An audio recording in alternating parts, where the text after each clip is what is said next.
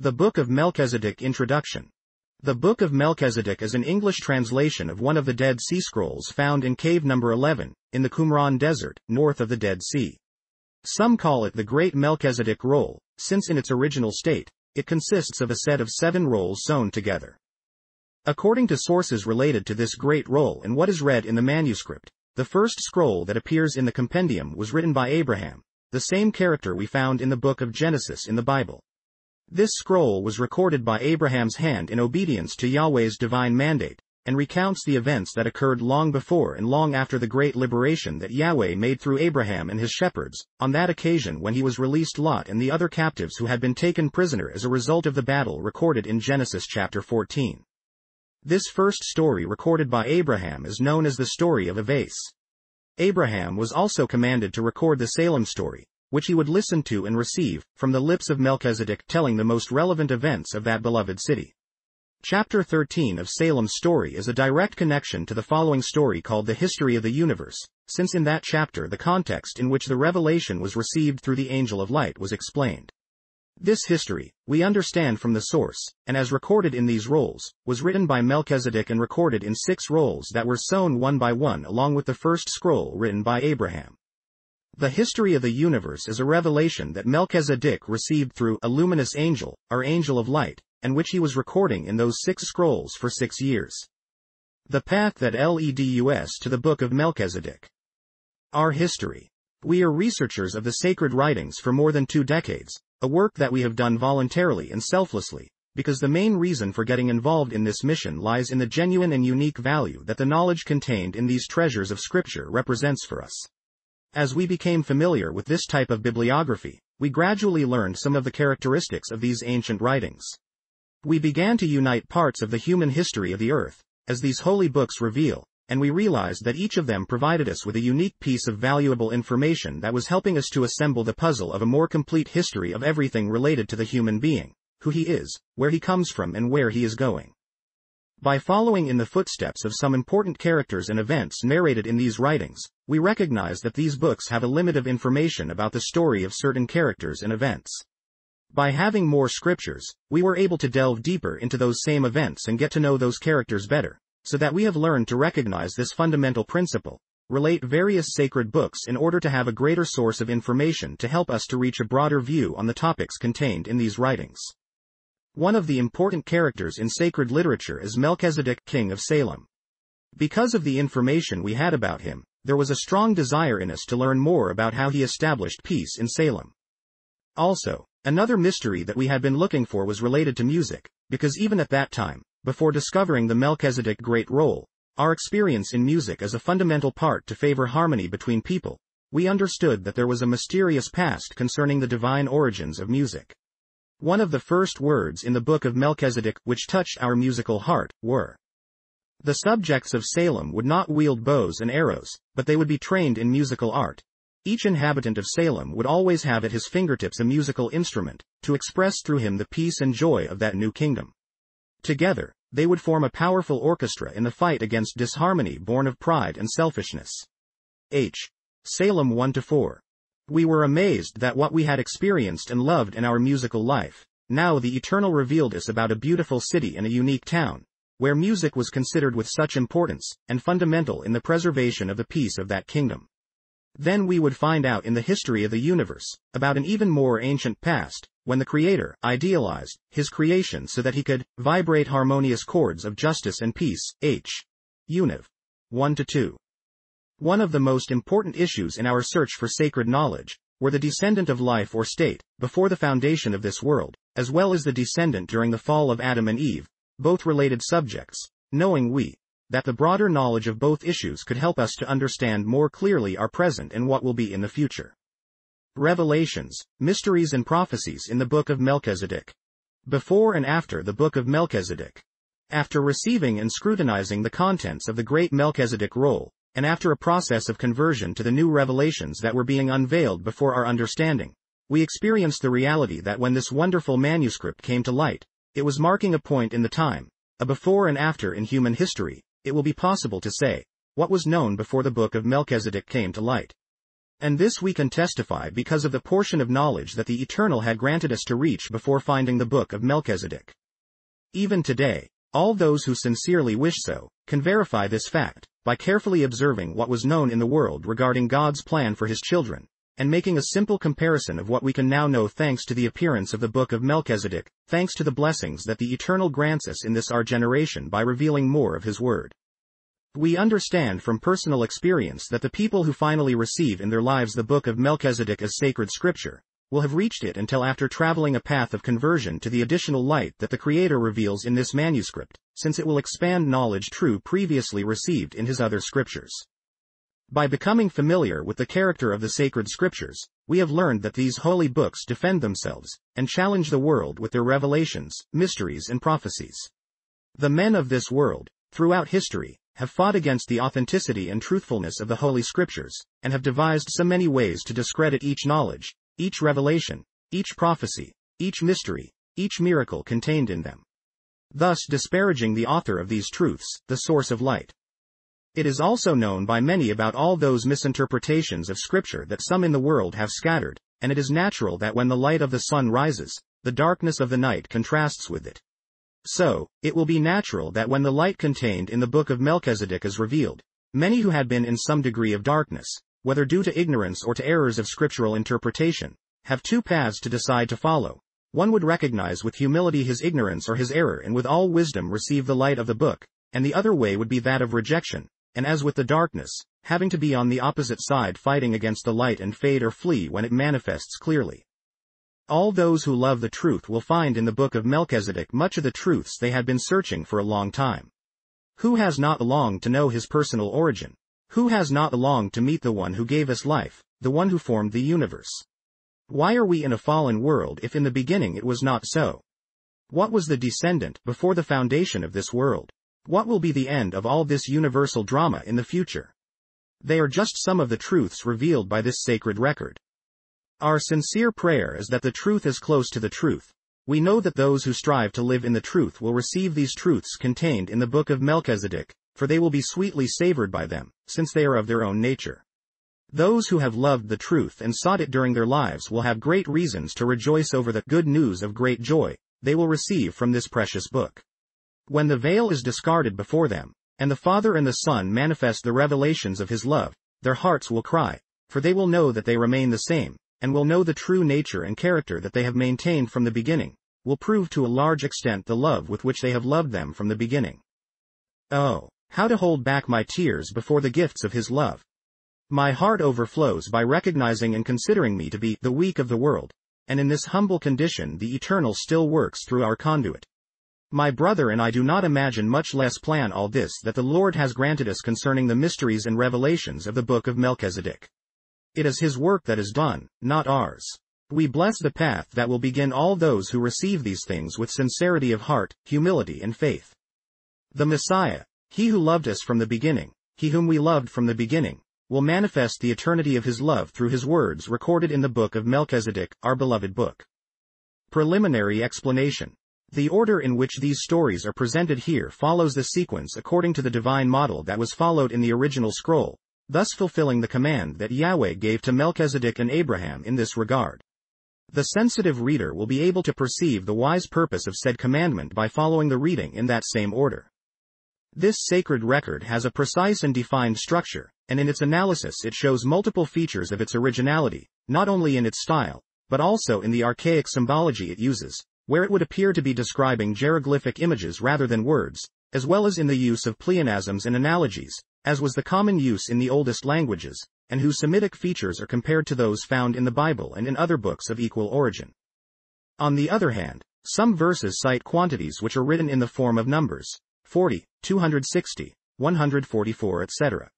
Also some words begin with an uppercase letter even when they do not appear after a period or the word does not merit as a rule start with a capital letter. In addition, quotes, double or triple exclamation points are used, as well as how to combine an interrogation with an exclamation at the same time. In such cases, whether they are numbers, capital letters or expression signs, we have decided to leave them in the original form in which we find this work written. The reader can find important meanings in the emphasis made on certain expressions, words or phrases. The abbreviations we use in this work to refer to a biblical quotation, we use the commonly known ones, and to refer to the stories and chronologies contained in this book, we identify them as follows. H. Vase the history of a vase. H. Salem Salem story. H. Univ. The history of the universe. Chrono 1 Chronology 1. Chrono 2 Chronology 2. Chrono 3 Chronology 3. As we delve into the content of these stories, we understand the relevance of analogies as a guide map that the universe offers us, revealing through similarities the location we have in time within the story to be fulfilled. That is, the events and characters of the past are an analogy, or likeness, that correspond to the events and characters of the present and the future. The particular mention that the roll makes about certain numbers, measurements, and significant festivities, motivated us to the need to graph in a simple way, the chronological order in which events came to be consummated in the past, repeating its corresponding analogy in the present and in the future. See chronology 1, 2 and 3. We should not confuse what we call analogy with predestination or preordination. The graphic chronologies were not part of the original scroll or the Portuguese version on which this translation was made, but were designed and added to facilitate a better understanding of it, and were placed at the end of the Abraham scroll because they were taken from his writings. The heading of each story, the synopsis of each chapter, the numerical assignment of each paragraph or verse, and the biblical references and other sacred books, all these were added to present more clearly the writings of the scroll. Acknowledgements. We thank Enoch Mucheroni for allowing us to carry out this translation and for the valuable help that through his website provided us with free access to his extensive information, as well as the Huntington Library of Los Angeles, California to Pedro Gringore for his valuable research and clear information that have helped many scholarly researchers to value the scrolls and the finding itself. And for greater intellectual enrichment, we recommend to the reader extensively the informative articles, books and internet content from these sources related to these topics. We also thank all those who have somehow contributed to the realization of this work. Our true intention is to publish with honor the word of the Lord as far as he has revealed and we are aware that he will still reveal more of his word, and we remain open to the knowledge that comes to our hands either by archaeological discoveries or the way in which please the Lord to reveal His words. We will greatly appreciate the comments and suggestions that the reader may have to express to us about this work, in order to correct any human error committed in the translation and preparation of this book for future editions. Thank you. Isaac Ramirez Vargas. Ezekiel Ramirez Vargas. Story title. The History of a Vase. A story written by Abraham. Abraham having received the commandment of Yahweh, writes in a scroll the events that gave rise to the history known as the history of a vase, which tells the facts that framed the great liberation that the Lord made through Abraham, his pastors and allies. See Chrono 1, 2 and 3. The History of a Vase Chapter 1. Abraham is informed of the battle in which Lot and many are taken captive. Abraham receives commandments from the Eternal in order to effect the great liberation, that is, to summon and prepare his shepherds, and prepare a vase with special characteristics. Closing parenthesis. I was resting under the shadow of the Mambre oak next to my tent, when I saw one of the servants of my nephew Lot arrive hurriedly. Almost out of breath, he began to tell me about the tragedy. There was a battle between the cities of the plains the day before, involving four kings against five. As a result, Sodom was defeated and many of its inhabitants taken captive, including my nephew Lot. The news left me very distressed, because at the same time that I felt it was necessary to come out to his aid, I was fragile, without any conditions. I was always a peaceful man and I hate those who shed blood. I have many servants, but few know how to handle swords and spears, since childhood they have been trained as shepherds. Instead of swords and spears, they handle curbs with which they lead the flocks. Instead of shields, they carry glasses on their waists, always full of fresh water, to kill their thirst and refresh the afflicted sheep. Instead of wine to get drunk, they load subject to their belts small pots with olive oil, with which they anoint the wounds of the flock. Instead of resonating trumpets, they blow in small horns, with which they summon the flock to the corral. Imagining what a battle would be like between my servants and the armies of those five victorious kings, I began to laugh. While I was reflecting, the voice of the one who always guides me echoed in my ears, saying, Abram, Abram, do not disparage the instruments of the shepherds, for they are sanctified by the fire of sacrifice, they will conquer the great liberation. Dash. The Eternal began to give me orders, making me advance by faith, without knowing how such liberation was to be realized. The first step was the convocation of all the shepherds who, leaving their flocks, went to the Mamre Oak, bringing their pastoral instruments. There were a total of 600 pastors. I ordered the jugs to be emptied, placing the oil in the jar. After fulfilling this order, I asked that each one take the wool of a sheep, mixing it with the oil from the jugs. After these things, Yahweh commanded me to take a large vase of clay, filling it halfway with olive oil.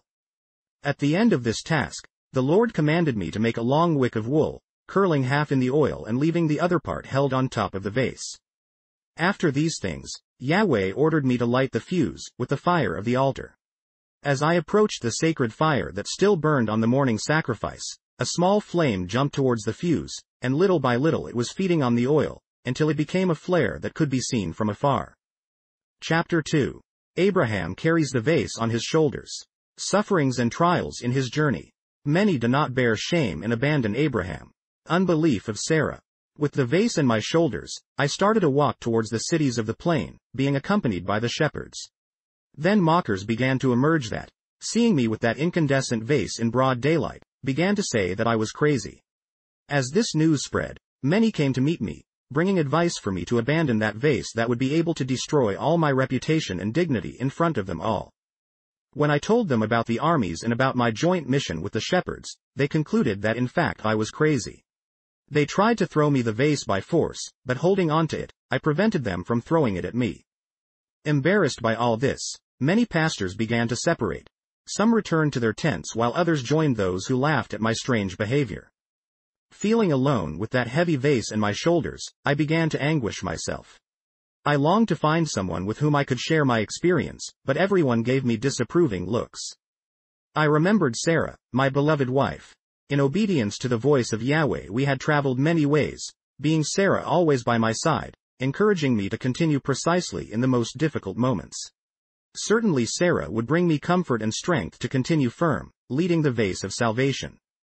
While I was walking along the road thinking about Sarah, I saw her in the middle of the crowd. When I addressed her, I was surprised and discouraged to see in her eyes the same contempt of those who called me crazy for driving in the middle of the day the flame that had come off the altar.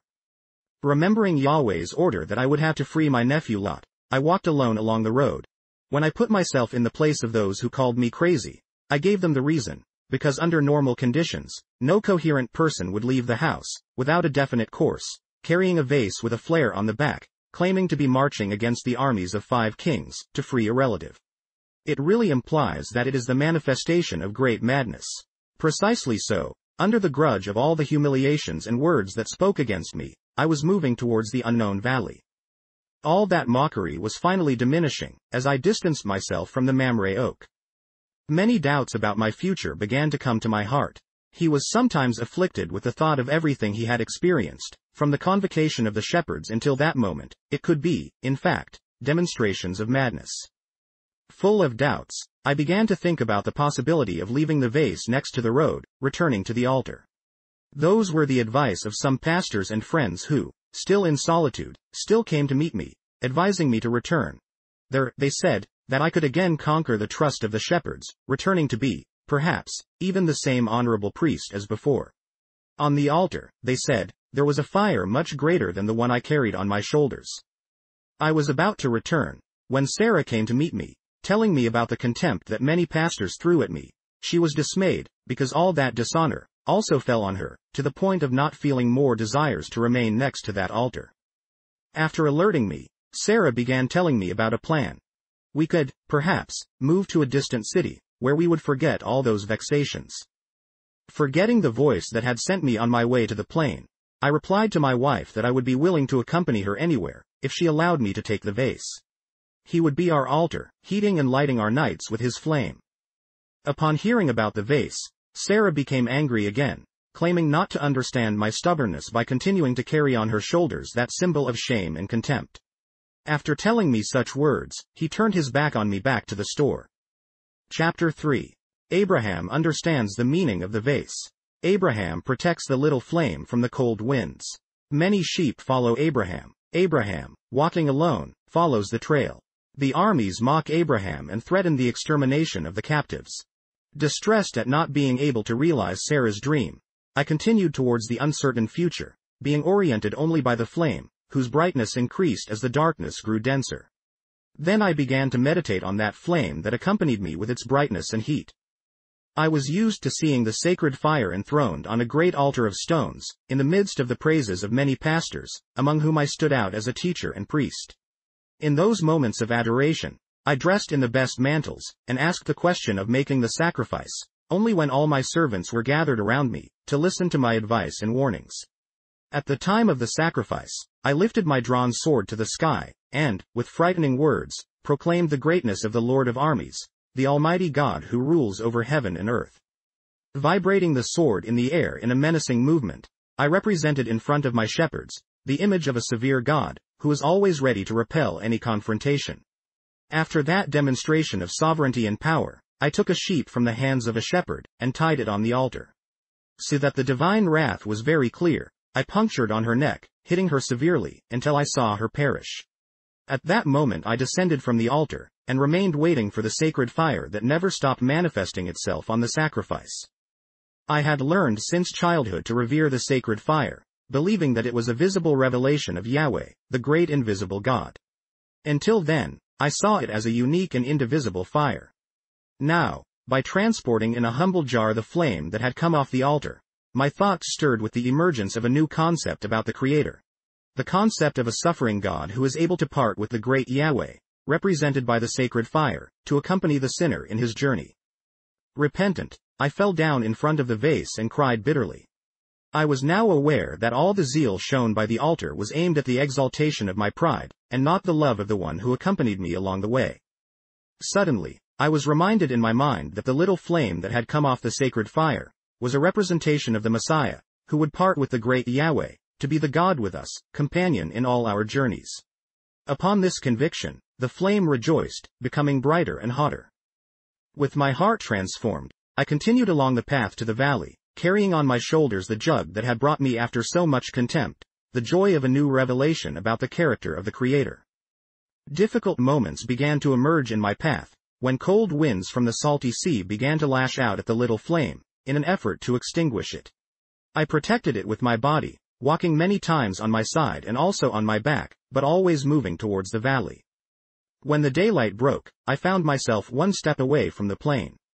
I began to find many flocks along the way that were led by rude shepherds.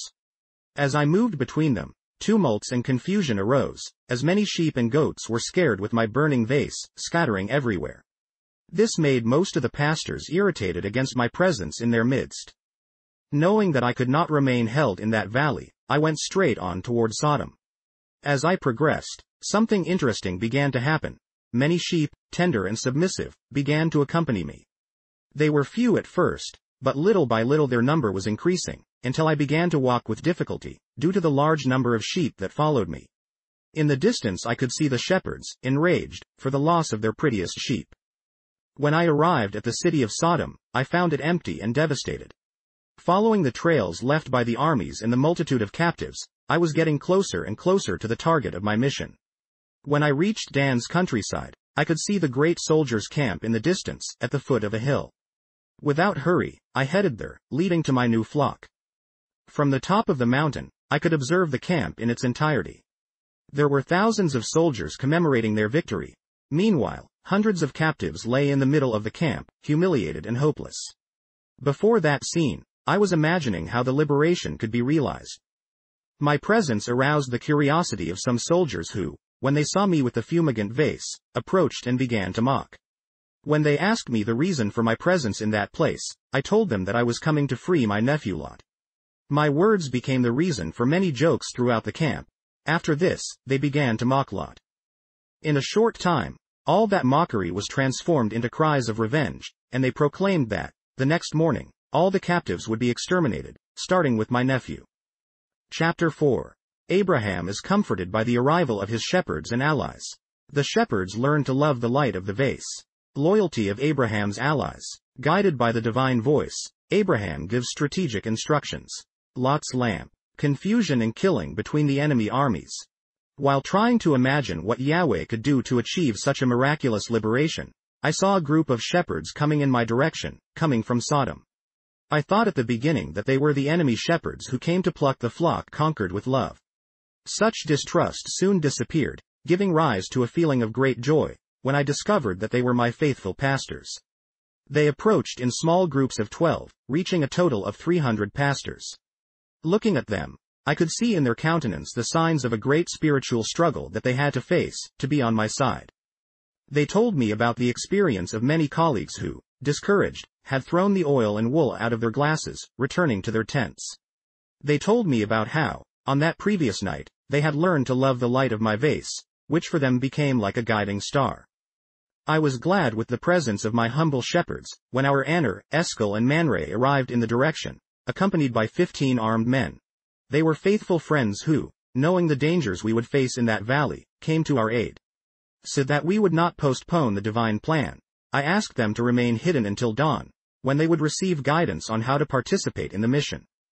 I began to orient the shepherds, following the instructions of the divine voice that sounded to me from within the flame, the first task of the shepherds would be to take care of the flock until nightfall. When I returned, I ordered that they tie the skeins of wool soaked in oil, on the tip of their curbs, placing them inside the glasses that should be kept suspended, face down. I began to light them with the fire of my flare, until the 300 torches were burning, though, hidden, inside those vases. I ordered 40 of my courageous shepherds who, at the time indicated by a sign that would be given, should advance silently towards the center of the camp, circling all the captives that lay in the middle of the troops' camp. At the same time, the remaining 260 shepherds should surround the entire camp, waiting for the signal to break the glasses with the horns. Oriented by the voice of the flame, I indicated the signs. When the last torch went out in the camp, they should be attentive, since a small lamp would be lit by one of the captives. As soon as the lamp began to burn, everyone should run to their position, avoiding any noise, so as not to be discovered. The signal for them to break the glasses with the horns, raising the torch very high, would be to extinguish the lamp. After those orientations, the 260 shepherds, hidden by the shadows of the night, scattered throughout the valley, and were waiting for the moment to place themselves around the camp. Meanwhile, the 40 were placed next to a more vulnerable passage, through which they would reach the captives. It was already late at night when the torch of the last soldier was extinguished, a complete darkness and silence over the troops' camp. Among the captives, there was a man on that night, who lived the greatest anguish of his life. It was my nephew who, after becoming the target of so many abuses and humiliations, had learned of the punishment that awaited them at dawn. On that night, Lot had his thoughts turned to his uncle, he remembered with regret the moment he had left me next to the Mamre oak, moving to the Sodom countryside. In desperation, he felt the desire to see my face again and to apologize for having turned away from me. Just then, Lot was attracted by the glow of a torch burning on the hill. When he looked at the glow, he imagined he was having a vision, for it revealed the face of his dear uncle. Wanting to show me his face, Lot felt in the midst of darkness until he found a small lamp he had brought in his saddlebag. Frustrated, he sensed that there was no oil in it. He concluded that the dry and dull lamp was a symbol of his empty and faithless life. Without diverting his eyes from my face lit by the flame of the vase, in a desperate gesture of faith, Lot felt the wick of his lamp, discovering that there was an oil residue in it. Curving, he began to hurt the stones of the fire, until a spark jumped towards the fuse.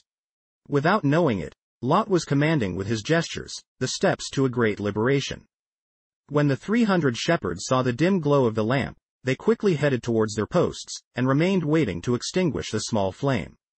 From the moment Lot got up with his tiny flame, I was looking into his eyes that looked at mine. I saw that his face brought signs of unspeakable anguish and ill treatment. Likewise, I could read in his blue eyes that hope and faith had not yet left him. The little fire in Lot's lamp, however, would not resist for long. It was necessary to turn it off, to signal the great victory. When darkness covered Lot's face again, my 300 shepherds lashed their horns against the vases that kept burning torches hidden. A great noise, like cavalry in combat, echoed everywhere, while the torches were suspended. The 300 horns used until then to lead the flock, now sounded like trumpets of conquerors. The whole camp woke up in one jump, and, not knowing how to escape from such a terrible investing that it started from the outside and inside, the soldiers began to fight among themselves, while my shepherds remained in their posts, sounding the horns. The captives were very frightened at first, but little by little they became aware of the great liberation that was operating in their favor. When it dawned, a scene of complete destruction was revealed before our eyes. The whole town was covered by thousands of bodies torn by their own swords and spears. Only a few managed to flee that death camp, but they were persecuted by my 18 allies who were armed, being reached in Hoba, which is to the left of Damascus. Meanwhile, the captives, now released, recovered all the riches from which they had been looted by enemies. Chapter 5. The Great Liberation represents the liberation of Israel in the last days. Abraham discovers that the Great Liberation was concretized in Rosh Hashanah. Abraham preaches the faith in the Messiah to the liberated captives inviting them to purify themselves in water, only three accept him. Abraham rejects the offer of the king of Sodom. Abraham and the faithful decide to commemorate the festival of Sukkot in Salem. The pearls of the vase. Festive welcome in Salem. The meeting of Abraham and Melchizedek. See Chrono. 1, 2 and 3. From the top of the hill, while I vibrated with the joy of the captives on that morning of liberation, I heard the voice of Yahweh speaking to me in the middle of the flame. This liberation that is concretized today, represents the liberation that I have to operate in the last days, saving the remnants of your children, from the siege of numerous nations that will ally themselves with Gog in order to destroy them. On that day when they triumph over my people, my indignation will be very great, and I will contend against it through the plague and the blood, flooding rain, great rocks of hail, fire and brimstone I will make fall on him, on his troops and on his many towns that were with him. Thus, I will magnify myself, justify my holiness and make myself known in the eyes of many nations, and they will know that I am the Lord. And on the house of David and on the inhabitants of Jerusalem I will pour out the spirit of thanks and supplications. They will look at me whom they pierced, and will lament as one who laments for an only begotten son and will cry for him as one who cries bitterly for the firstborn. On that day, there will be an open source for David's house and for the inhabitants of Jerusalem, to remove sin and impurity. Quote dash. Aware of the historical importance of that day of liberation, I took a calendar and looked with surprise, for it was Rosh Hashanah, our trumpet day. That was the first day of a new year. Ten days later the Yom Kippur would come, the day of the purification of sins. On the 15th, the Sukkot party, the joyous autumn harvest party, would take place. The flame that for me had become a representation of the promised Messiah, went out the moment I descended to meet the shepherds and the many captives now released. Full of joy and admiration, everyone wanted to know how such a great liberation had become possible, only with the use of those torches and horns. I told them then about the importance of that fire that had been released from the altar, to free them in that valley, identifying it as the Savior Messiah. Seeing that everyone carried the dirt of slavery in their bodies and mantles, I invited them to follow me to the Jordan River, where everyone could bathe, for the purification of their sins. Only three people attended the invitation. Lot and his two most recent daughters. The others returned contaminated to their homes. Before leaving, the king of Sodom came to meet me, promising to give me all the wealth recovered that morning. I rejected his offer, so that someone could never say that I enriched myself with that plunder. We stayed camped on the banks of the Jordan River, near Jericho for 12 days. In those days of refreshment, everyone was free of impurities, leaving them in the waters of the Jordan. This was a special preparation for the Sukkot party that we decided to commemorate in Salem. Full of joy, we started an upward march towards the city of Salem, unaware of the happy surprise that awaited us. I was still at the front with Lot and his two daughters by my side, and behind the 300 shepherds came, leading the great flock. As we moved forward, I began to notice that my vase that had become empty at dawn became very heavy. As I lowered it, I looked surprised to discover within it many pearls of various sizes and glitters that mysteriously formed. When we see the white city in the distance, we begin to hear sounds of a great party. Harmonious chords reverberated through the mountains, as we advanced along the road. My curiosity in knowing that city and its young king was immense, because from the mouth of many I had already heard about its greatness and fame. It was a kingdom different from all the others, where subjects were trained not in the handling of bows and arrows, but in the domain of musical instruments. Melchizedek, his young king, ruled everyone with a very special scepter. A lute, for which he had paid a high price. As the joy grew in me as we approached the city of the great king, we saw a crowd dressed in fine linen, pure and shining, coming out to meet us. They all brought musical instruments, while singing a victory hymn. In front of the crowd came a young man playing a lute, bringing a crown full of precious stones on his forehead, which shone under the clarity of the setting sun. I was certain that this was the acclaimed king of Salem. At the time of our meeting, we were admired with the salutation they gave us. Leaning in front of me, Melchizedek said, Blessed are you Abraham, servant of the Most High God, who possesses the heavens and the earth, and blessed be the Most High God, who delivered your adversaries into your hands. Quote. Chapter 6.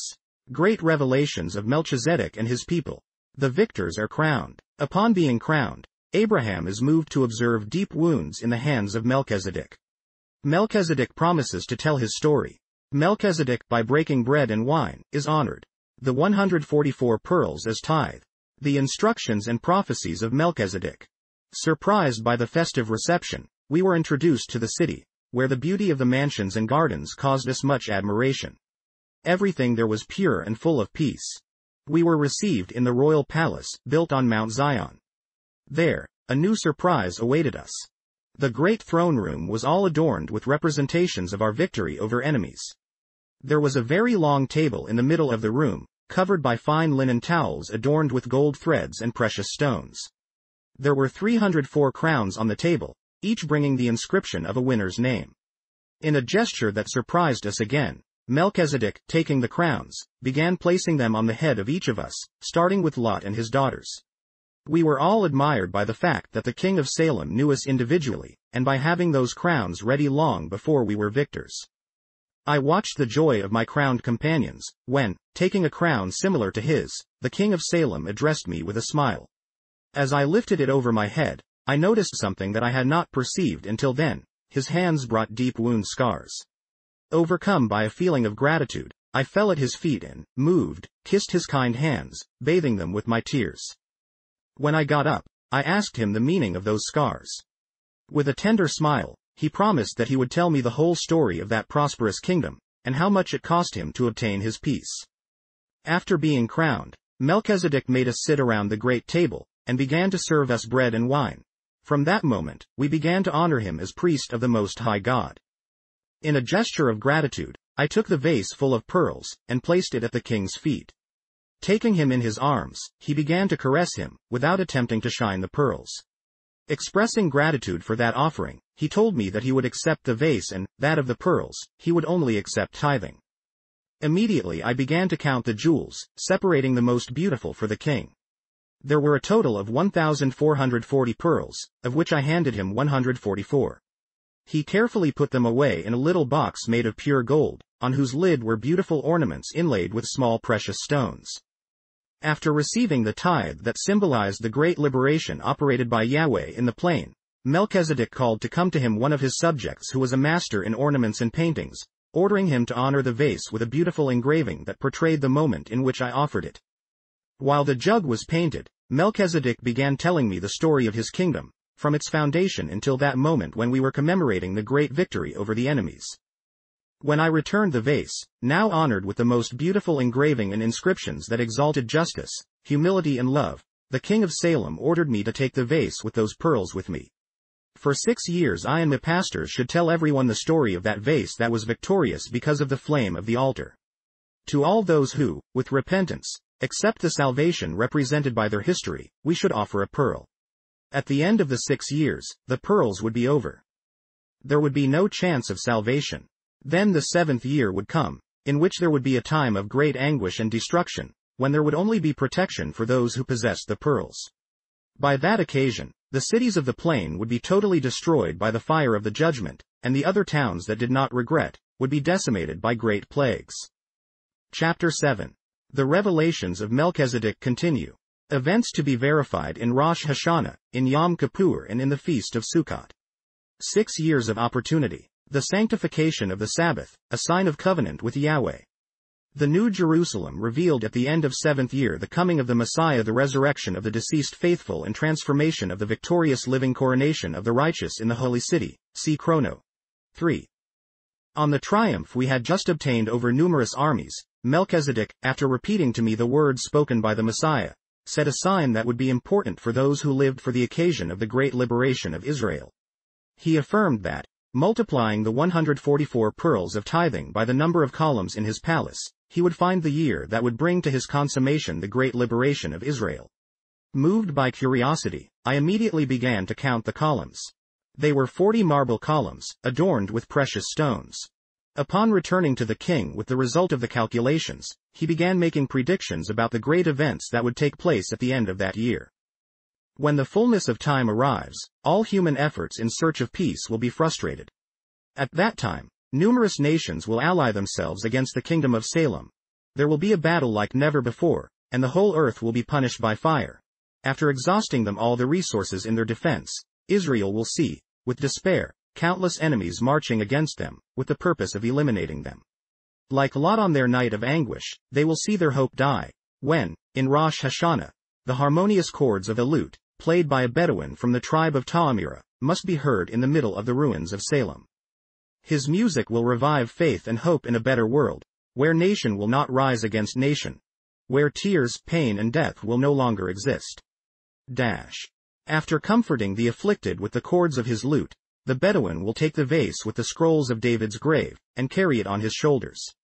On that day, his feet will be on the Mount of Olives, and, crying out for the liberation of Israel, there will be a strong earthquake that will crack the mount in half, emerging from the east to the west a huge valley. On that day, all the land of Israel will be heavily shaken, ensuing a total destruction for all enemy armies. There will, however, be salvation for all those who, with repentance, took refuge under the Eternal's wings, throwing away the instruments of violence. All mankind will witness with horror the scenes of the liberation of the children of Israel. On that day, many peoples and powerful nations will be established next to Yahweh of armies. Crowds of the diaspora Jews will approach, saying, We will go with you, because we know that the Eternal is in your side. The Yom Kippur that will follow liberation will be a day of purification of the impurities of all those who accepted salvation. On that day the blindness of the sons of Jacob will end, and they will look toward him whom they pierced, and they will cry bitterly for him as he cries for an only begotten son. At the feast of Sukkot, crops, the Spirit of God will be poured out on all flesh, and it will happen that, everyone who invokes the name of Yahweh will be saved, receiving a pearl from the vase. In the Dakar of the days of Sukkot, Rains of blessings will fall on the immense valley, causing a paradise full of joy and peace to appear in the sight of all the peoples, throughout the Holy Land. On that day the elect of God will understand the words of the book. Hear me, you, who seek justice, you who seek Yahweh.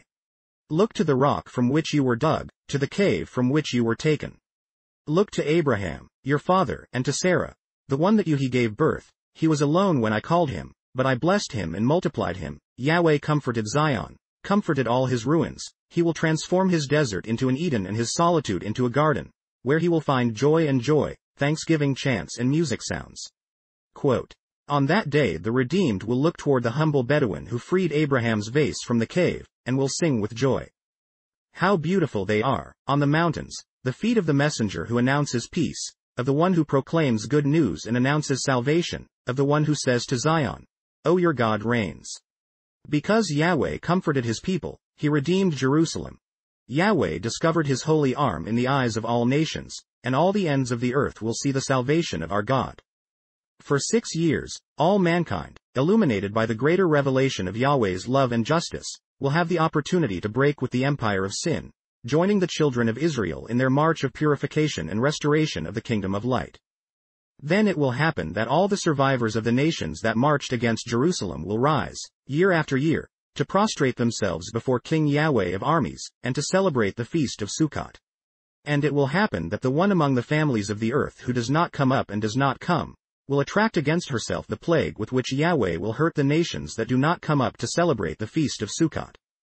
In those years of opportunity, the last treat of mercy will sound throughout the world, in an attempt for all sinners to repent and unite in an eternal alliance with Yahweh, saying, Thus says Yahweh, Observe the right and practice justice, because my salvation is ready to come in my justice to manifest. Blessed is the man who proceeds in this way, and the son of the man who affirms this, who keeps the Sabbath and do not desecrate him and he keeps his hand from practicing evil. Don't tell the foreigner that he gave himself to Yahweh.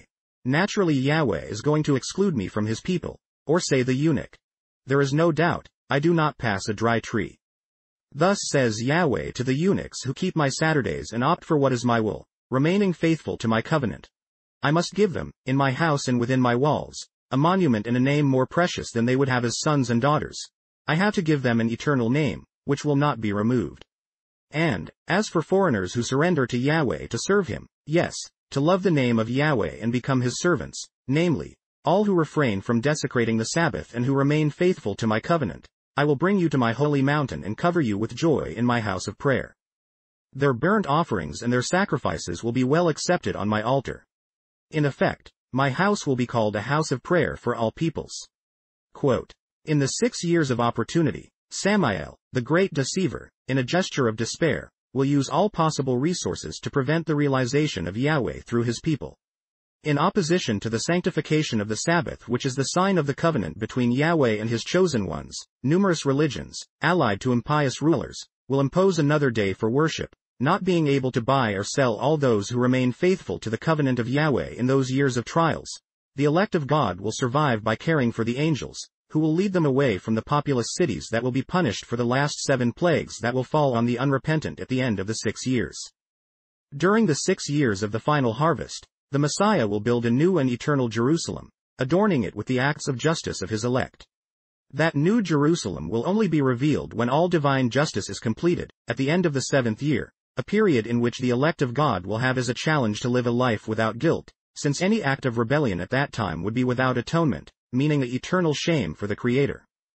At the end of the seven years, the Messiah will appear in the clouds of heaven, accompanied by all the heavenly hosts. By playing his trumpet on that great Rosh Hashanah, the deceased faithful will rise in glory. The victorious living will be transformed in the blink of an eye, receiving perfect bodies. Together, all the redeemed will be raptured into the New Jerusalem, on an unforgettable journey that will begin on the first day of the Sukkot festival. After seven days of happy ascension, they will arrive in the holy city to commemorate, before the throne, the eighth day of the party. As if it were a dream, the rescued of the Lord will enter the holy city, finding on their north side, the Garden of Eden, in the middle of which Mount Zion rises, the place of Yahweh's throne. Crowned by the Messiah, the redeemed will sing the song of victory, making the chords of their harps, lutes and flutes vibrate throughout the space. Chapter 8. Melchizedek's predictions continue. Abraham and his shepherds proclaim the salvation represented by the history of the vase and its redemptive flame. They grant pearls to believers. A time of opportunity before the calamity. The pearls of the vase did not have meaning to Sarah. After uttering all these predictions, Melchizedek told me that all the experience we were living was prefigurative. For the whole drama to be consummated, we still had important events ahead of us, First, I should return to the Mamre oak together with my shepherds, to proclaim to all the salvation represented by the history of that vase. Anyone who, with repentance, accepted the revealed Messiah, would obtain forgiveness of their sins, receiving a pearl. At the end of six years, on the eve of Rosh Hashanah, the pearls would be finished, there being no more chance of salvation. At that time, the fire of judgment would fall on the cities of Sodom and Gomorrah, with terrible plagues upon all the infidels. When I heard such words from the king of Salem, great anguish came upon me, when I remembered Sarah's last steps. I feared that she, in her disbelief, would not accept a pearl. If this happened, my beautiful dreams would fall to the ground, because I would not be happy in his absence. Reading in my eyes the anguish, Melchizedek comforted me with a promise. Abram, six years from now Yahweh will visit you in your store, and your wife will be cured of her sterility. She will convert and give you a son named Isaac. At the end of the Sukkot party, we returned to our stores next to the Mamre oak. As we went along the road, many people surrounded us, admired by the beauty of the vase full of pearls. We all told the story of his redemptive flame, and offered the pearls to all who, believing, accepted salvation. When we arrived at the Mamre oak, a crowd of people waited for him. Many had heard of the miraculous liberation operated through that vase that had been the target of so much contempt. Now, Everyone was muted to see him glorified. Together with my pastors, we continue to proclaim the infinite love of Yahweh revealed by the flame.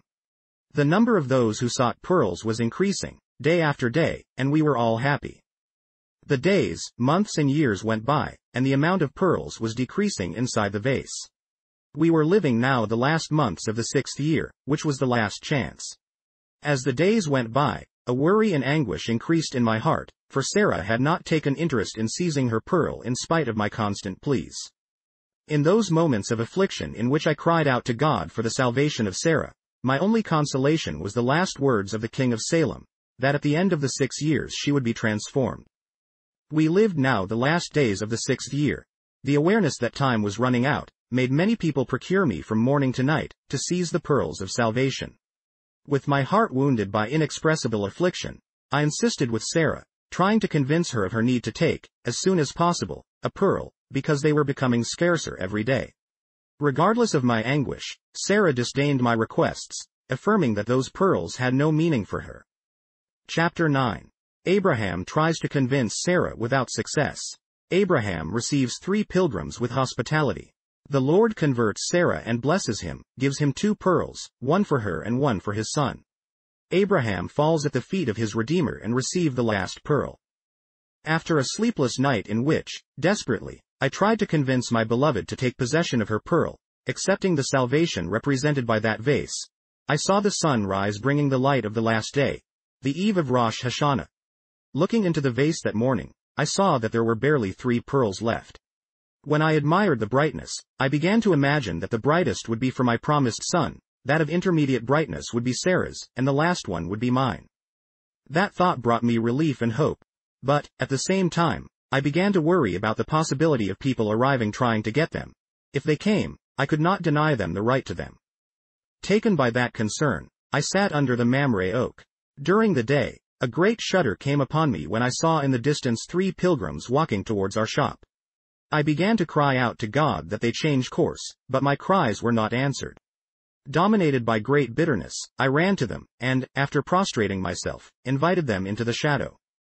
Taking a vase with water, I began to wash their feet, cleaning them from the dust of the road. Seeing the wounded and blistered feet of those men, I felt compassion for them. I understood that they had come from far away, facing dangers and challenges, in order to get the pearls on time. I saw that they were much more deserving than me, Sarah and our promised son. By washing the feet of the third, my heart that until then was afflicted, was filled with peace and joy. I imagined at that time, how terrible it would be if that third pilgrim had not joined the first two on that journey. In that case I would be obliged to take the last pearl, climbing without my beloved Salem.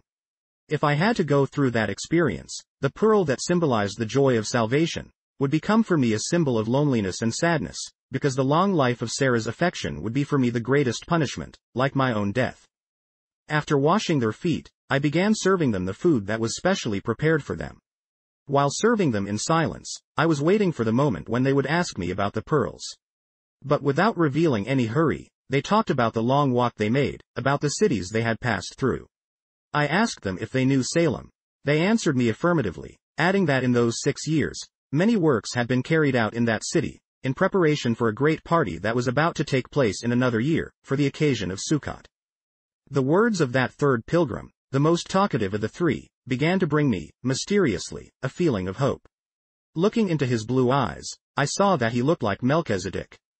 I remembered the last promise made by the king of Salem, when the third pilgrim asked me with a smile. Abram, where is Sarah your wife? Dash. Stunned, I asked him. How do you know my name and my wife's name? The pilgrim replied, Not only do I know your names, but I also know that, within a year, you will have a son who will be called Isaac. Dash. When I heard the words of the visitor, I ran into the store to call my wife, to hear the words of the pilgrim. When he saw her, the pilgrim asked him, Sarah, why are you laughing at my words? Scared, Sarah replied, I did not laugh my lord. Don't say you didn't laugh, because I saw you laughing inside the store. The pilgrim affirmed, Conscious of being in front of someone who knew his interior, Sarah asked him, Who are you, Lord? I am the flame that broke away from the fire of the altar to be in your husband's vase.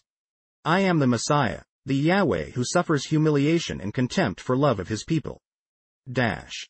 Having made this revelation, the pilgrim extended his hands over Sarah's head to bless her. Only until then I saw that they were marked by scars similar to those of the king of Salem. The pilgrim, with much tenderness, began to speak to the heart of my beloved, rescuing her from her cave of disbelief. Sarah, you are valuable in my eyes. All your past of disbelief and infertility is forgiven. I have a glorious future for you, for you will become the mother of many peoples and nations. Dash. After saying these words, the noble visitor went to the vase and, bowing, took from him the three remaining pearls. Addressing Sarah, he handed her two pearls, and said, One is for you and the other is for your son Isaac. With life transformed by Yahweh's love, Sarah prostrated herself at the feet of the pilgrim who had saved her at the last moment of opportunity. When I saw her prostrate submissive, my heart for so many years afflicted, it broke into tears of joy and gratitude, and I fell at the feet of my Redeemer and King. After comforting us with the certainty of our eternal salvation, the pilgrim handed me the last pearl. When I squeezed it in my hands I felt a great light of joy and peace penetrate my whole being, and I began to praise the Eternal for the certainty that I would forever have my dear Sarah and the son of the promise that, within one year would be born. Chapter 10 Abraham accompanies the Lord to the hill from where the Lord sends his two companions on a mission. Yahweh laments the destruction that will come to the inhabitants of the cities of that beautiful valley. Abraham intercedes for that people. There were not ten righteous in Sodom and Gomorrah. Yahweh's lamentation. The two companions are sent to rescue Lot and his daughters. Abraham prostrates himself thankful to Yahweh for the intervention in the rescue of his relatives. After these things, Yahweh said goodbye to Sarah and the shepherds who were there, and invited me to accompany them to the hill facing the valley. When we arrived at that place, the Eternal said goodbye to his two companions, sending them on a special mission in Sodom. From the top of the mountain we contemplated the fertile valleys and forests that, like a paradise, stretched on both banks of the Jordan River, surrounding the thriving cities, within which Sodom and Gomorrah stood out. It was on that hill that, after the fight between my shepherds and the shepherds of Lot, I gave him the opportunity to choose the course to follow, because we could not stay together. Attracted by the riches of the countryside, he decided to move there. Looking at my companion who remained silent from the moment we saw the countryside, I was surprised to see him crying. I asked him the reason for his sadness, and he, sobbing, replied. This is for me a very sad day, for for the last time my eyes can rest on this fertile valley. I cry for the inhabitants of those cities who don't know their days will end. Dash. Yahweh's statement brought back the memory of all those captives who had been released six years before. Unfortunately, almost everyone rejected the purification bath, returning filthy to their homes. Only Lot and his daughters accepted salvation, taking possession of their pearls. Thinking about some possibility of liberation for that people, I asked the Lord. And if there are in those cities, fifty just people, would they still be destroyed? Yahweh told me that if there were fifty righteous, the entire plain would be forgiven. What if there are forty-five fair? If there were forty-five righteous, all those cities would be forgiven. Dash. I continued with my inquiries until I reached number 10. Yahweh told me that if there were ten righteous in those cities, the entire plain would be forgiven.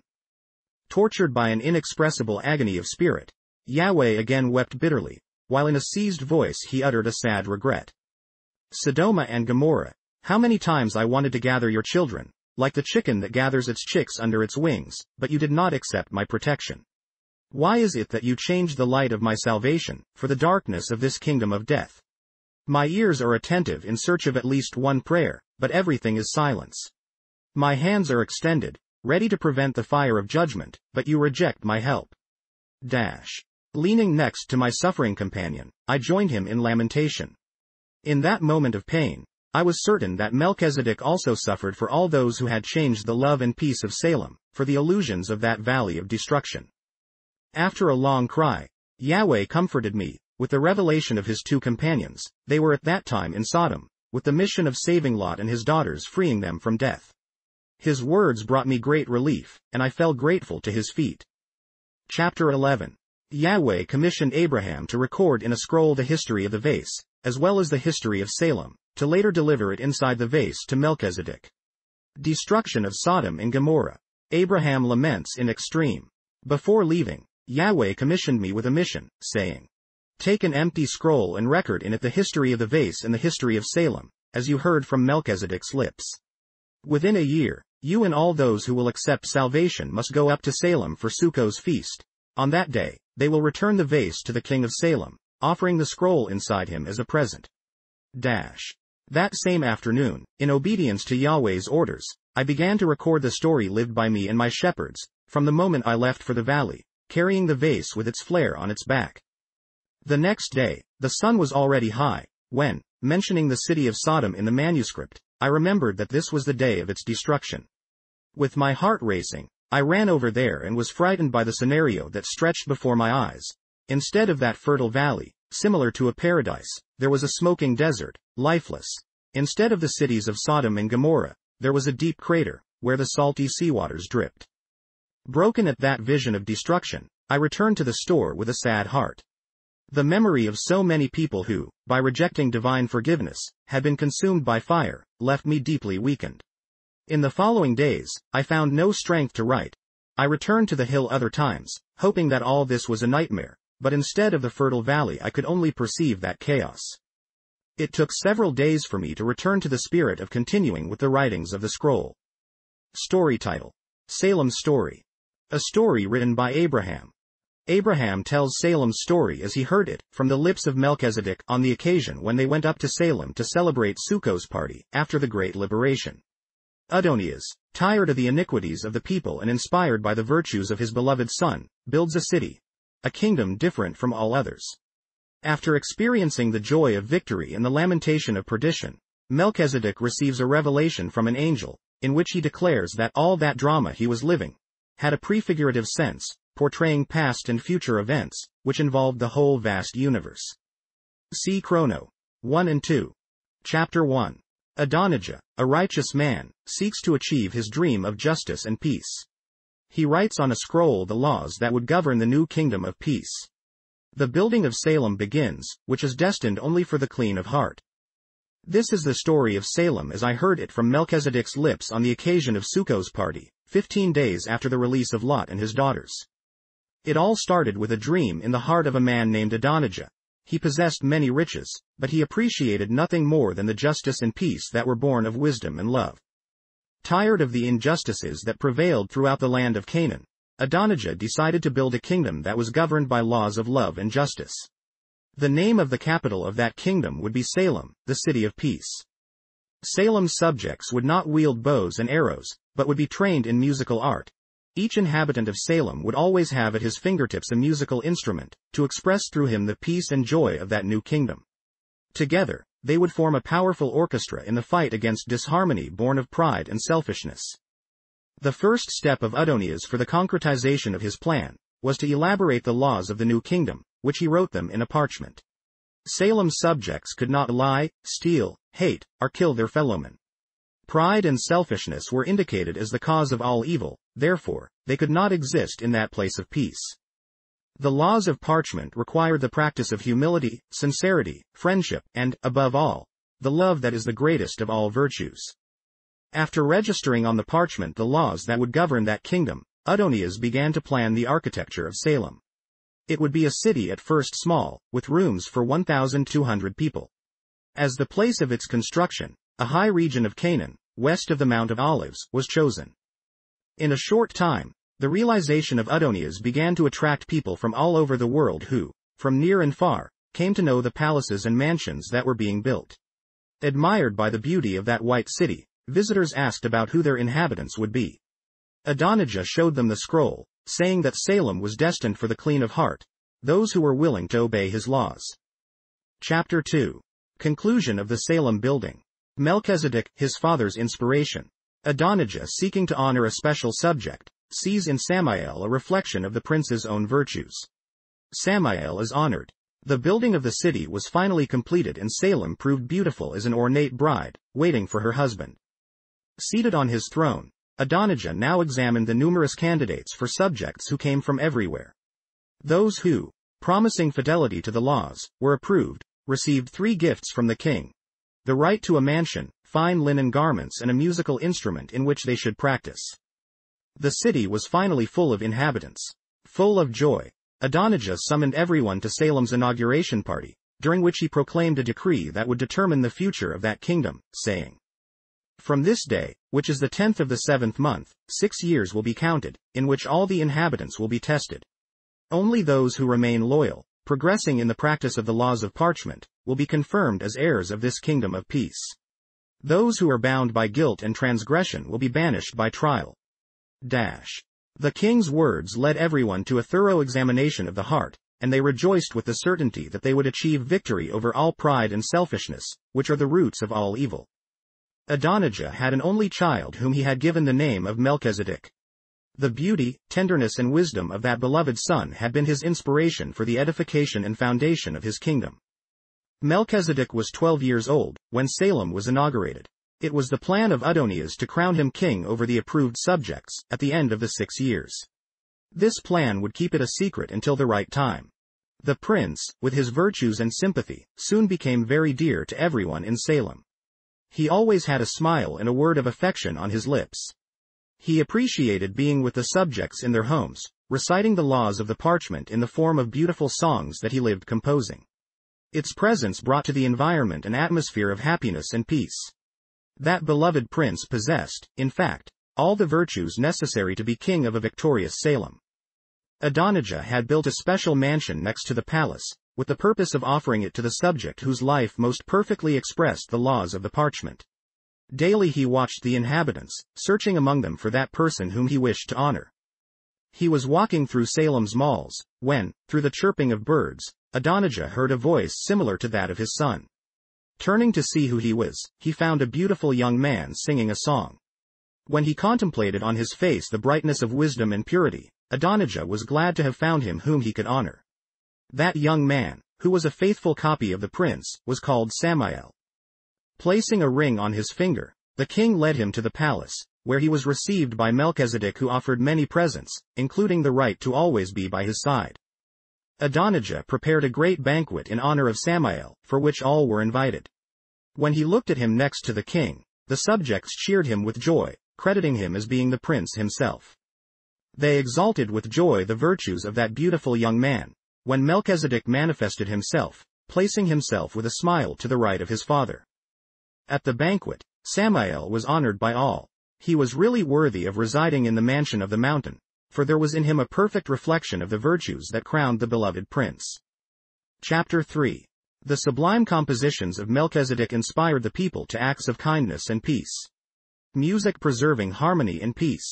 Samael, Melchizedek's inseparable companion. Important revelations of Adonijah to his people about the future government of a victorious Salem. Samael, guardian of the laws. Salem grew in happiness and peace. With joy, the subjects gathered every day at dawn to hear, sing and play the sublime compositions of Melchizedek, which inspired acts of kindness and peace. Among friendships born and strengthened by virtue of harmonious music, the one that united the prince and Samael stood out. Since he had begun to reside in the mountain mansion, Samael had become his constant companion. Together they spent long hours, meditating on the laws of parchment. With admiration, the honest subject saw Adonijah's son transform those laws into beautiful songs. The sweet melodies were born from his lips like the perfume of a flower. Aware of the importance of music in the preservation of harmony and peace in Salem, the prince, in addition to singing, began to devote himself to instrumental music, the lute being his favorite instrument. It was through that instrument that he was able to express with greater perfection the richness of his soul. Of the six years of testing, five finally passed. Adonias, happy to see that until then all the inhabitants of Salem had remained loyal to the principles contained in the parchment, summoned them to a banquet, in which he would make important revelations. Having taken their places before the throne, the subjects joyfully joined the voices singing the songs of peace, being ruled by Samael. After hearing them, the king, excited, addressed his son, hugging him in the midst of applause from the grateful crowd. Everyone recognized that peace and joy in Salem were largely due to the love and dedication of the beloved prince, who was the author of those sweet songs. At that moment of recognition and gratitude, Adonijah revealed his plans kept until then secret. In a leisurely voice, he told them, Subjects of this kingdom of peace, my soul is full of joy to contemplate on your day your faces more radiant than in times past. Your clothes remain white and pure, as when you received them from my hands. The harmony of your voices and instruments are better today. Having said these words, the king added solemnly, A year of trial still remains, at the end of which you will be examined. Remaining faithful is here, you will be honored by being confirmed as subjects of this kingdom of peace. However, if someone were found at fault, they will be banished, even if this trial brings us much sadness and suffering. Dash. The king's words led the subjects to deep reflection. Everyone, examining himself, inquired reverently, Will we be approved? Dash. Surely they would be victorious, because they loved Salem and his laws, joined the voices in an expressive song of faithfulness. At the end of the song, Adonias revealed his great secret. Those who are approved, inheriting this kingdom of peace, will receive my son as king, to whom I will give the glorified throne of this Salem Victorio Saw. The revelation of the king was acclaimed by all with much joy. Adonijah, however, had not yet revealed all his plan, so asking for silence, he continued.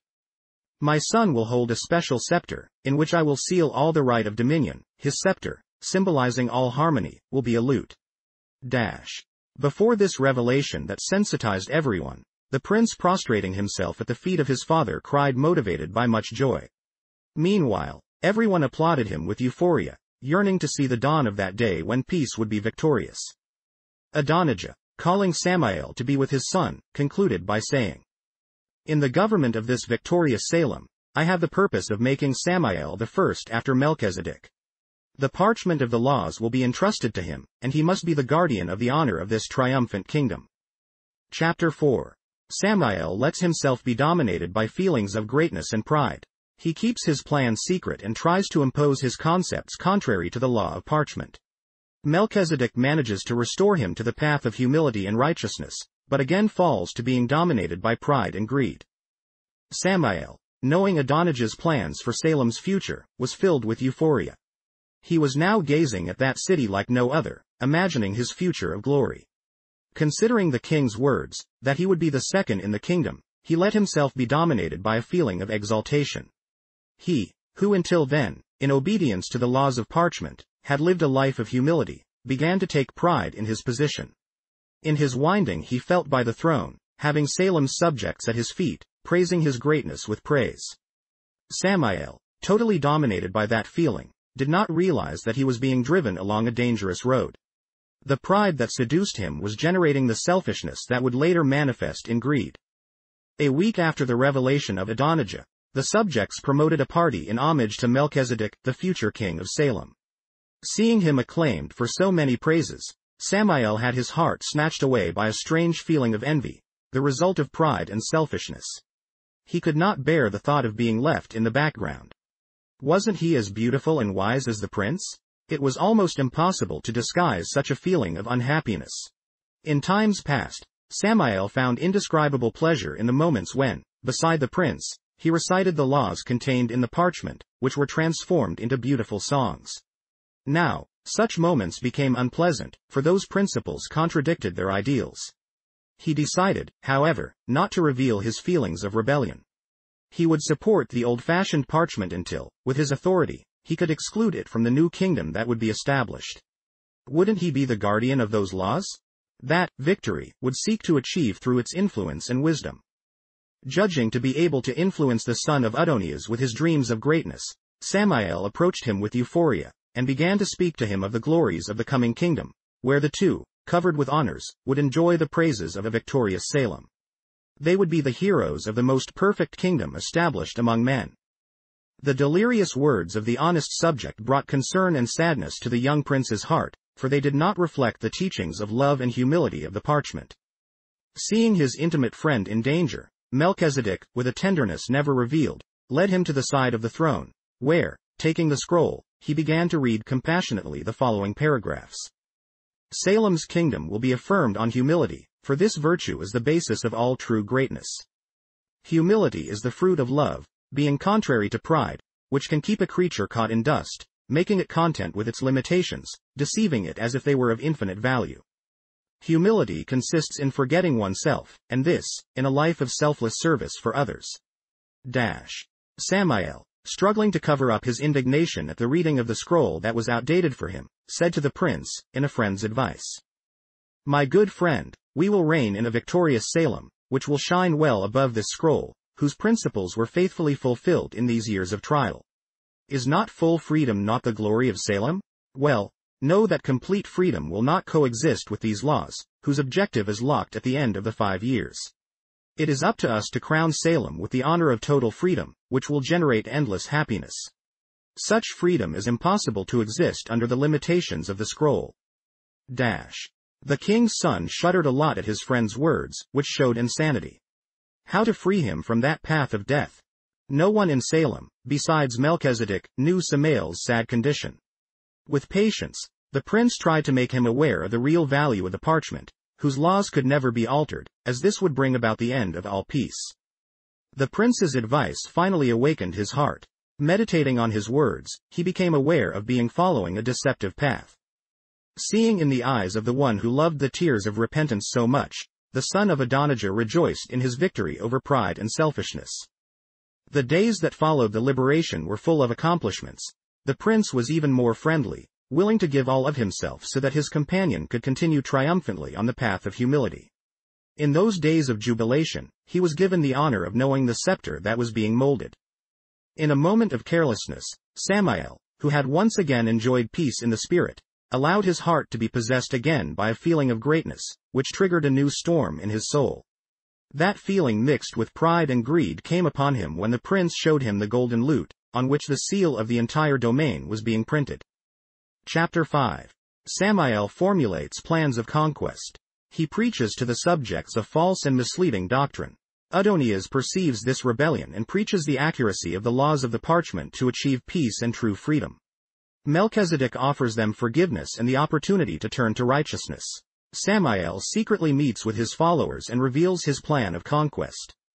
From his mansion Samael watched Salem in his morning glow. Seeing her, which ornate bride waiting for her king, she coveted her. In his delirium he began to formulate plans of conquest. He could already feel exalted on his throne, holding the precious scepter in his hands. Everyone would praise him as the liberator of the oppression of those laws. Salem would be a kingdom of complete freedom and pleasure. Dominated by this greed, he began to conquer plans of conquest. Samael decided to act subtly among the subjects, leading them to see on the parchment some inaccuracy to real freedom. In his deception mission, he would act with apparent goodness, showing interest in the growth of everyone's happiness. Putting his plans into practice, he began to visit the subjects in their mansions, telling them about the glories of the coming kingdom, where they would enjoy complete freedom. Great was his influence on Salem. Everyone admired his beauty and wisdom, having him as a perfect apostle of justice and love. No one could imagine that in the midst of that atmosphere of joy and gratitude a subtle trap was being placed, in the grip of which many could fall carelessly. In his seductive mission, Samael did not speak against the parchment, however, he praised him for having exercised a trial mission in those six years ready to end. In his logic, however, he tried to show that, in the coming kingdom, when all were approved, they would be above those laws. His arguments, apparently correct, paved the way for him to openly affirm that, in the new kingdom, the existence of parchment would be an obstacle to the realization of true freedom. The seeds of rebellion thrown by Samael would soon germinate in the hearts of many in Salem. This happened six months after Yom Kippur, when everyone's destiny would be sealed. A third of the inhabitants, seduced by the terrible deception, now exalted him, in complete disregard of the laws and the prince, whom they judged as outdated. Adonijah, who suffered when he saw the rise of all this rebellion, summoned the subjects to an emergency meeting. On the face of all you could see the contrasting provisions. In a compassionate voice, the king began to reveal to them, as he had never done before, the great importance of the laws recorded on the parchment, showing that they were the basis of all prosperity and peace. If such laws were excluded, all happiness and glory would be extinguished, leading to chaos. After showing the need for the laws, Melchizedek, moved by a strong desire to save those he loved so much, lifted the scroll in front of everyone and, in a voice full of goodness, offered them forgiveness and the opportunity to start again on the path of peace. His words moved everyone, making even Samael himself motivated at first, however, pride prevented him from repentance again. In this way, the honest subject, when he could still look regretfully toward the scroll, hardened in his rebellion, deciding to continue until the end. This decision, however, would not manifest it promptly, for he had idealized a treacherous plan. At the end of the opportunity meeting, Samael summoned his followers to a secret meeting, which was held under the blanket of the night, next to the Cedron Creek that was outside the walls of Salem. After cursing the parchment and all those who defended it, he began telling them about his plans for revenge and betrayal. As you know, the six years of trial are running out, subtracting, as of today, 24 weeks for the day of the coronation. If you would like to have me as king instead of Melchizedek, I can steal your scepter, taking over the kingdom. Dash. Samael began to explain to them the betrayal launches, giving them the proper guidance on how to act from that date. We need to maintain an appearance of fidelity to the parchment and the prince until it is time to act. The blow will be given on the night before the coronation day. At midnight, we sneak away from Salem. I will steal the scepter that night and, together, we will flee to the deep valley where the cities of Sodom and Gomorrah are. There we will arm ourselves and march against Salem, subjugating our enemies. We will end then with the Pergamino and with all those who refuse to pay obedience to our government. Dash. Chapter 6. Samael and his accomplices pretend fidelity to the kingdom. Confident Melchizedek shows Samael the secret place of the golden lute. Samael betrays Melchizedek's confidence by preparing his men and stealing the precious scepter. Samael and his followers march towards the valley. Salem is in danger. Days of apparent tranquility and peace ensued. Samael, feigning fidelity, was always at the side of the prince, showing admiration for his new compositions that exalted the laws of parchment. Samael's followers, in the same way, united the voices in praises that expressed the greatness of the principles to which they discussed it. Melchizedek, full of joy to see the day of his coronation approaching, rehearsed with the subjects the songs of victory, which he had composed especially for that occasion. He happily talked to everyone about his dreams of making Salem increasingly full of honor for his beauty and harmony. Samael, in his hidden wickedness, mocked the prince. He already foresaw the pain that would be caused by the betrayal. In those days of apparent peace, the rebel subjects sought to know where the scepter would be hidden until the day of the coronation. The prince, without distrust, revealed all the secret. The room, the chest with its enigma, the rich case and finally the treasure. Contemplating the cunning Samael was encouraged to see the seal of the domain printed on its convex part. He understood that he who possessed it would have Salem's kingdom in his hands. Only a few days, he thought, and he would have that precious instrument under his power. The sun declined bringing Salem the day that would mean victory or defeat. Shortly before nightfall, Samael had left the palace where he had spent the whole day next to the prince, helping him in the preparations for the coronation ceremony. Heading towards his mansion, he greeted the darkness with an evil smile. How much he had longed for that night. While the faithful, bewitched by the excitement of the happy victory, reviewed under the light of candlesticks the ornaments of their instruments, their garments and mansions, certifying that they would be approved the next morning, Samael and his followers made their final preparations to wield the blow. At midnight, following Samael's instructions, all his followers silently abandoned their mansions, heading for the deep valley of Cedron, where they would wait for their new king. Samael, in turn, went to the palace funds, where he hoped to enter without being noticed, going to meet the scepter. Avoiding making any noise, he crossed the portal, silently heading to the room that guarded the beautiful scepter.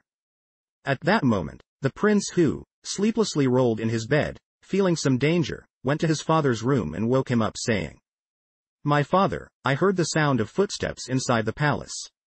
Dash. Stroking the head of his son, Adonijah, sleepy replied. Son, don't worry. Lie with me and sleep peacefully. From here the dawn will scratch and you will have the golden lute in your hands. Dash. The prince, reassured by the reliable words of his father, gave himself to a dream of beautiful dreams in which he lived next to Samael and all Salem's subjects, the festive moments of the coronation. While this was happening, the rebel with trembling hands seized the scepter. At that time, he had the idea of taking only the loot, leaving the case in its proper place. With a smile full of evil, he imagined the moment when the king would give his son that empty case. Taking the scepter with him, Samael hurried to the place where his followers were waiting for him. When he found them, he gave way to all his pride by proclaiming, Now I am the king of Salem. Who owns a scepter like mine? With it I dominate the land and the sea. My strength is in darkness, because through them I conquered it. Dash. Celebrating the victory, the noisy mob separated to distance themselves from Salem, following the corrupted cities of the plain, where they pretended to arm themselves for the conquest of their kingdom. The sun appeared on the horizon, bringing the light of the Day of Atonement, Yom Kippur. Waking up from his dream of beautiful dreams, the prince got ready for the ceremony of judgment and coronation. Special garments of fine linen, adorned with gold threads and precious stones, were prepared. After dressing, Melchizedek headed to meet his subjects at the southern end of Salem. From there he would lead them on a festive march towards the palace to the north, on Mount Zion. Adonijah, sounding a long horn, summoned everyone to the trial meeting. Leaving their mansions, all the remaining ones went towards the square of the south door, taking with them their musical instruments. When he met those faithful, Melchizedek was surprised by the absence of many. That mystery hurt in his soul, for he hid the most beloved face of his friend Samael. Leaving his followers together, the prince went in search of the absent. In his unsuccessful search, he finally went to the mansion on the mountain, where he called Samael. His voice, however, brought no reply beyond an empty echo, which translated ingratitude. Reading betrayal in the sad emptiness, he felt like crying. In a single moment the whole past came to mind of the one whom he had sought with such dedication to keep it in his glory, through wise advice. He remembered those days that followed his recovery, how he had rejoiced with the certainty that his friend would never fall again. Taking him to present the tragedy, Samael's inquiries about the loot came to mind, which he showed in a gesture of friendship. The memory of this fact, added to the steps heard inside the palace that night, gave him the certainty that Salem was in danger. Not enduring that possibility of betrayal, he prostrated himself in tears, hurt by the terrible ingratitude of the one to whom he had dedicated so much love. Curved by pain, he remained for some time trying to find some comfort. He finally dried his tears, determined to make any sacrifice in order to return his glory and power to Salem, redeeming the scepter from the hands of rebellion. Consoled by the certainty of victory, Melchizedek returned to the side of the faithful subjects. Hiding their suffering, as well as the reason for the absence of so many, the prince guided them in a triumphant march towards the palace. Chapter 7. Faithful subjects, oblivious to betrayal, raise songs of triumph in expectation of the coronation of their king. The coronation is truncated due to the absence of the scepter. Everyone grieves and Melchizedek comforts them with the promise of rescuing the precious scepter. Melchizedek goes out in his search Samael, full of anger, scrapes the inscriptions engraved on the scepter Melchizedek faces dangers in search of the scepter and is preserved. As they approached Mount Zion, they climbed the very white steps of the stairs, being followed by the triumphant crowd. It hurt in his soul the expectation of seeing his cheerful song die on the lips of the faithful, that morning, due to the betrayal. He was now inside the palace, before the magnificent throne that awaited the young king. At the base of the throne, the parchment of the laws lay open, in the middle of a floral arrangement. Next to him you could see the beautiful crown, made of gold and precious stones, as well as the case of that scepter that symbolized all the harmony of Salem. The subjects were happy, for they knew they would be found worthy to inherit that kingdom of peace. They were waiting for the moment of the coronation, when their new king would rule them from his throne with his precious scepter, in a triumphant chant. Amid the applause of the victorious hosts, Melchizedek turned to his father, who received him with a warm hug. The moment was truly solemn. The hosts were silenced in anticipation of the coronation. The case would be open and everyone would witness the exaltation of the beloved prince.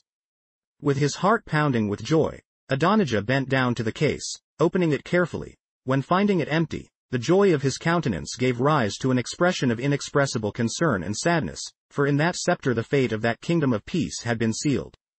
Seeing his father and all the subjects afflicted by the absence of the scepter and so many friends who should be with them at that time, Melchizedek comforted them with the promise that he would seek the scepter. Unaware of the risks and dangers that awaited the prince on his way, the subjects said goodbye to him, watching him leave in haste. The dawn of that day, which would be that of the coronation, reached the distant rebels of Salem, en route to the cities of the plain. On that morning, Samael was filled with fury when he saw that the precious lute was adorned with inscriptions of the laws contained in the scroll. Taking a pointed stone, he began to damage the scepter, scraping away all the words of love and justice. His harmonious strings were now in tune over his wounded convex part, but he was still beautiful, for Salem's domain lay sealed on him. Owning it meant being the owner of all power. When he reached the height where the road branched, Samael ordered his followers to continue towards Gomorrah, while he would go to Sodom, where he would remain for two days, joining them later. He waited for the night to enter Sodom. When he entered there, he walked through the narrow streets without being noticed, until he found an isolated house on an elevation. Making the scepter his weapon, he invaded the house killing his inhabitants while they slept. He thus took possession of that residence where, alone, he would machine his plans for the sale of Salem. The evening of that day, which would be the coronation, reached the son of Adonijah as he walked along the stony path to the valley. His eyes were full of sadness and anxiety turned to the ground, looking for the traces of the rebels. The memory of the ingratitude of those whom he loved so much made him cry. His tears, reflecting the last flashes of that setting sun, resembled drops of blood flowing from a wounded heart. He cried not because of the dangers that came upon him on that cold night, but because of the unhappy fate of those who had changed Salem's peace because of the violence of those cities in the plain. His only consolation was the memory of those who, despite all the temptations, had remained faithful. They had been promised to return the scepter, and this would be achieved despite any sacrifice. After a long night of insomnia when the prince was lying on the side of the road, he streaked the light of a day that would be decisive. As he approached Sodom on that morning, the thought of being so close to the scepter of his beloved Salem, made him forget all the fatigue, shortening his steps toward the challenge. When the great gate of the city opened, a fear came upon him, upon hearing frightful noises of disharmony, which translated the pride, selfishness and greed that dominated all hearts, making them explode in the orgy of an endless evil. It would be a great risk to expose yourself to the free violence of that city. This thought made him pause at a step from the portal, where he shuddered, bowed his forehead in an inexpressible internal struggle. He was tempted to retreat, but struggled with all his soul forces against that thought of failure. Thinking of Salem's sad fate, whose dominion was being trampled inside that cruel Sodom, Melchizedek made a firm decision. As a reckless warrior he would have to move forward, and certainly even if he had to face the accumulation of all the dangers, he would continue, until he raised in his victorious hands the beloved scepter. Resolute and hopeful, he went through Sodom's door, diving into that strange world. Everything there was the opposite of Salem, beginning with the rough and dirty stones of his constructions. Sodom was a kingdom of darkness. The contrasting presence of the prince was soon noticed by many who, in tumult surrounded him. The purity of the character expressed in his great face and the splendor of his garments filled them with horror, and they retreated as defeated by an invisible force. Dominated by fury, they began to chase him from a distance, determined to make him flee. He was thrown stones and mud trying to stain his clothes, but they did not hit him, meanwhile he advanced in his anxious search. They finally gave up chasing him at sunset, Melchizedek after much affliction finds the precious scepter that was destroyed by Samael. The prince's dignified stance before the traitor's threats. His firm willingness to redeem the scepter at any cost. Pain and blood as the price of the scepter's rescue. The atonement of Melchizedek to redeem the scepter, a likeness of the atonement of Christ to redeem mankind. The son of Adonijah traveled all the streets and alleys in search of the beautiful scepter, but it was in vain. Seeing the sun decline on the horizon, announcing the arrival of a dark and cold night, his heart was in great agony. There, in that last alley, almost defeated by exhaustion and despair, he bowed his forehead, fainting in tears. His lips, pronounced in the middle of sobs the following words. Salem, Salem, you can't perish. Your scepter needs to be redeemed from the grip of rebellion. But when and where will I find it? There are no more forces left in me, and the hope of redeeming him before night leaves me. The prince, in his supreme anguish, did not perceive that another groan of pain, coming from busted strings of a humiliated lute, was heard in that evening. Suddenly, the weak groan penetrated his ears, reviving him with the certainty that the great moment of redemption had come. Drying her tears, she gathered the last forces running in the direction of a small house on a hill, where the sound seemed to come from. As he went to the door between the open, he stopped when he contemplated a contrasting scene of humiliating slavery, Samael, wrapped in a dirty cloak, punished Salem's scepter. Both the young man and the scepter were so disfigured that there was almost no feature of the lost glory in them. That scepter, however, certainly raised as it was, was very valuable, for in it lay the seal of Salem's dominion. The contemplation of the one who had been his best friend and of that idealized scepter as a symbol of all harmony, in such a tragic condition, deeply moved the prince, making him cry loudly. Only until then did the rebel subject perceive his unwanted presence.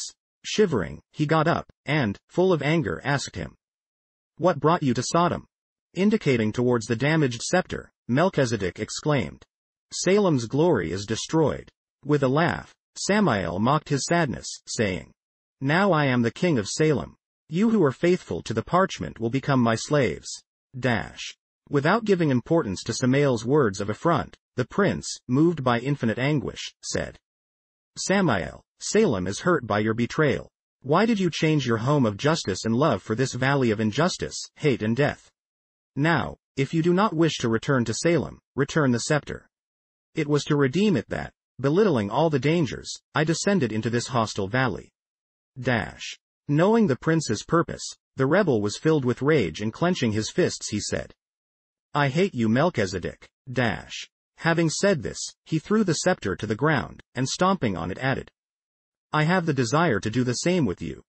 In front of that affront, the prince felt no fear, but compassion.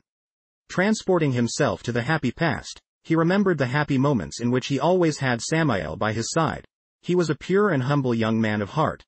Why had he allowed himself to be enslaved by the illusion of pride and selfishness? How painful it was to see that young man who, for his beauty and sympathy, had been honored above all subjects, now ruined by greed.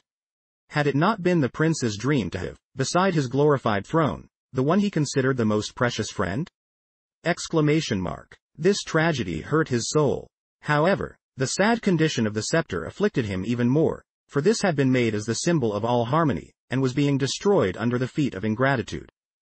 Surprised not to see in Melchizedek's eyes any expression of fear, but of mercy, Samael felt frustrated in his insults that aimed to intimidate him, leading him to give up his mission.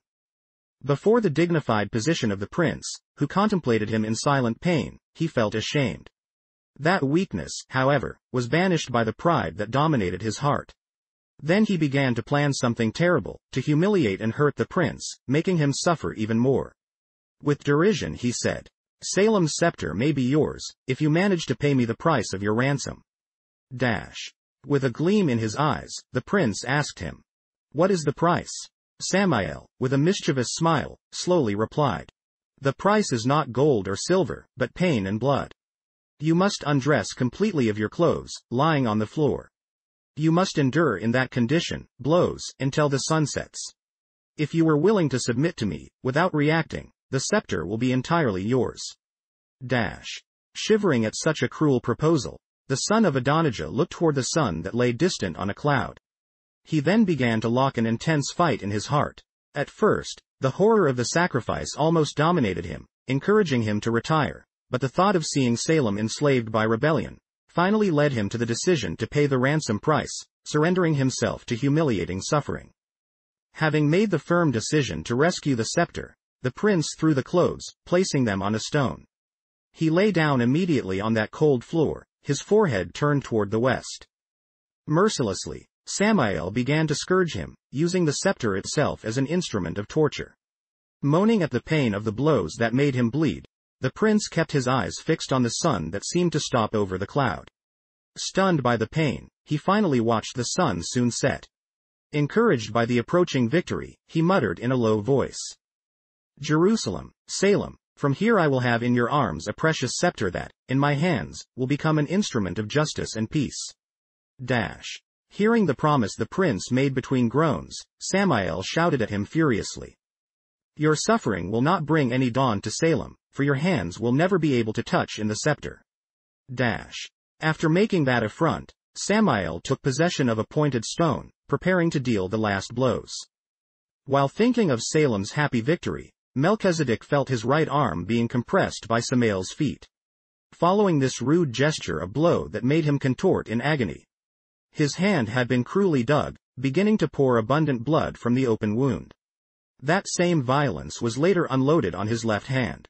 Not enduring the agony caused by those heartbreaking blows, the son of Adonijah, bloodied, plunged into the darkness of a deep fainting. Samael, horrified by his guilt, leaves the prince leaving the scepter next to him. Melchizedek regains consciousness, takes his clothes and his scepter, takes an oath and leaves for Salem. Samael does not regret the similarity of the experiences of Melchizedek with whom the Son of God would live. Melchizedek is received with acclamations for his redemptive act, is attended by his loving father and the scepter is restored.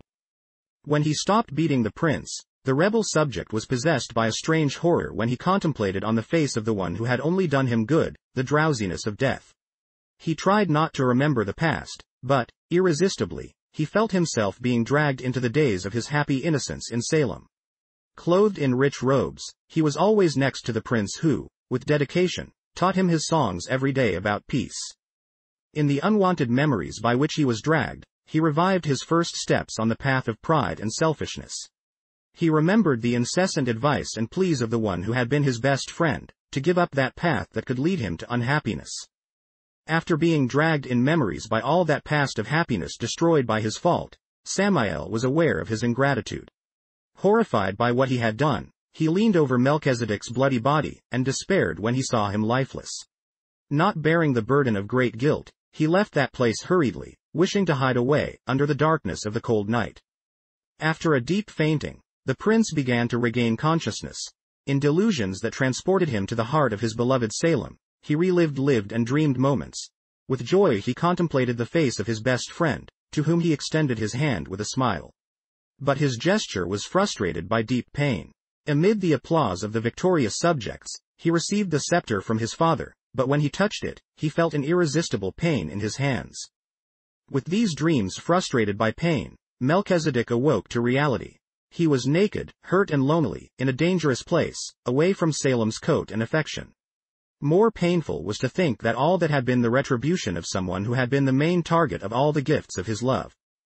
The prince, unable to move, considering the great betrayal began to cry without comfort.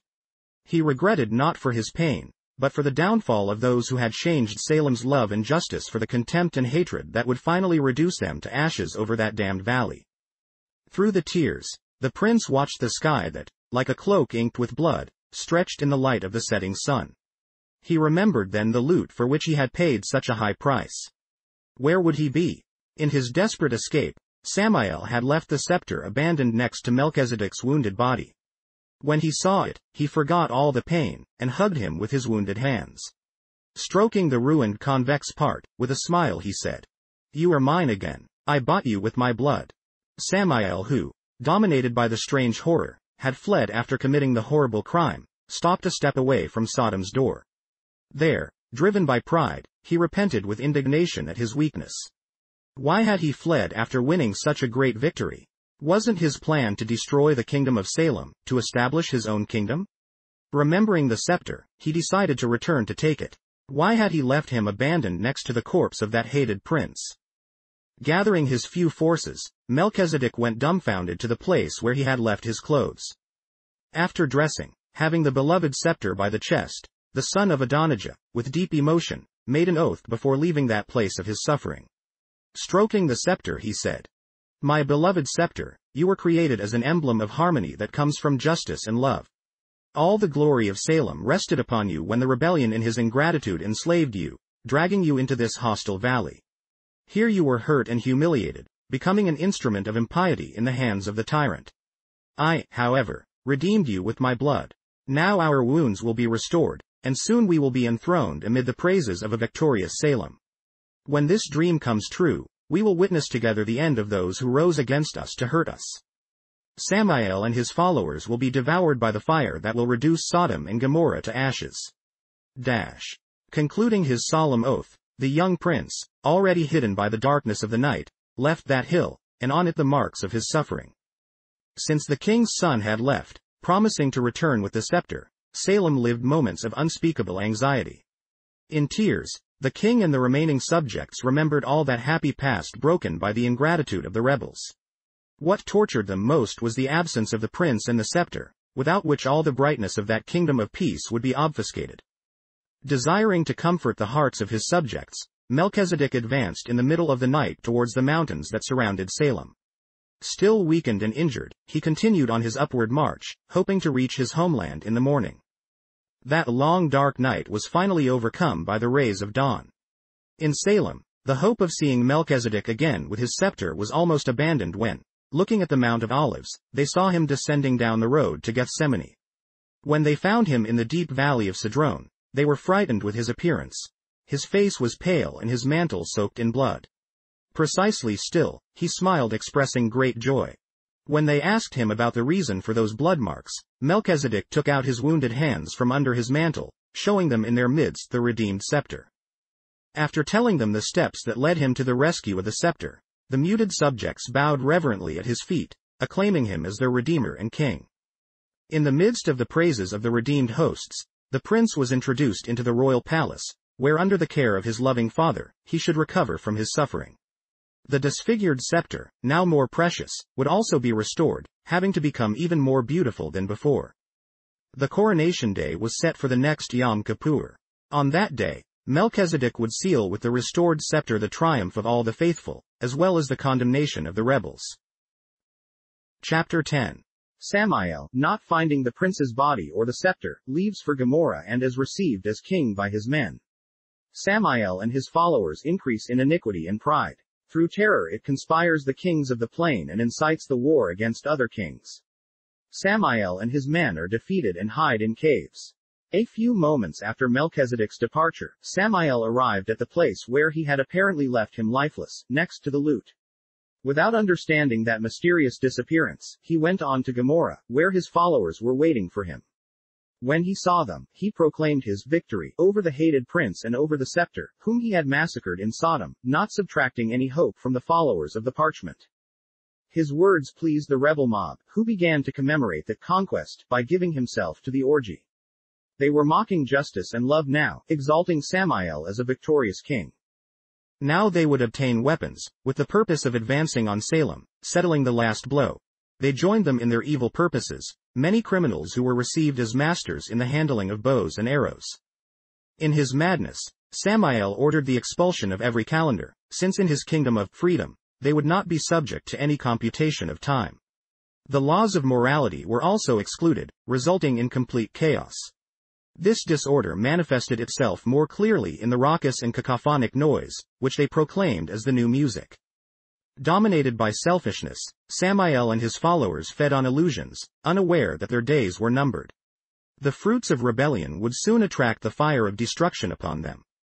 By dividing his followers into small groups, Samael began to command them in violent acts that terrified the inhabitants of the plains. At that time, they hid in the caverns located near the Salt Sea. The respect and fear of the Samael guerrillas finally led the kings of four cities to procure it, proposing peace alliances. They were, Bara, king of Sodom, Bursa, king of Gomorrah, Sanab, king of Adama, Semeber, king of Seboim and Seger, the king of Bela. At that time, these kings paid tribute to Chordolaomer, the king of Elam who, accompanied by the armies of four other cities, had subjugated them in the Siddim Valley by the Salt Sea. Strengthened by alliances, Samael became more daring in his clothes, bringing terror and destruction to the territories of distant cities. Chordolaomer's armies and their allies who in those days returned from other conquests, enraged by Samael's provocations, marched against the four kings, defeating them again in the Siddim Valley. It was on that occasion that they took captives to the inhabitants of Sodom, among which was my nephew Lot. Cowed before the fury of the five kings, Samael and his followers hid in their caves, north of the Salt Sea. Chapter 11. Samael makes preparations to conquer Salem and exposes his spy plan. On his way to Salem, his memories torture him. Salem more beautiful and beautiful than before. Events on the day of the coronation. The twelve months from the great sacrifice were almost over. The scepter, fully restored, shone in its case, while the prince, equally restored from the wounds caused by the rebellion, was glad to see the Yom Kippur coming from his coronation. Meanwhile, he composed beautiful songs that expressed his love for Salem. In those twelve months, the city of peace became more beautiful, being adorned as a bride for the great day of the coronation. A week to Yom Kippur, Samael, totally unaware that the day of his trial was approaching, gathered his followers, announcing that the next mission would be the conquest of Salem. Before they advanced, however, he would climb only to check the vulnerable points of the city. After being applauded by the mob, Samael set out on his reconnaissance mission. While he was advancing alone, he tried not to remember those moments that brought him terror by guilt, but, dominated by a superior force, he was dragged in his memories to that mountain of cruel torture. His whole past began to come to mind, like a crumbling weight. When he woke up from his memories from which he failed to flee, it was already night. The darkness that surrounded him seemed the omen of a sad ending. That discouragement, nevertheless, tried to discard it with the memory of the army that was waiting for him, ready to fulfill his orders, in the conquest of Salem, where there would be no more memories of that parchment. Dawn reached him being close to Salem. When he saw the Mount of Olives, the memory of the last time he crossed it came, leaving behind the defeated city. How many nights had passed since then? He had lost track of time, not knowing that exactly twelve months had passed. He could not imagine that Yom Kippur was on that morning, the day of his trial. Upon reaching the summit of the Mount of Olives that morning, Samael was surprised to see that the city had become prettier than before, all of it was adorned with bouquets and flowers, like a maiden waiting for her boyfriend. And yet Salem was abandoned, having no sign of life in all its mansions. This led him to conclude that the blows that had annihilated the prince and the scepter had resulted in all that abandonment. He did not know, however, that at that time all the remnants of that kingdom were hidden in the great hall of the palace, waiting for the most glorious moment of the coronation of Melchizedek. Imaging himself exalted on the abandoned throne, having victorious armies at his feet, the rebel entered the city, hurrying to the palace. When crossing the main portal that gives entry to the main hall, he was filled with astonishment to see a crowd of faithful gathered there. On a gold table, adorned with flowers carved in precious stones, was the empty throne. At the base of the throne was the parchment of laws, a gold crown full of precious stones and the case he had left empty on that night of betrayal. Without understanding the puzzle, Samael hid behind a column, fearing to be recognized, and kept watching. The subjects, with the expression of happy expectation, looked towards the empty throne. Where did they find reasons for all that joy, if they had lost their king along with the scepter? Samael wondered about that mystery, when Adonijah, applauded by the subjects, headed for the throne. With a voice full of excitement for the victory, the founder of Salem announced that the dream of the coronation had arrived. A shout of triumph echoed through the air when, announced by his father, the beloved prince entered, heading for the throne. Seeing him covered by a mantle of glory, Samael was possessed by a terrible dread, and attempted to flee. He discovered, however, that all the portals of the Great Hall were closed on the outside. The coronation ceremony began. It was a truly solemn moment. Adonijah, in a reverent gesture, took the rich crown, placing it on his son's forehead. After leaning toward the case, he opened it carefully, taking out the restored lute, whose beauty and brightness were far superior to his first condition, as his waterhouse left Adonijah's hands. Sitting on the throne amid the acclamations of the subjects, Melchizedek began to play the scepter, drawing chords of great harmony and peace from him. Everyone quieted down to hear his new compositions expressing his deep love for the scepter and for all that kingdom of peace. Great emotion invaded everyone's heart at that moment, bringing them to tears. Samael, without the strength to react, felt tortured by those chords that tortured him by reliving his lost opportunities in his mind, in a terrible torture for his conscience. Melchizedek had composed for that special moment, songs that portrayed the highlights of Salem's history. When he began to sing about the friendship he had for Samael, his voice was filled with tears that he could not contain. It was sad for him to sing about the fall of the one who had been his greatest friend. He sang then about the high price he had to pay for the reconquest of the scepter, which represents the honor of Salem. When contemplating those hands marked by the scars, touching with such mastery and affection the restored scepter, the subjects taken by a strong emotion, prostrated themselves in tears. Seeing in the hands of Melchizedek that lute that, in his hands had been an instrument of torture, Samael understood, too late how much he had erred, deviating from the prince's advice. How many times those hands in which he had discharged all that violence had been extended in an effort to save him, and he had neglected them negligently. Now, it was too late. Extremely late. Chapter 12. Jubilee Proclamation and Coronation of Melchizedek. Sealing citizenship to the faithful. Samael introduces himself and challenges the king. Sealing the trial against Samael and his followers. The triumphant subjects who, reverent, had been led to all that past of happiness, betrayal, pain and triumph, finally joined the voices in a joyful proclamation. True and righteous are your principles, O King of Salem. You are worthy to reign in glory and majesty among the lords of your faithful, because in your sacrifice you freed us from the threats of darkness, making the joy of dawn reborn in our hearts. That song of exaltation was followed by the ceremony of the confirmation of all the faithful in their victory. The son of Adonijah, with his redeemed scepter, began to seal with a special touch of the scepter, the victory of each one. For which a long line of exalted faithful was formed. Confirmed subjects, as they received the king's touch of approval, were placed on the right side of the throne, where they remained waiting for the confirmation of the others. The glances that, illuminated with joy, had accompanied the sealing of the last righteous, fell on the strange figure of Samael who, dominated by an irresistible force, was headed downcast in the direction of the throne. His appearance was horrible. His countenance had been deformed by evil. Their clothes were dirty and smelly, Everything about him disgusted, to the point that no one recognized him. Amidst the astonishment of the subjects, Melchizedek rose from his throne as wounded by great pain. From his lips the subjects heard a painful exclamation. Samael, Samael, dash. The deplorable figure of the one who had been so beautiful filled everyone with sadness, and they began to cry. They lamented because they knew that the fate of Samael and all those who had followed him could have been very different, if they had attended to the loving pleas of Adonijah and his son. Was it not the king's plan and Melchizedek's dream to have him as the protector of parchment, being the second in honor in that kingdom?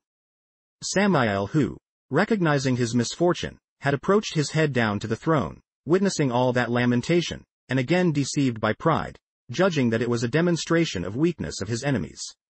When he remembered his fortified army waiting for him on the plain, he cheated on him with the certainty that he would be victorious over Salem. With this thought, he raised his forehead marked by hatred and, looking at the king, raised his clenched fist and challenged him, disregarding his authority, with the threat of taking his throne away. Even when forgiven for their downfall, Salem's subjects did not endure the bold affront of the maddening young man who, after causing so much suffering, was still able to get up with such a great challenge.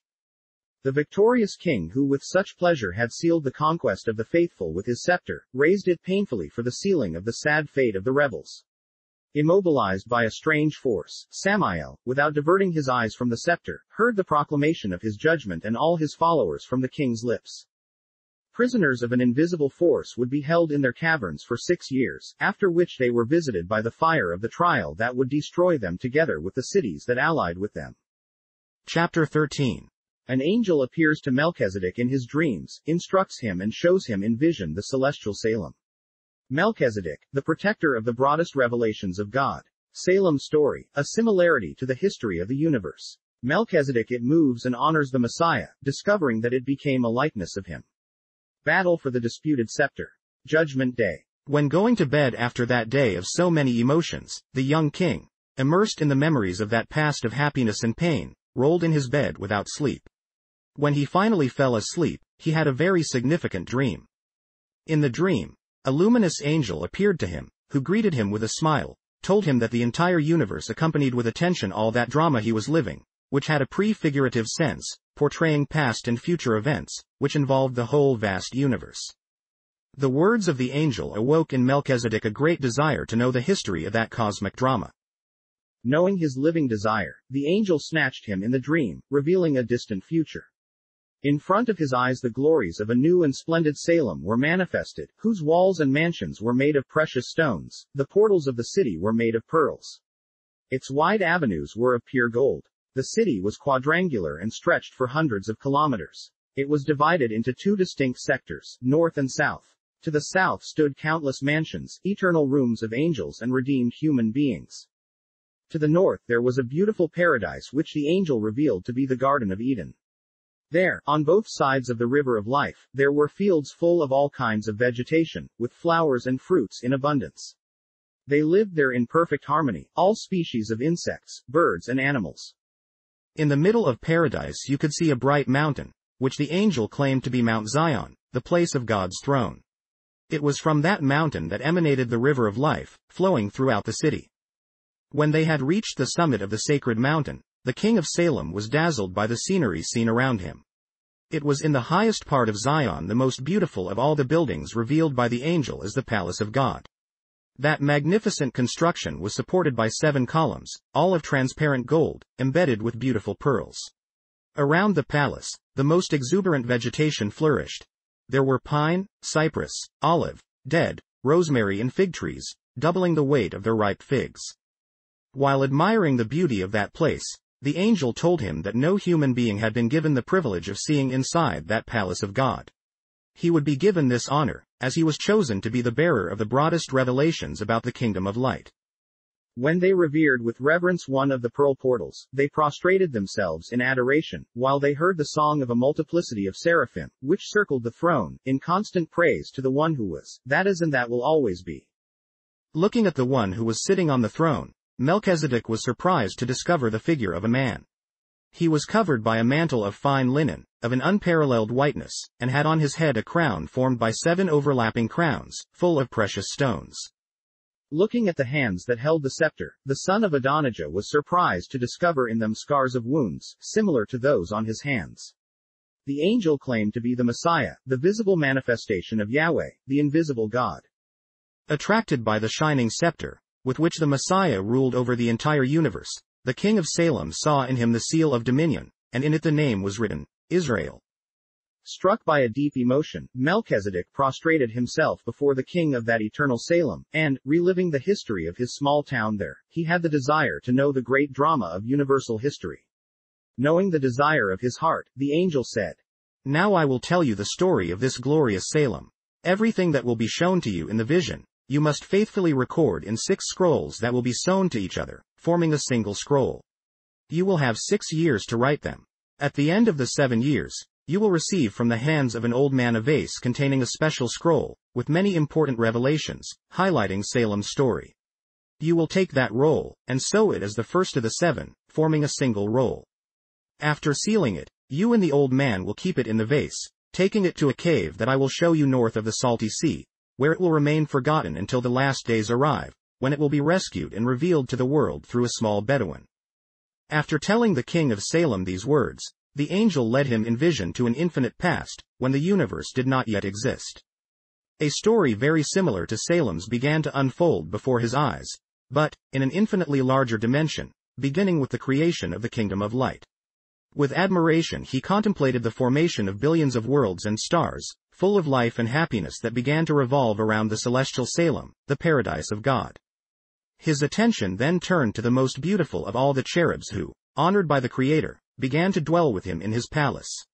An age of happiness and peace seemed to enchant that kingdom, when the same experience of selfishness and rebellion lived by Samael began to be repeated in the life of that beloved angel. Scenes from a great rebellion began to be shown to Melchizedek involving all the inhabitants of the universe. The honest cherub, similar to Samael, had seduced a third of the hosts who began to revere him as king. Amid the scenes of that great conflict, the king of Salem witnessed the creation of planet Earth, upon which man emerged as the rational scepter of that disputed kingdom. In agony he saw the moment when the head of the rebellion approached paradise subtly, seizing the human being, after seducing him with temptations. Then he heard his bellow, in a proclamation of victory. From that moment, the enemy of God began to ruin the human being, extinguishing in him all the features of divine glory, as Samael had done with the scepter. His own experience, when he declared that morning to Salem's subjects his decision to go in search of the lost scepter, began to repeat itself before his eyes. Gathering the hosts who had remained faithful to his government, the Creator began to reveal a rescue plan. He would go in search of man, and would redeem him, even if it cost him an infinite sacrifice. In front of this revelation, the son of Adonijah was moved prostrate, when discovering that in his life he had been honored to portray Messiah himself. All the drama lived by the son of Adonijah in his anguishing search, until the moment of his ordeal for the redemption of the scepter, was gaining amplitudes in that vision that covered an entire eternity. In front of his eyes paraded scenes of a great battle that, without truce, would extend until the day of the final judgment, when the victorious Messiah will wield the redeemed scepter, sealing with him the condemnation of all rebel hosts.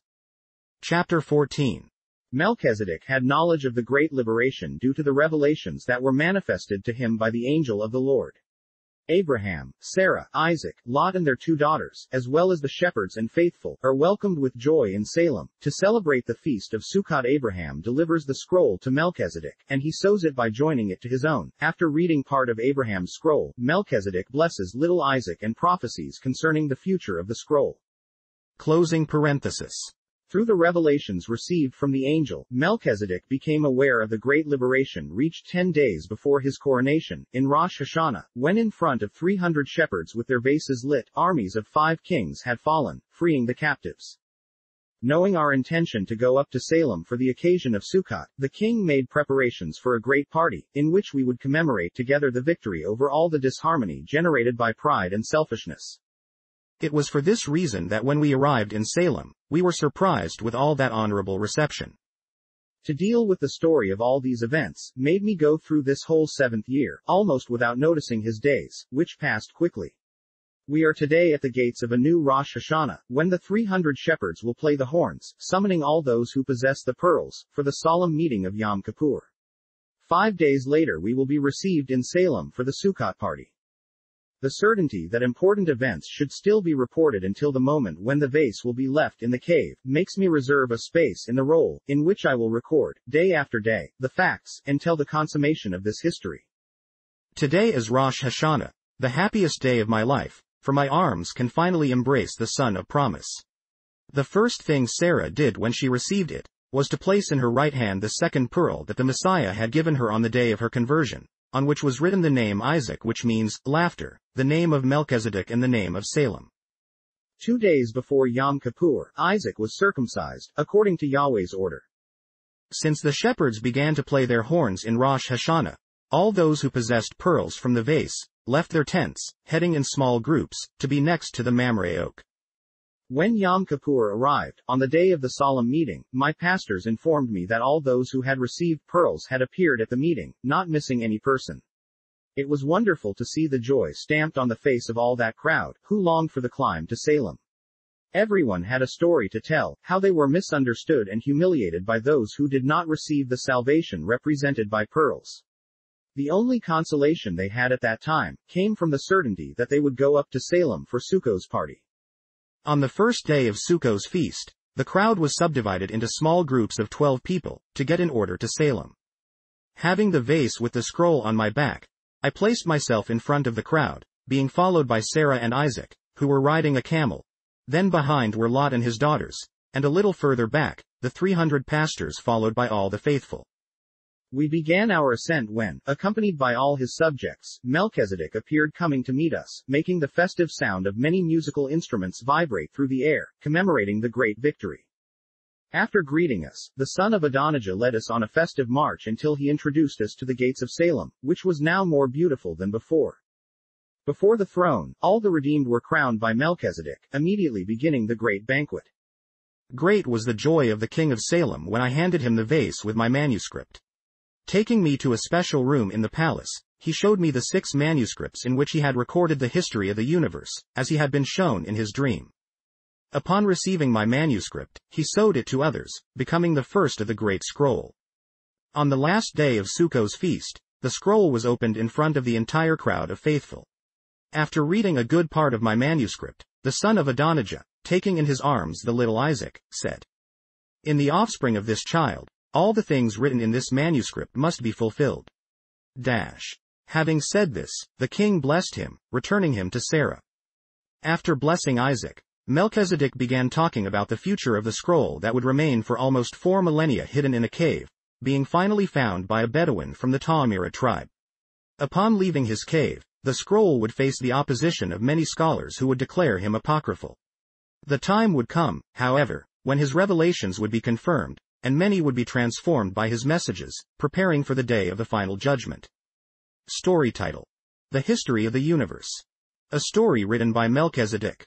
Revelations that an angel of the Lord manifested to Melchizedek in a dream that took place the night after his coronation, a year after recovering the scepter of Salem, having paid the price of his rescue with pain and blood. Chapter 1. The Eternal lived in eternity before creating the universe. World of Light. Mount Zion. River of Life, Garden of Eden, Jerusalem, the City of Peace, Lucifer, the firstborn of angels, laws of divine government, freedom of choose angels, ministers of the kingdom of light universe abyss of darkness, test of faithfulness separation between light and darkness. Before there was a star to shine, before there were angels to sing, there was already a heaven, the home of the eternal, the only God. Perfect in wisdom, love and glory, the eternal lived in eternity, before realizing his beautiful dream, in the creation of the universe. The countless beings that make up the creation were all idealized with love. From the tiny atom to the gigantic galaxies, everything deserved his supreme attention. Lover of music, God idealized the universe as a great orchestra that, under his regency, should vibrate harmonious chords of justice and peace. For each creature he composed a love song. The Eternal was very happy, for his dreams were about to come true. Moving with majesty, he began his work of creation. His hands first shaped a world of light, and on him a glowing mountain on which the throne of the universe would be forever affirmed.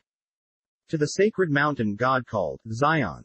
From the base of the throne, the Eternal brought forth a crystalline river, to represent the life that would flow from him to all creatures. As a throne room, he created a beautiful paradise that stretched for hundreds of kilometers around Mount Zion.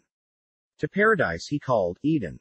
To the south of paradise, on both banks of the river of life, numerous mansions adorned with precious stones were built, destined for the angels, the ministers of the kingdom of light. Surrounding Eden and the angelic mansions, God built a wall of bright jasper, along which large pearl portals could be seen. With joy, the Eternal contemplated the dream capital. The city in its splendor was like an ornate bride, ready to receive her husband. Affectionately, the great architect called her, Jerusalem, the city of peace. God was about to bring the first rational creature into existence. He would be a glorious angel, among all the most honorable. Adorned by the shine of precious stones, that angel would live on Mount Zion, as representative of the King of Kings before the universe. With much love, the Creator began to mold the firstborn of angels. All wisdom applied when forming it, making it perfect. He tenderly granted his life. The beautiful angel, as if waking from a deep sleep, opened his eyes and looked at the face of his author. With joy, the Eternal showed him the beauties of paradise, telling him of his plans, which were beginning to materialize. When he was led to the place of his abode, next to the throne, the Prince of Angels was grateful and, in a melodious voice, sang his first song of praise. From the heights of Zion, it was discovered, in the eyes of the beautiful angel, Jerusalem in its immensity and splendor. The river of life, sliding serenely in the middle of the city, resembled a long avenue, reflecting the beauties of the Garden of Eden and the angelic mansions. Wrapping the firstborn of angels with his mantle of light, the Eternal began to speak to him of the principles that would govern the universal kingdom. Physical and moral laws should be respected to the full extent of divine government. Moral laws were summed up in two basic principles, to love God above all things and others as himself. Each rational creature should be a channel through which the eternal could shed other life and light. That way, the universe would grow in harmony, happiness and peace. In the kingdom of God, laws would not be imposed with tyranny, the subjects would be free. Obedience should arise spontaneously, in a gesture of recognition and gratitude. In that realm of freedom, disobedience would also be possible. The result of such behavior would be the emptying of vital forces. After revealing to the beautiful angel the laws of his government, the Eternal entrusted him with a mission of great responsibility. He would be the protector of those laws, and should honor and reveal the universe ready to be created. With a heart overflowing with love for God and others, it would be up to him to be a model of perfection. He would be Lucifer, the bearer of light. The prince of the angels. Grateful for everything, he prostrated himself before the loving king, promising him eternal faithfulness. The Eternal continued his work of creation, bringing into existence innumerable hosts of angels, the ministers of the kingdom of light. The holy city was populated by those radiant creatures who, happy and grateful, joined the voices in beautiful songs of praise to the Creator. God now brought into existence the universe that, full of life, would revolve around his throne affirmed in Zion. Accompanied by his ministers, he set out for the great accomplishment. After contemplating the immense emptiness, the Eternal raised his mighty hands, ordering the materialization of the multiform wonders that were to compose the cosmos. His order, like thunder, reverberated everywhere, causing, as if by charm, galaxies without numbers, full of worlds and suns, paradise of life and joy, all spinning harmoniously around Mount Zion. When witnessing such a great fact of the Supreme King, the angelic hosts prostrated themselves, causing a song of triumph to pass through the illuminated space, in salutation to life. The whole universe joined in that song of gratitude, in promise of eternal fidelity to the Creator. Guided by the Eternal, the angels began to know the riches of the universe. On that sidereal excursion, they were admired at the immensity of the kingdom of light. Everywhere they found worlds inhabited by happy creatures who received them at party. The angels greeted us with songs that spoke of the good news of that kingdom of peace. As precious as life, the freedom to choose, through which creatures could show their love for the Creator, required proof of faithfulness. With the purpose of revealing it, the Eternal led the hosts through the illuminated space, until it approached an abyss of darkness that contrasted with the immense brightness of the galaxies. In the distance, that abyss had revealed itself insignificant in the eyes of the angels, like a spot without light, but as he approached, he showed himself in his enormity. The Creator, who at every step revealed to the angels the mysteries of his kingdom, was silent there, as if keeping a secret for himself. The darkness of that abyss consisted in the test of faithfulness. Turning to the hosts, the Eternal solemnly affirmed, All the treasures of the light will be open to your knowledge, except the secrets hidden by darkness. You are free to serve me or not. Loving the light you will be bound to the source of life. Dash. With these words, God made separation between light and darkness, good and evil. The universe was free to choose its destiny. Chapter 2. An eternity of harmony and peace. Lucifer, transmitter of the revelations of the Father to his angels. Assemblies on capital planets. Obedience to divine laws, foundation of progress and happiness. Lucifer is attracted by the darkness of the abyss. Lucifer, created for the light intervention of a loving father the great inner struggle of Lucifer the gift of free will theory of the science of good and evil foundations of the eternal kingdom betrayal of Lucifer and a third of the hosts. The Eternal warns about the breaking of the source of life, the universe put to the test, the inconsolable crying of the Father, the mysterious abyss, symbolic meaning of the kingdom of rebellion, the creation of the planet Earth. The long-awaited dream of the Creator was concretized. Now, as a loving Father, he led the creatures through an eternity of harmony and peace. By virtue of the fulfillment of divine laws, the universe expanded in happiness and glory. There was a strong jealousy of love, which united all strongly. Rational beings, endowed with the capacity of infinite unfolding, found indescribable pleasure in learning the inexhaustible treasures of divine wisdom, transmitting them to the like. They were like channels through which the source of eternal life nurtured all of love and light. In Jerusalem, the ministers of the kingdom met before the sovereign king, always ready to fulfill his purposes. It was through Lucifer that the Eternal revealed his designs. After receiving a new revelation, he promptly transmitted it to the angelic hosts.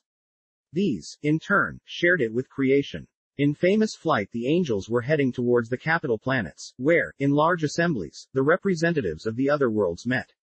In many of these assemblies, Lucifer was present, filling the participants with joy and admiration. Perfect in all virtues, he captivated them with his sympathy. No other angel was able to reveal like him the mysteries of the Eternal's love. The universe, feeding on the source of life, expanded into an eternity of perfect peace. Obedience to divine laws was the foundation of all progress and happiness. Although aware of free will, the desire to depart from the Creator had never risen to the heart of any creature. This was the case for a long time, until such a problem broke into the life of the one who was the most intimate of the eternal. Lucifer, who had dedicated his life to the knowledge of the mysteries of light, was gradually attracted to darkness. The king of the universe, in the eyes of whom nothing can be covered up, sadly accompanied his steps on the downward path that leads to death. At first, a small curiosity led Lucifer to approach that deep abyss. Contemplating it, he began to investigate the reason for not being able to understand its enigma. Returning to his place of honor, next to the throne, he prostrated himself before the divine king, begging him, Father, let me know the secrets of darkness, just as you reveal the light to me. At the request of the beautiful angel, the Eternal, with an expressive voice of sadness, said, My son, you were created for the light, which is life. Convinced that the Creator would not reveal the treasures of darkness, Lucifer decided to understand the riddle for himself. He was judged qualified for so much. With this sad decision, the Prince of Angels allowed a spot of sin to arise in his heart that could bring a catastrophe to the universe. Only God knew what was going on in Lucifer's heart. The angel, who had been created to be the bearer of light, was divorcing in thoughts of the kind creator who, in an effort to prevent disaster, begged to remain by his side. A tremendous struggle began to lock inside. The desire to know the meaning of darkness was immense, yet, the pleas of that loving father, whom he did not want to lose, tortured him. Seeing the suffering that his attitude caused to the Creator, he sometimes showed repentance, but fell again. Before creating the universe, God had already foreseen the possibility of a rebellion.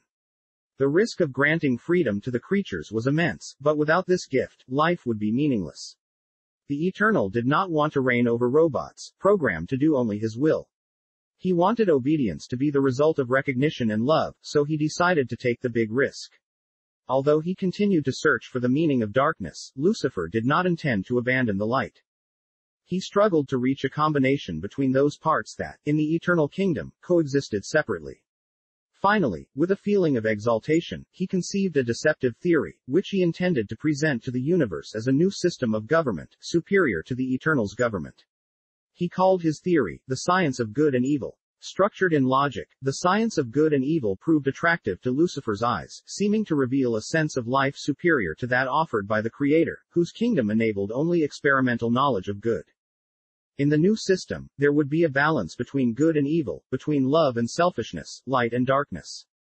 Throughout the time when the science of good and evil matured in his mind, Lucifer would know how to keep it a secret in front of the universe. He continued in his position of honor, fulfilling the function of bearer of light. However, as much as he tried to pretend, his countenance no longer revealed joy in serving the eternal.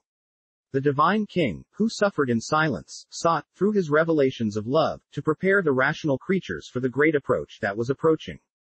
He knew that many would listen to temptation, turning his back.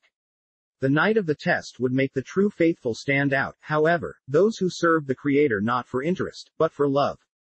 Seeing that the time of the test was coming, and that Lucifer was ready to betray him before the universe, the Eternal, who had never ceased to reveal the treasures of his wisdom, became silent and contemplative.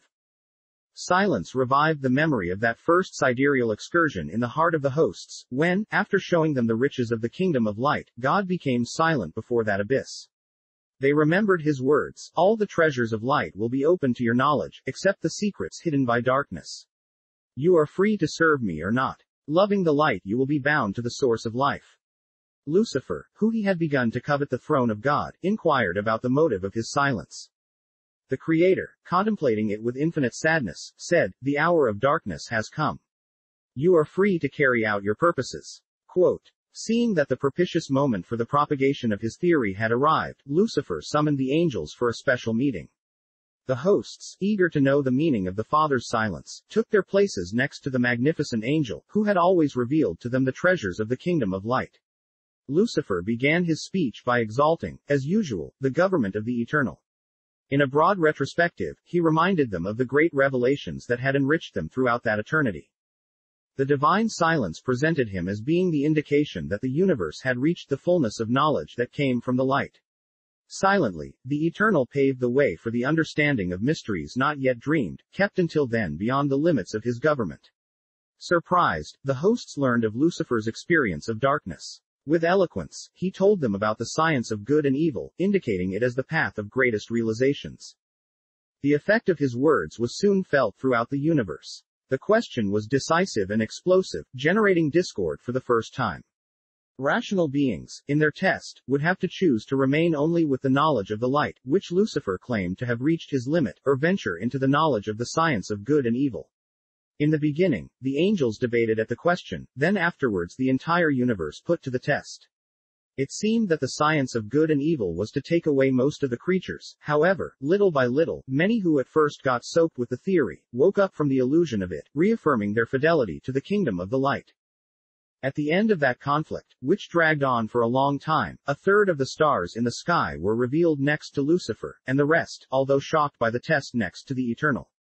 The science of good and evil was proclaimed by Lucifer as a new system of government. But how to exercise it, if the eternal continued to reign in Zion? They needed to find a way to get him out of there. The council, formed by the rebel angels, began to deal with that. They decided, finally, to request the throne for a certain time, in which they could demonstrate the excellence of the new system of government. In case it was approved by the universe, the new system would be established forever, otherwise, the domain would return to the Creator. Thus, Lucifer, accompanied by his hosts, approached arrogantly before that suffering Father, making such a request. The Eternal was not ambitious, he only wanted good for his creatures. If the science of good and evil really consisted of a greater good, it would not oppose its implantation, yielding the throne to its defenders.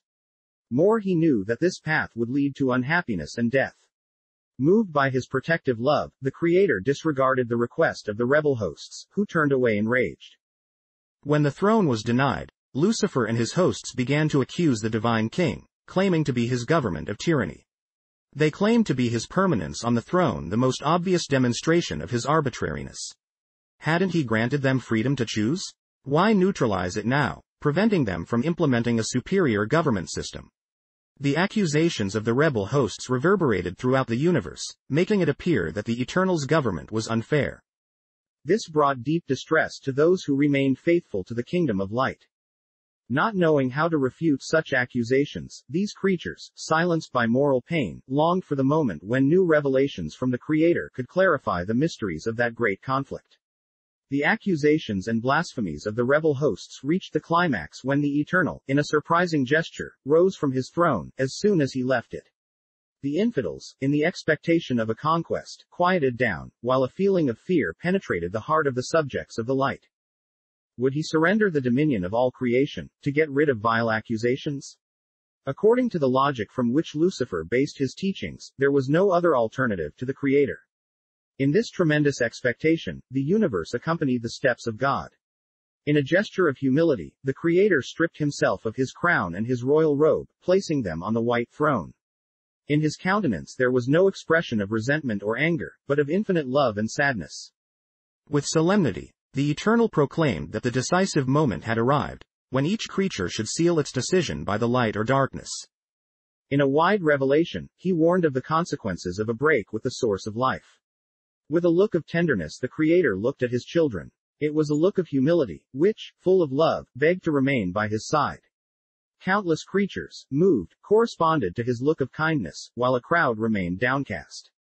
Lucifer and his followers were aware of the seriousness of that moment.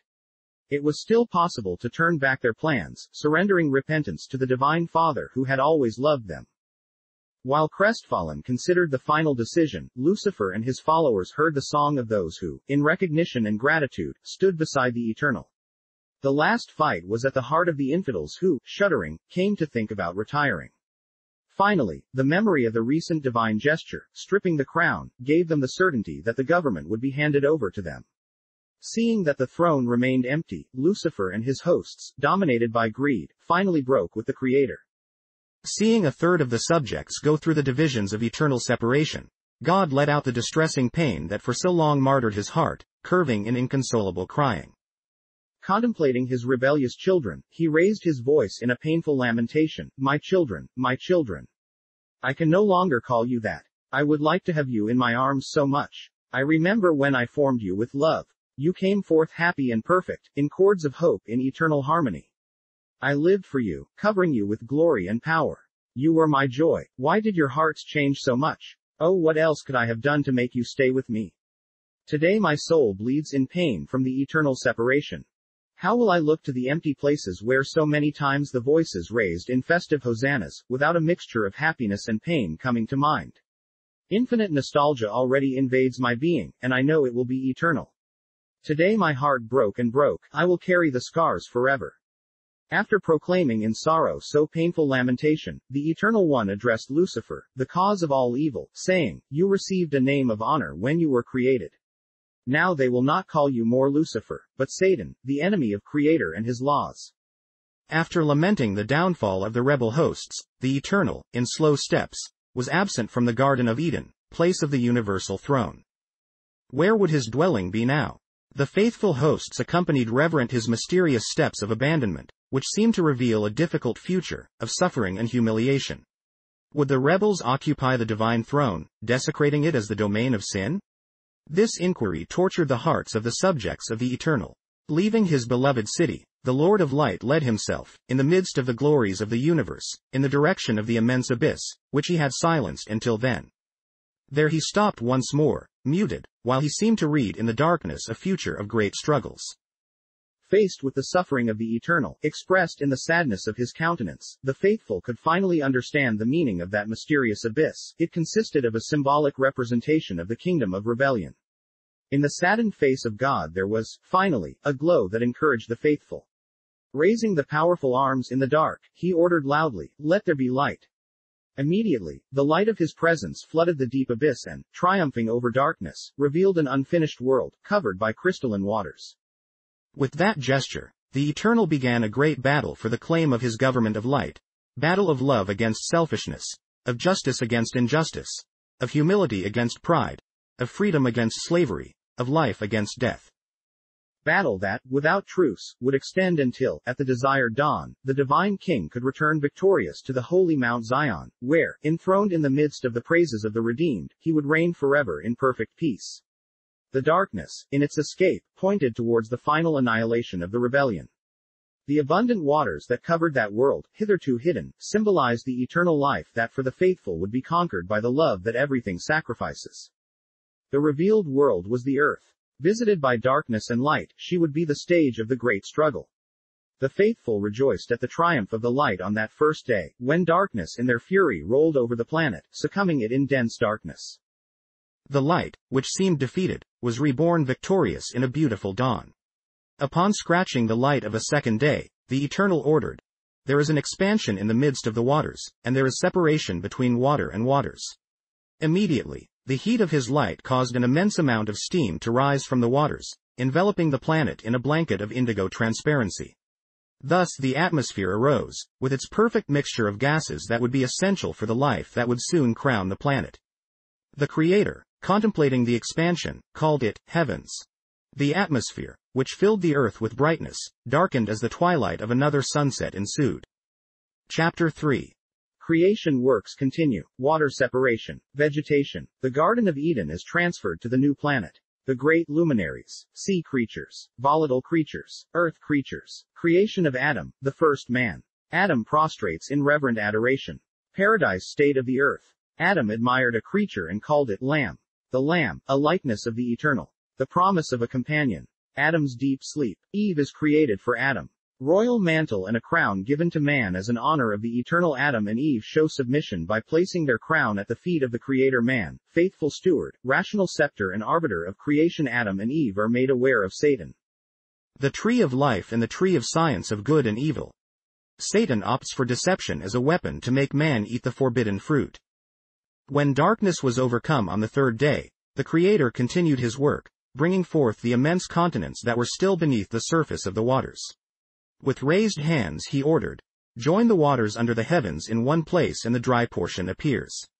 In prompt obedience, the crystalline waters gave their superior position to the dry portion that rose, overlapping them. In the lower regions of the earth, the waters would continue to reflect the heavenly glow, being a snack for thirsty creatures.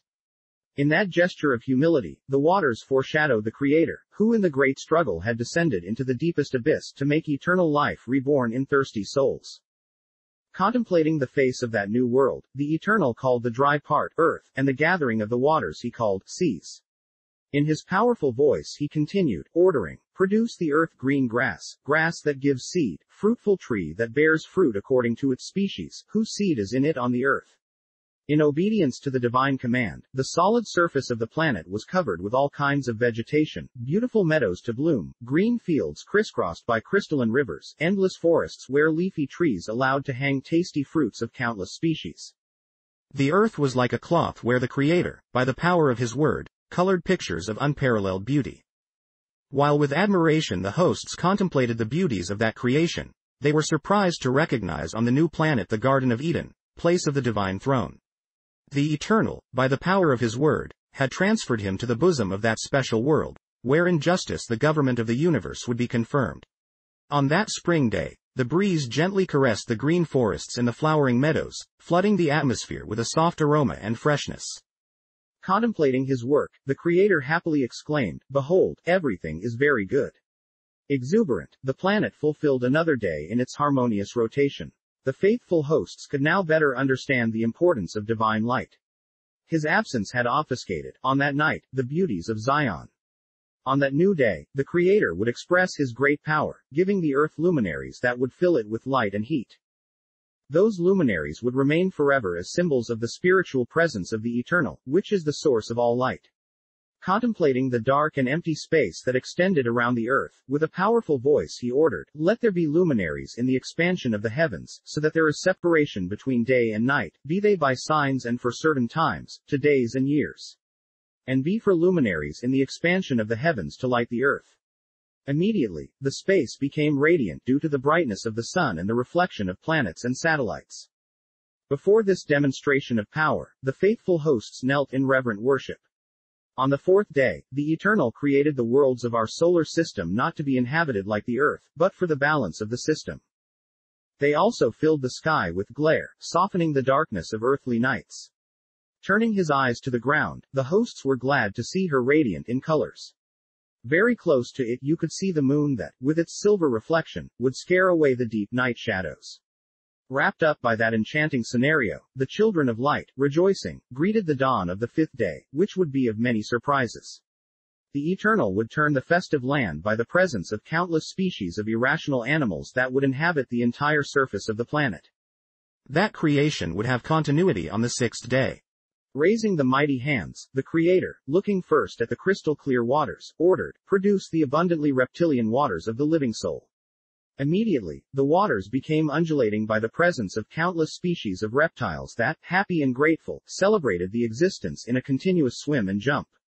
From microscopic beings to great whales, all appeared in complete harmony, reflecting in their nature the love of the Creator. Putting his eyes on the indigo atmosphere that rested on the green forests, the Eternal continued, birds fly over the face of the expansion of the heavens. Through his order, the heavens were filled with colorful birds that, flying in all directions, had in their hearts a song of gratitude for life.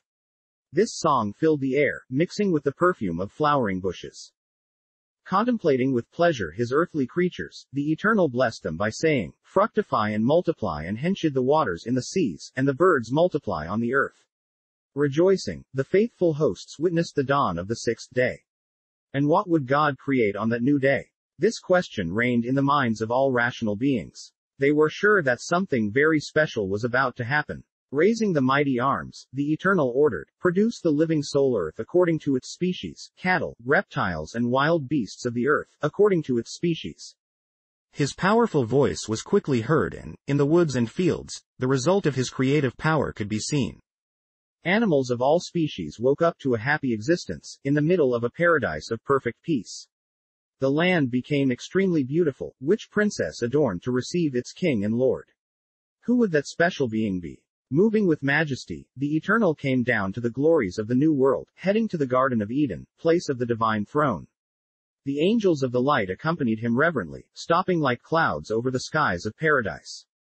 The entire universe watched with deep interest the development of the acts of the Creator, in response to the accusations of his enemies. The moment was decisive. Everything indicated that the Eternal would prove not to be tyrant or selfish, crowning someone on Mount Zion. Satan and his followers did not doubt that the kingdom would be given to them and they would reign victorious in the bosom of that ancient abyss, where darkness and light were now intertwined. The subjects of the light shuddered at that perspective. Next to the source of the river of life, the Eternal knelt solemnly and, with the natural elements of the earth, began to mold, with much love, a special creature. After a few moments, the body, still lifeless, of the first man was extended before the Creator. The Eternal looked at him and, after stroking his cold, discolored face, he breathed into his nostrils the breath of life and the man began to live. As if waking up from a dream, the man opened his eyes and contemplated the sweet face of his Creator who, smiling, kissed his face now colorful and full of life. He was moved to hear the Eternal say in a soft and affectionate voice, My son, my dear son, because he was born on earth, the first man received the name of Adam. Taking him by the hand, the Eternal lifted him. Without perceiving the scene of glare that surrounded him, Adam, in a gesture of gratitude for existence, enveloped the Creator in a tender embrace, prostrating himself in reverent worship. The faithful hosts who admired witnessed the great divine fulfillment, excited at the human gesture, also prostrated themselves in reverent worship. Then they united the voices in a song of joy in salutation to that special creature, who woke up to life at such a decisive moment for the universe. With a heart full of happiness, Adam joined the angels in his song of praise. His voice, as it passed through the flowery surroundings, was mixed with the song of the birds and the death of the animals that approached festively. In a walk of unforgettable surprises, Adam was made aware of the beauties of his home. With admiration, he saw Mount Zion, where the river of life flowed, in a cascade of light. The glorious mountain lay crowned by a beautiful rainbow. In his steps, he followed the course of the crystalline river, which glided serenely amidst the wonders of Eden. One admired the tall trees that, soaked by the breeze, left abundant flowers and fruits hanging from the branches. He leaned here and there, attracted by the glow of precious stones that adorned the lawn everywhere. With intense joy, Adam was aware of the infinite species of animals that populated the garden. All were meek and submissive and lived in perfect harmony and happiness. Stopping in his footsteps, Adam admired the whiteness and tenderness of an animal that was jumping on the grass. Approaching, he took it in his arms, dedicating a special affection. Well, it was nice to stroke her white wool. His sweet eyes reflected a glow of love and humility. There was something special about that little animal. Affectionately, Adam called him, Lamb. With the little animal in his arms, Adam looked grateful toward the Eternal and worshipped him. Contemplating his white robes, his expressive eyes of an unparalleled love, Adam discovered that he had in his arms a symbol of his author. Happy, he exclaimed, Oh, Lord, this little lamb clad in such white wool, with an expressive look of so much love, looks like you. I want to have him always with me. Watching the animals, Adam perceived that they enjoyed a special fellowship. I saw happy couples everywhere living for each other. His thoughts turned to his companion. He looked around and was surprised not to see him. The Eternal had concealed himself on purpose, becoming invisible. Adam felt lonely in the midst of that paradise. With whom would you share your happiness and love? There were animals there, but they were irrational, unable to share their ideals. He was born in his heart, walking alone in that sunset, a burning desire to find someone who could always be by his side. While Adam looked toward the distant hills in the hope of seeing someone, the Eternal appeared at his side and said, It is not good for the man to be alone. I will make him a companion.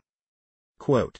Adam was happy to hear from the Creator that promise, just at the moment when he so longed to have someone so that he would always be visible at his side. Taken by a deep sleep, Adam leaned back in the chest of his loving creator who, with caresses, made him numb. In his subconscious the first colorful dreams arose. Contemplate the Eternal's tender gaze. He hears the harmonious sound of angelic music. Discover the wonders around. Mount Zion with its rainbow. The river of life. The meadows in bloom. The animals that greeted him at the party.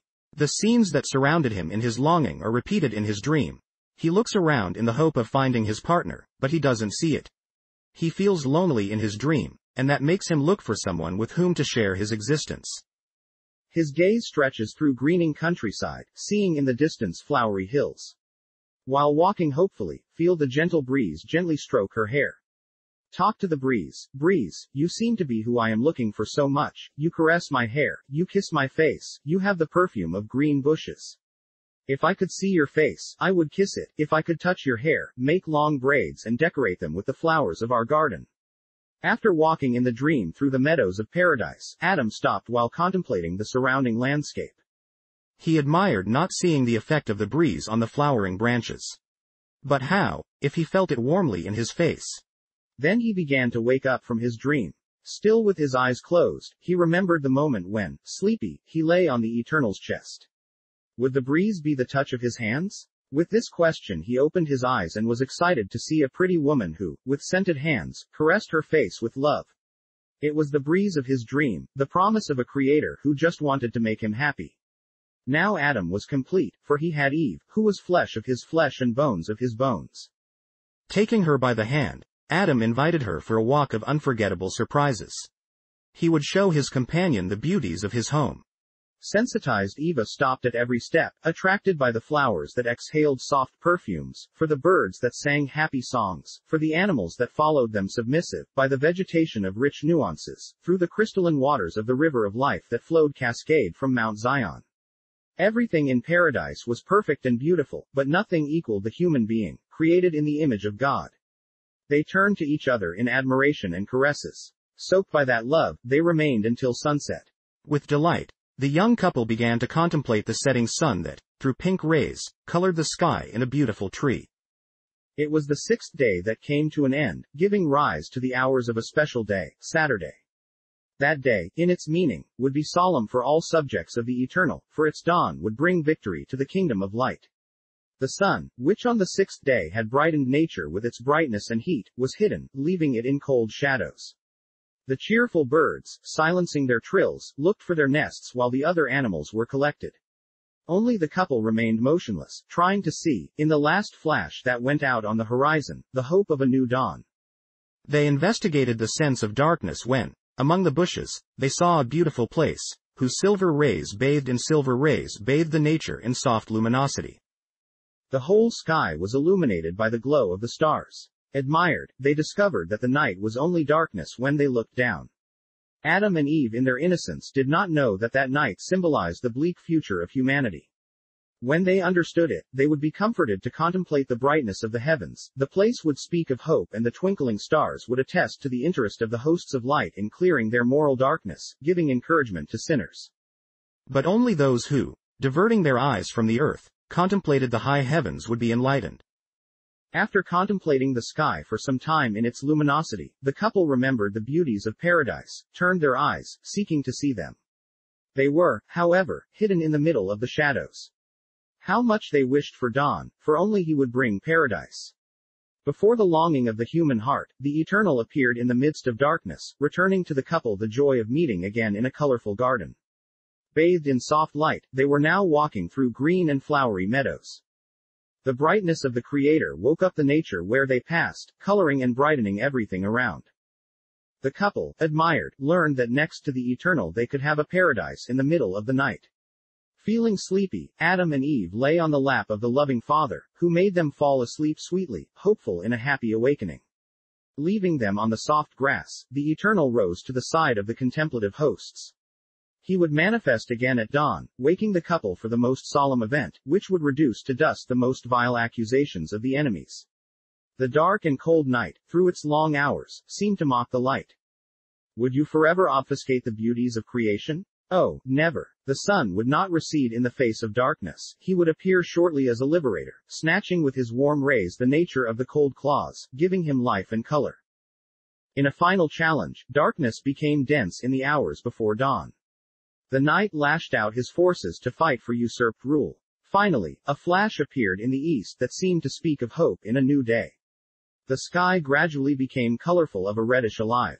The helpless darkness withdrew from the rising force of light and was consumed in its escape. Nature began to wake up from the long night, reflecting in its bosom the nostalgic rays. Flowers would open, exhaling perfumes of joy. Animals and birds, silenced at night, joined the voices in a triumphant chant in salutation at the dawn of that great day. The black night had come to an end, giving rise to the daylight dreamed. It was a special meaning for God, because it foreshadowed the final victory of his kingdom over the dominion of rebellion. The Eternal would now wake up his human children who, bathed in the light of his presence, had slept in the hope of a happy dawn. In a festive march, all the holy hosts, with songs of victory, accompanied him to the paradise bathed in light. When they were close, the Creator stopped staring at the sleeping couple, and exclaimed softly, Wake up my children.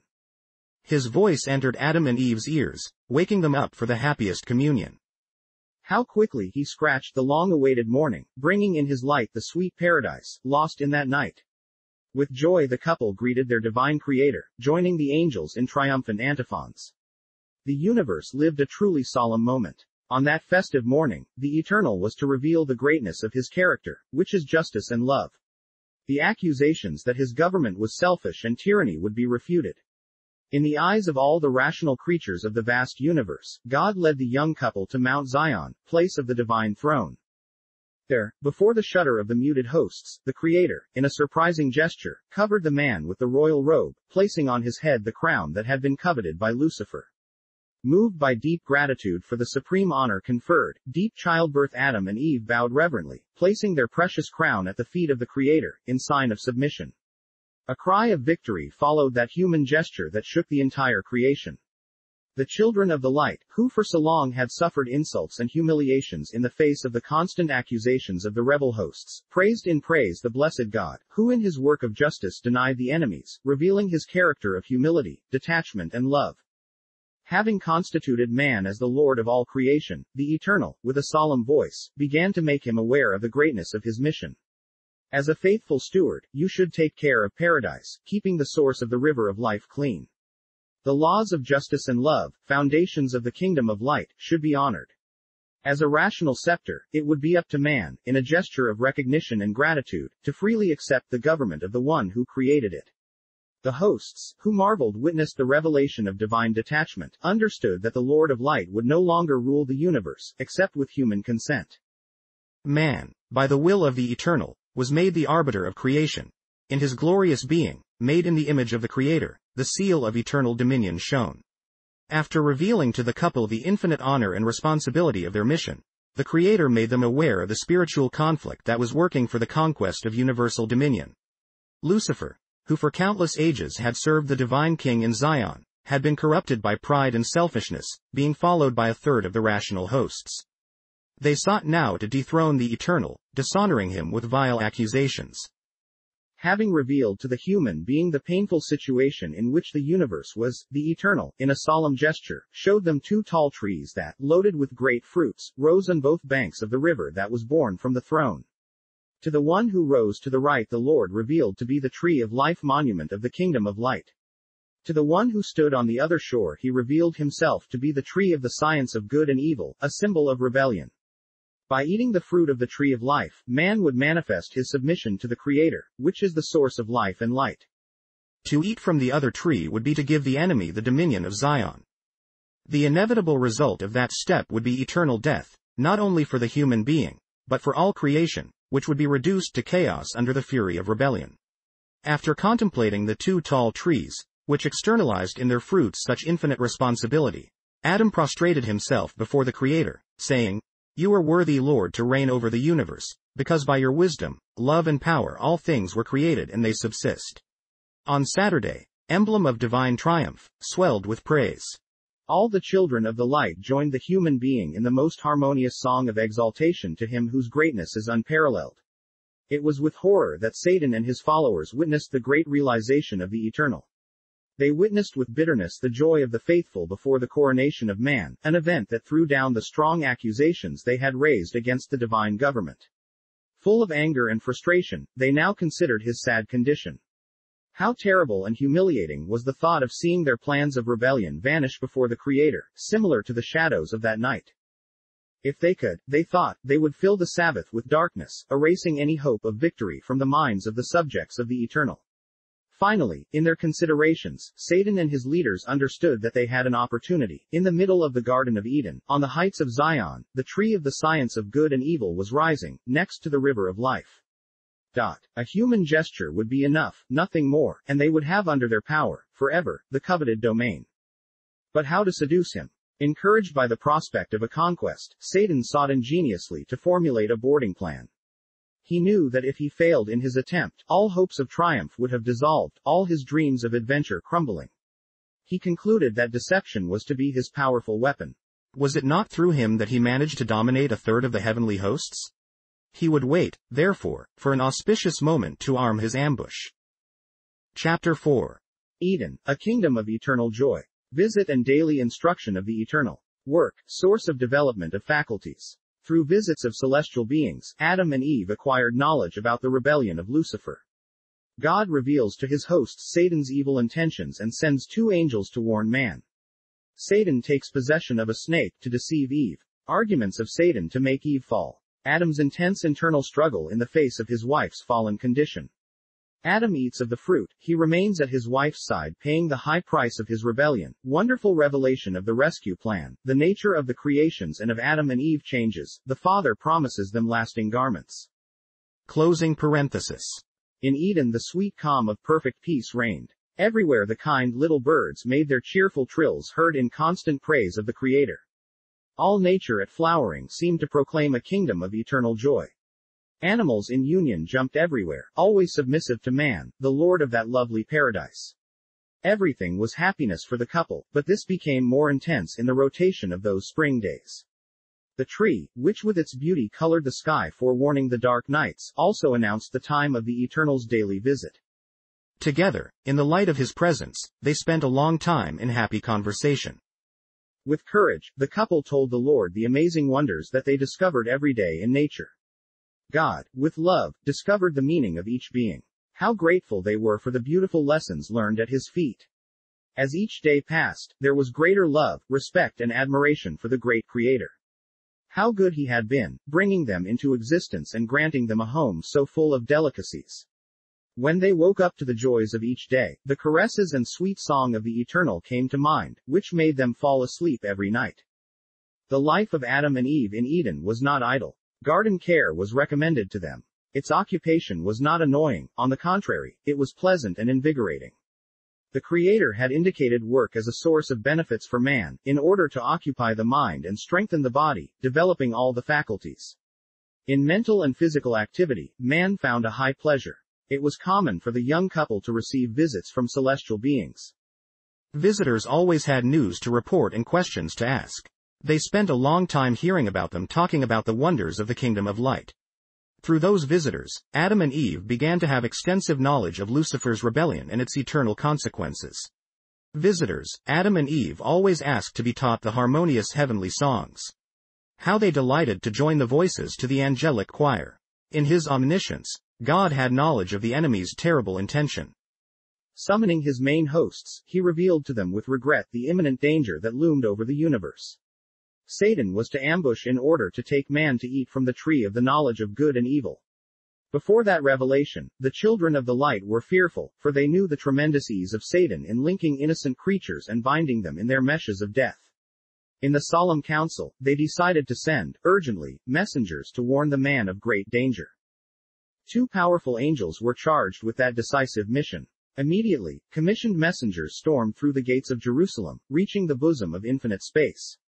In moments, they passed immensities, crossing galaxies in the course. They entered the tunnel of the constellation Orion, approaching the new system. They could now see a short distance from the blue planet, where the destiny of the universe was to be determined. In Eden, there was relaxation. The young couple continued in their innocent activities, enjoying the pleasure of a happy life.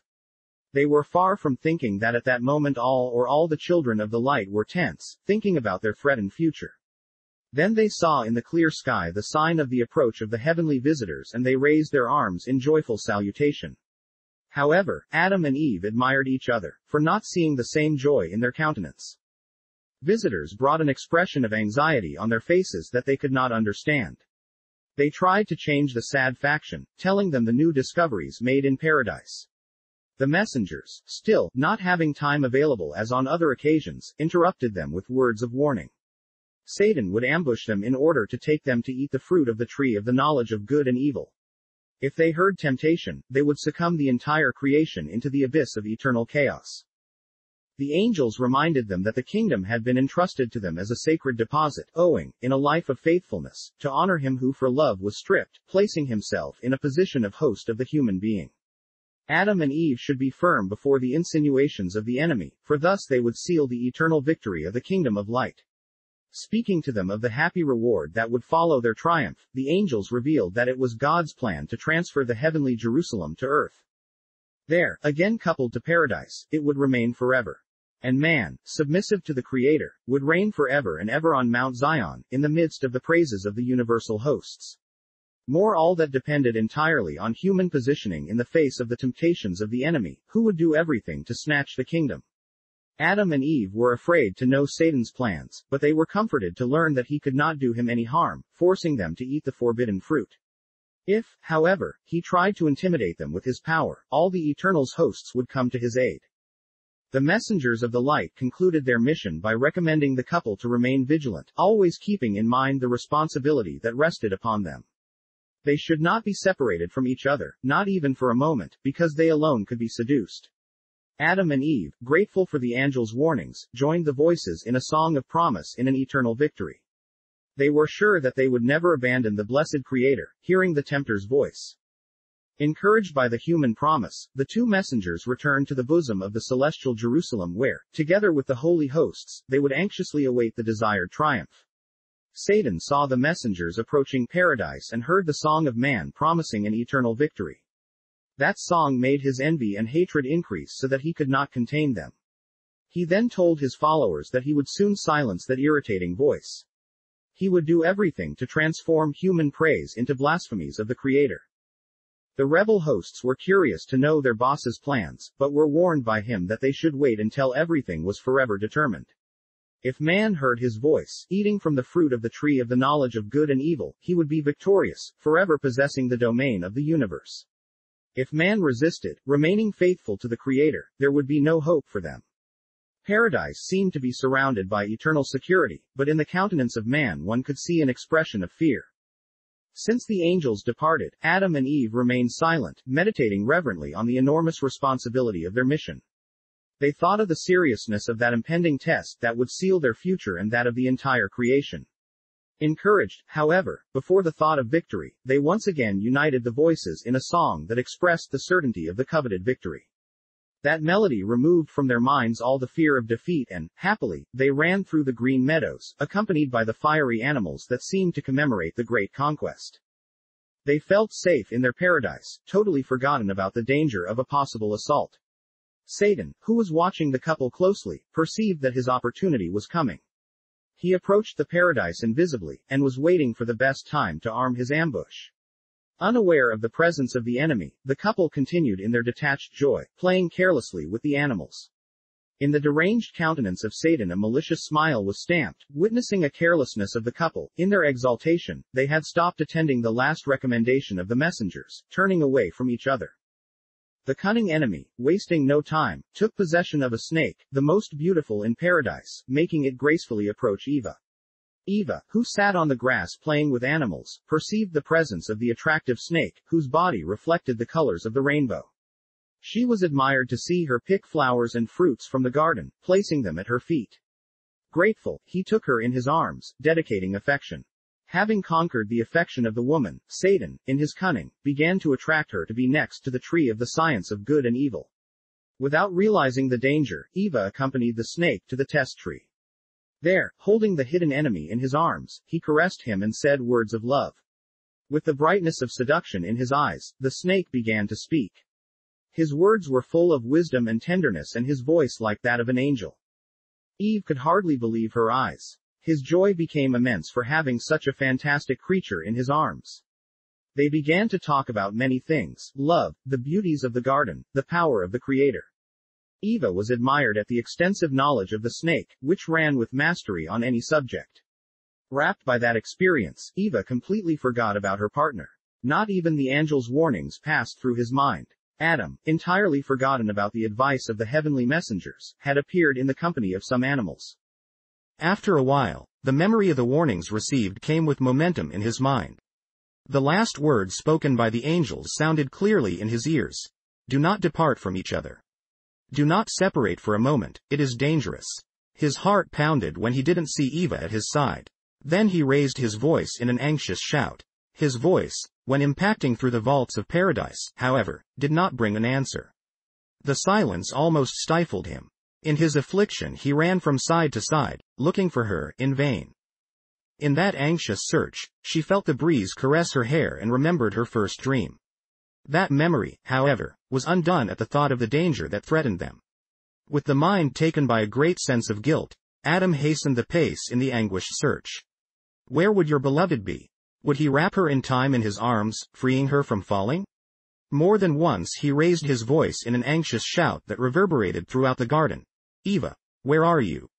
He waited for an answer, but heard only an empty echo that despaired. He remembered the tree of science of good and evil, there was the only place where his partner could be deceived. Hoping to obstruct the enemy's only opportunity, he advanced in the direction of the test site. His heart pounded when he contemplated the cup of the forbidden tree in the distance. With the snake in her arms, Eva questioned her about many things. He marveled at the perception that the snake was overwhelming her greatly in knowledge. Full of curiosity, she asked the snake, Where is the source of your great knowledge? Answer me, because I want to own it too. Without wasting time, Satan, pointing to the tree of science of good and evil, replied, There is the source of all my knowledge. Dash. He then told him a liar story. He said he was a snake like the others, eating the fruits of paradise. Tasting a certain day of that forbidden fruit, he received, as if by charm, all the virtues. Looking towards the tree of science of good and evil, Eva was surprised and confused.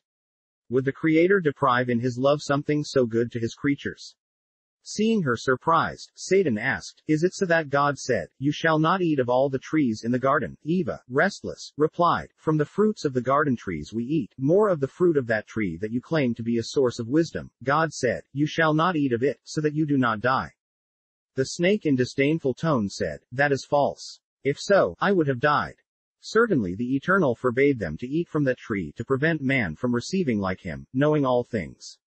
The seductive words of the snake caused confusion in Eva's mind. Who would you trust? He had in mind the memory of the Creator's order and his sentence, but at the same time he had before him a palpable proof that contradicted him. Dazed, she began to doubt the character of the Eternal. In a challenge, the snake picked fruits from the forbidden tree and began to savor them. Placing a fruit in the woman's hands, he encouraged her to eat, saying, Didn't the Eternal say that if someone touched that fruit he would die? A complete silence reigned over the universe. On every inhabited planet, the children of light watched helplessly that distressing scene. Their future was at stake. In Jerusalem there was great commotion. Powerful angels appeared before the Creator, requesting permission to unmask the cowardly enemy, hidden in that snake. The Eternal, however, prevented them from doing so. If the use of force were the solution, I would have already applied it. They should respect the free will granted to man, and he may manifest his choice under the temptation of the enemy. The children of the light suffered immensely when they saw the woman doubting the one who had kindly given them life and the opportunity to reign in that paradise. How could I doubt who gave them so much love? Adam, who, in a strong hope of securing the cherished victory, hurried in his run, stared into the distance at his beloved, sitting by the tree of evidence. What was Eva doing in that dangerous place? A horrible feeling came upon him, once again remembering the warnings received, but he tried to banish him with the thought that he would reach his wife before any evil occurred to her. Eva hesitated in her conviction as she contemplated the fruit in her hands. For a few moments the future seemed bleak and frightening, but he overcame that feeling, thinking of the glories that he would conquer by eating that fruit. Still somewhat hesitant, he slowly raised his hands until he touched the fruit with his lips. The subjects of the kingdom of the light, shuddering, bowed in great terror. It seemed almost impossible, at that moment, for the woman to go back.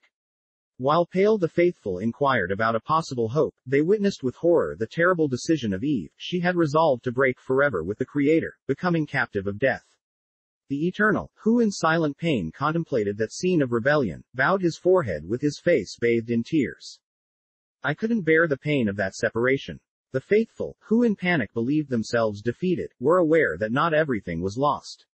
If Adam resisted temptation, remaining faithful to the eternal, he would seal the great victory.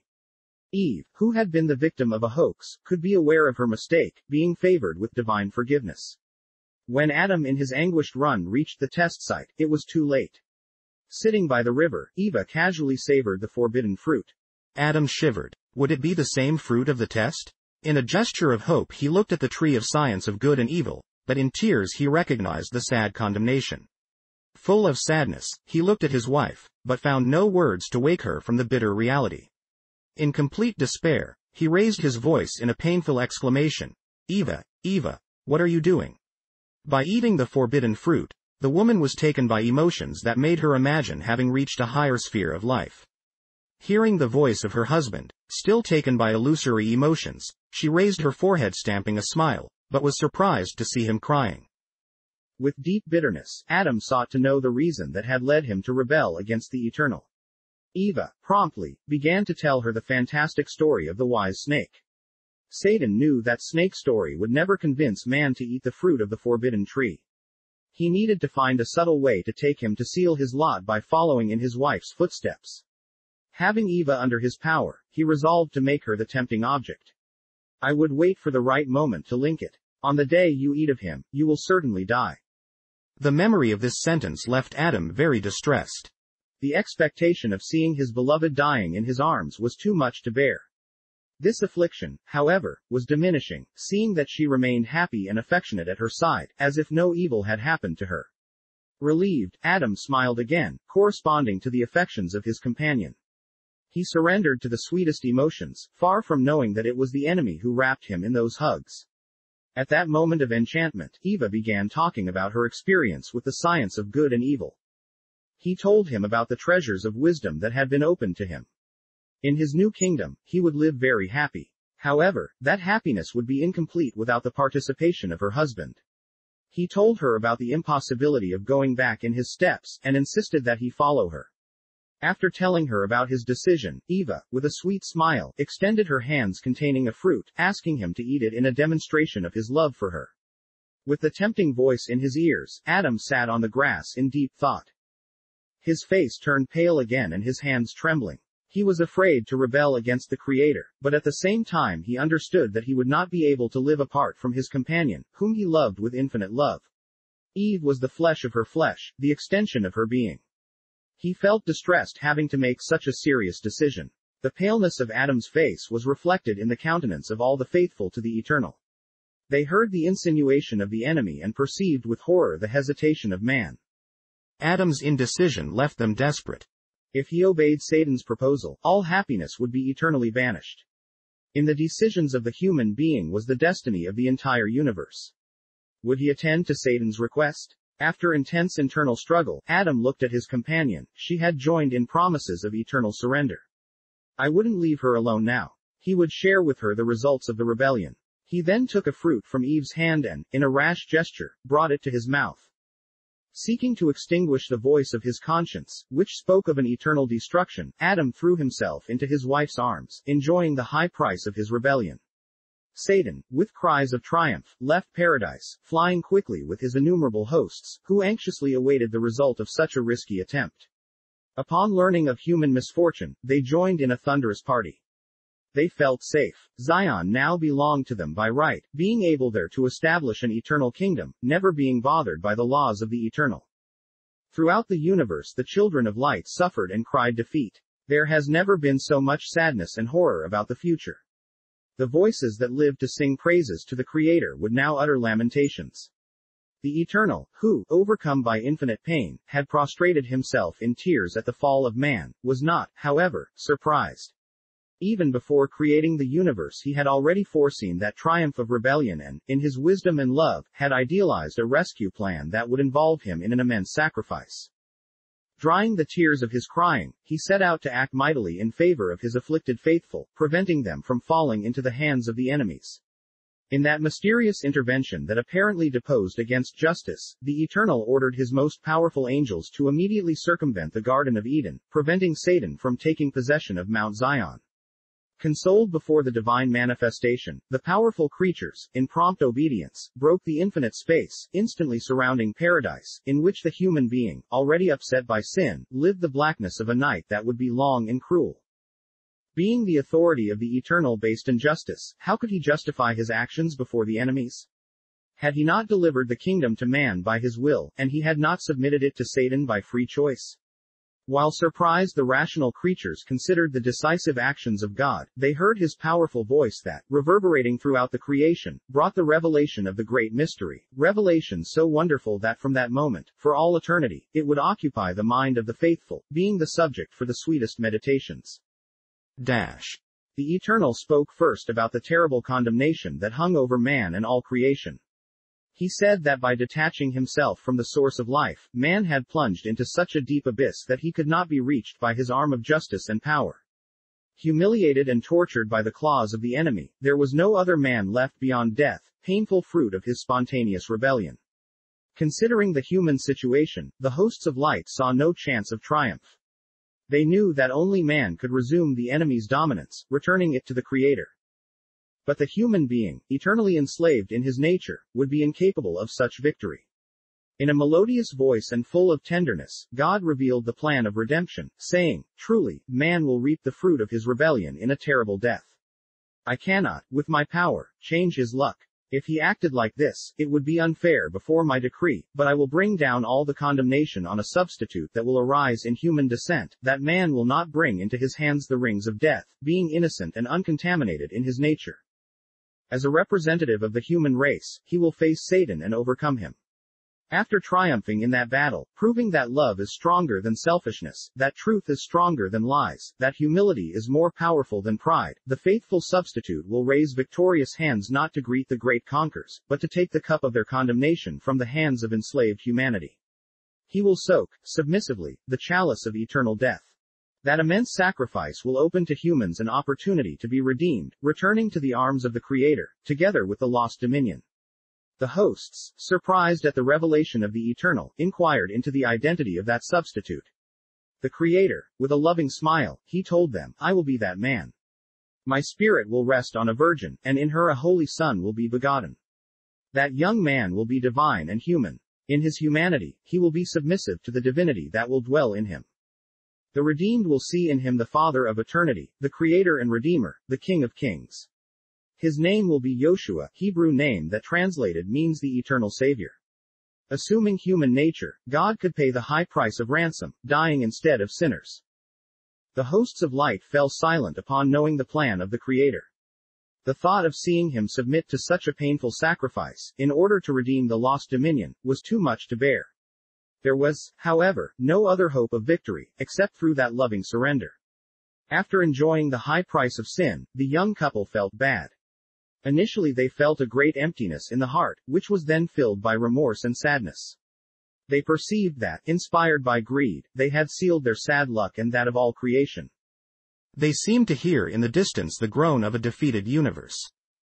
The sun, which had filled them with life and heat on that day, was hiding on the horizon, announcing a black night.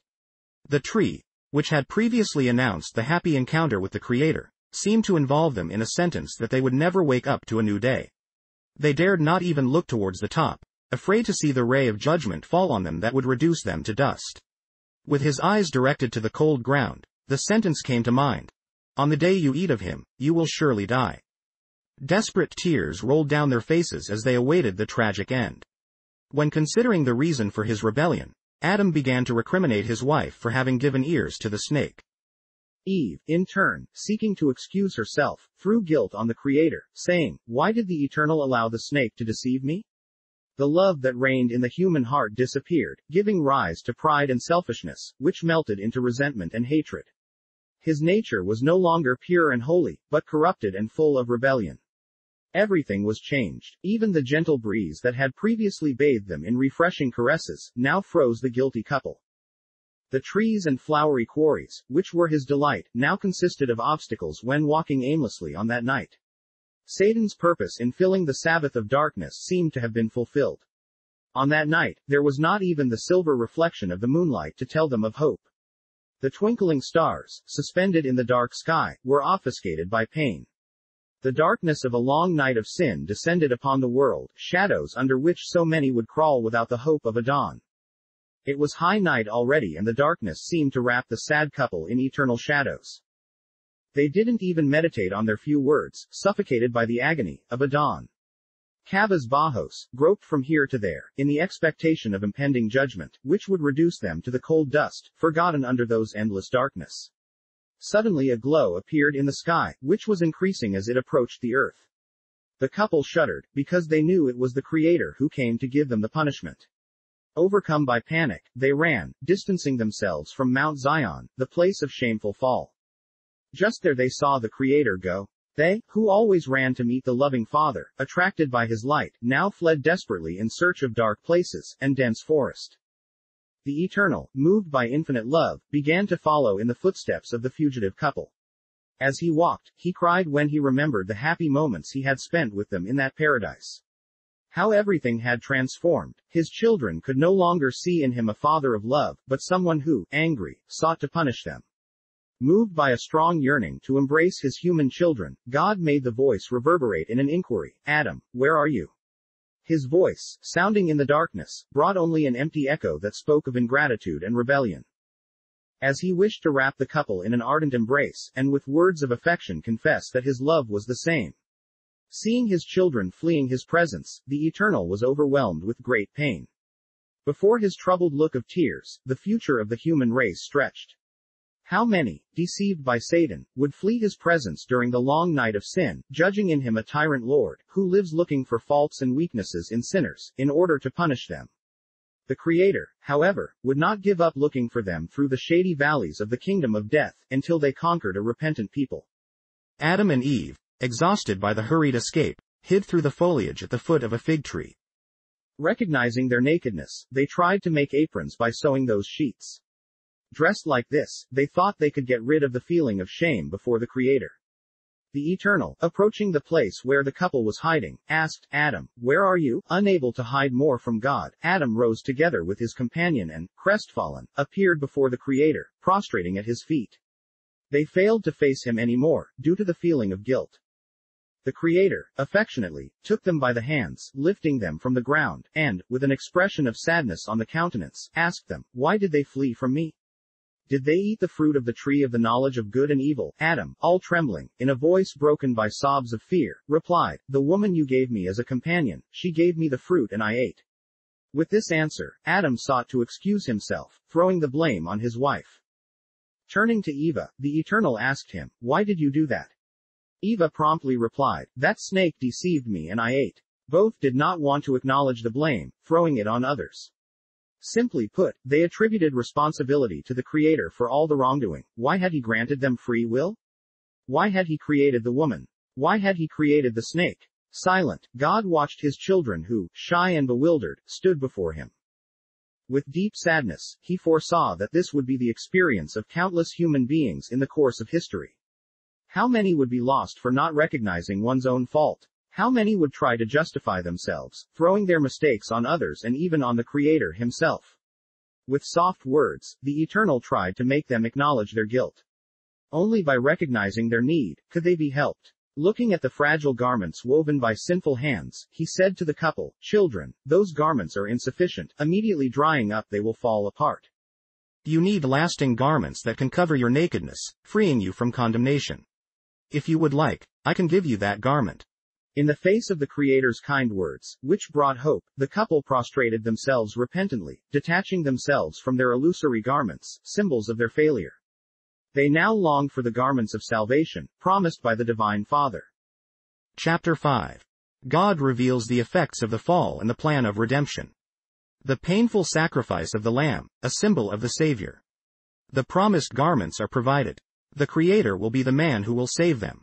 In the couple intensifies the love and gratitude towards the Savior, the shudder of the evil hosts before the intervention of the Eternal and the revelation of the rescue plan. The Eternal accompanies the couple outside the garden. Satan tries again to seize the human being facing them with fury, but is repelled by God, and their silenced threats bad consequences of the science of good and evil. The faith of man in the revealed truths of redemption. The Eternal, companion of the human being in his journey on the earth. Nature of the Creator with respect to war.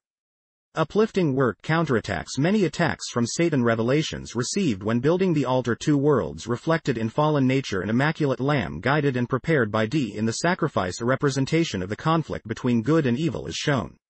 The burning flame, symbol of divine forgiveness.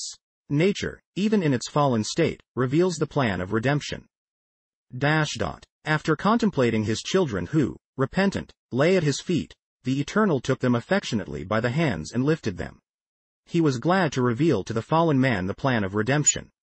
With tenderness, God began to discover to them first the bitter results of his fall, saying, Children, you sealed the destiny of all creation in the grip of death. Disharmony already penetrates nature, trying to destroy in it all the virtues. The abyss in which you immersed yourself in disobedience is also deep so that you can be reached by my powerful arm. Thus, detached from the source of life, there is no other human being left beyond death. After uttering these words that revealed a sad fate, the Eternal invited the couple to follow him. Cabas Bajos, Adam and Eve, in tears, they followed the Creator in his steps of justice, which led them to the place of the shameful fall, where they supposed to find the painful end. On that painful walk, they sobbed when they remembered their past of glory undone by ingratitude. How the terrible expectation of being reduced, along with the creation, to cold ashes under the darkness of that night of sin hurt in their soul. As they walked, they contemplated through the tears the numb beauty bathed in the light of God. They saw the innocent animals, who were not aware of the great pain. Suddenly, the couple stopped, overcome by intense crying. His faltering steps had led them to a lamb, the dearest animal. Would your eyes of sweetness also go out? Drying their tears, the Eternal ordered them to take the innocent lamb in their arms. Wrapping it next to his chest, they silently accompanied the steps of the Creator, until they reached the top of Mount Zion, place of the shameful fall. Contemplating the remains of the fruit there, with impetus the memory of the divine judgment came to mind. On the day you eat of it, you will surely die. The terrible moment had arrived. The guilty man should drink the bitter chalice of death, succumbing hopelessly. Aware of their downfall, the couple perceived, in horror, that the hands they had brought to life now held a pointed stone knife. Trembling, they prostrated themselves and waited for compliance with the just sentence. While silenced by fear, Adam and Eve waited for the blow that would reduce them to dust, they felt the soft touch of the divine hands that lifted them into a new life. The condemnation, however, would fall on a substitute. Placing the knife in Adam's hands, the Creator said to him, The lamb will die instead of you. Adam should sacrifice it. Frightened at the command of God, the couple, crying, began to cry, Lord, the little lamb is not innocent. With an expression of justice, the Eternal added, If he does not die, you cannot have the clothes of which I spoke. At the insistence of the Creator, Adam, all trembling, in a painful effort, stuck that sharp stone in the little lamb's chest. The blow was fatal, and the little animal, shedding its precious blood, plunged into the darkness of an endless night. Contemplating the inert lamb on the bloody grass, the couple raised their voices and wept. They were beginning to understand the enormity of their tragedy. How terrible was death. She, in his possession, had turned off all the light in the eyes of the innocent animal. Leaning silently on the inert body of the lamb, the Eternal removed the skin covered with white wool and with it made robes to cover the nakedness of the couple. After dressing them he asked them with affection, Did you understand the meaning of all this? In deep reflection, through sobs of recognition and gratitude, the couple exclaimed, He died in our place, to give us his clothes. Dash. Adam and Eve, although they had understood that physical reality, were far from understanding the meaning of that event. To them the Creator would reveal the mystery of divine love. With an expression of infinite mercy, God began to reveal to the human being the meaning of that painful sacrifice, saying, The innocent little lamb, which today suffered, symbolizes a man to be born. In his eyes there will be the same tenderness, the same love. Coated for a just life, like the white wool that covered the lamb, that man will grow like a renewal on earth, not holding the bonds of sin in his hands. In his appearance, that man will not bring the pomp of a king, so he will be despised by many. He will be a man of pain, for the weight of all provocations will fall upon him. In his faithfulness to the kingdom of light, that man will fight the usurper enemy, finally defeating him. After triumphing in his struggles, he will take upon himself the burden of your condemnation that will cause him a terrible death. He will be pierced because of your rebellion and crushed by your iniquities. He will be oppressed and humiliated, but he will not open his mouth, like the little lamb that today gave himself peacefully. Succumbing in death, he will grant you the merits of his victory. Wrapped in their garments of justice, you will be free from condemnation. Eternal life you will achieve in this way, by the sacrifice of that righteous man who will be born. Adam and Eve, who in a mixture of gratitude and pain heard the revelation of such a great salvation, inquired reverently about that special man who in his offspring would have to arise, in order to fulfill such an immense sacrifice. The Creator, looking at them tenderly, moved by a love that overcomes the same death, enveloped them in an affectionate embrace and revealed, I will be that man. Surprised at the declaration of the Eternal, Adam and Eve were motionless, while contemplating his tender countenance. Understanding the meaning of the tremendous sacrifice, they prostrated themselves at his feet and with tears cried out, We are deserving of death, Lord, but you are innocent and must not suffer in our place. Wiping away the tears, the Eternal with tenderness he spoke, My children, I love you with an eternal love. I will die instead of you. Given this confirmation, the couple raised their voice in a painful lamentation. They said, We kill the Creator. We kill the Creator. But God began to comfort the couple with words of hope, saying, After drinking the chalice of eternal death, I will resume life and go up to heaven. I will intercede there for the lost man, granting to all those who, repentant, accept my sacrifice, the garments of my victory. Together, we will finally triumph over the kingdom of sin that will fall into ashes under our feet. I will then create a new heaven and a new earth, where only justice and love will reign.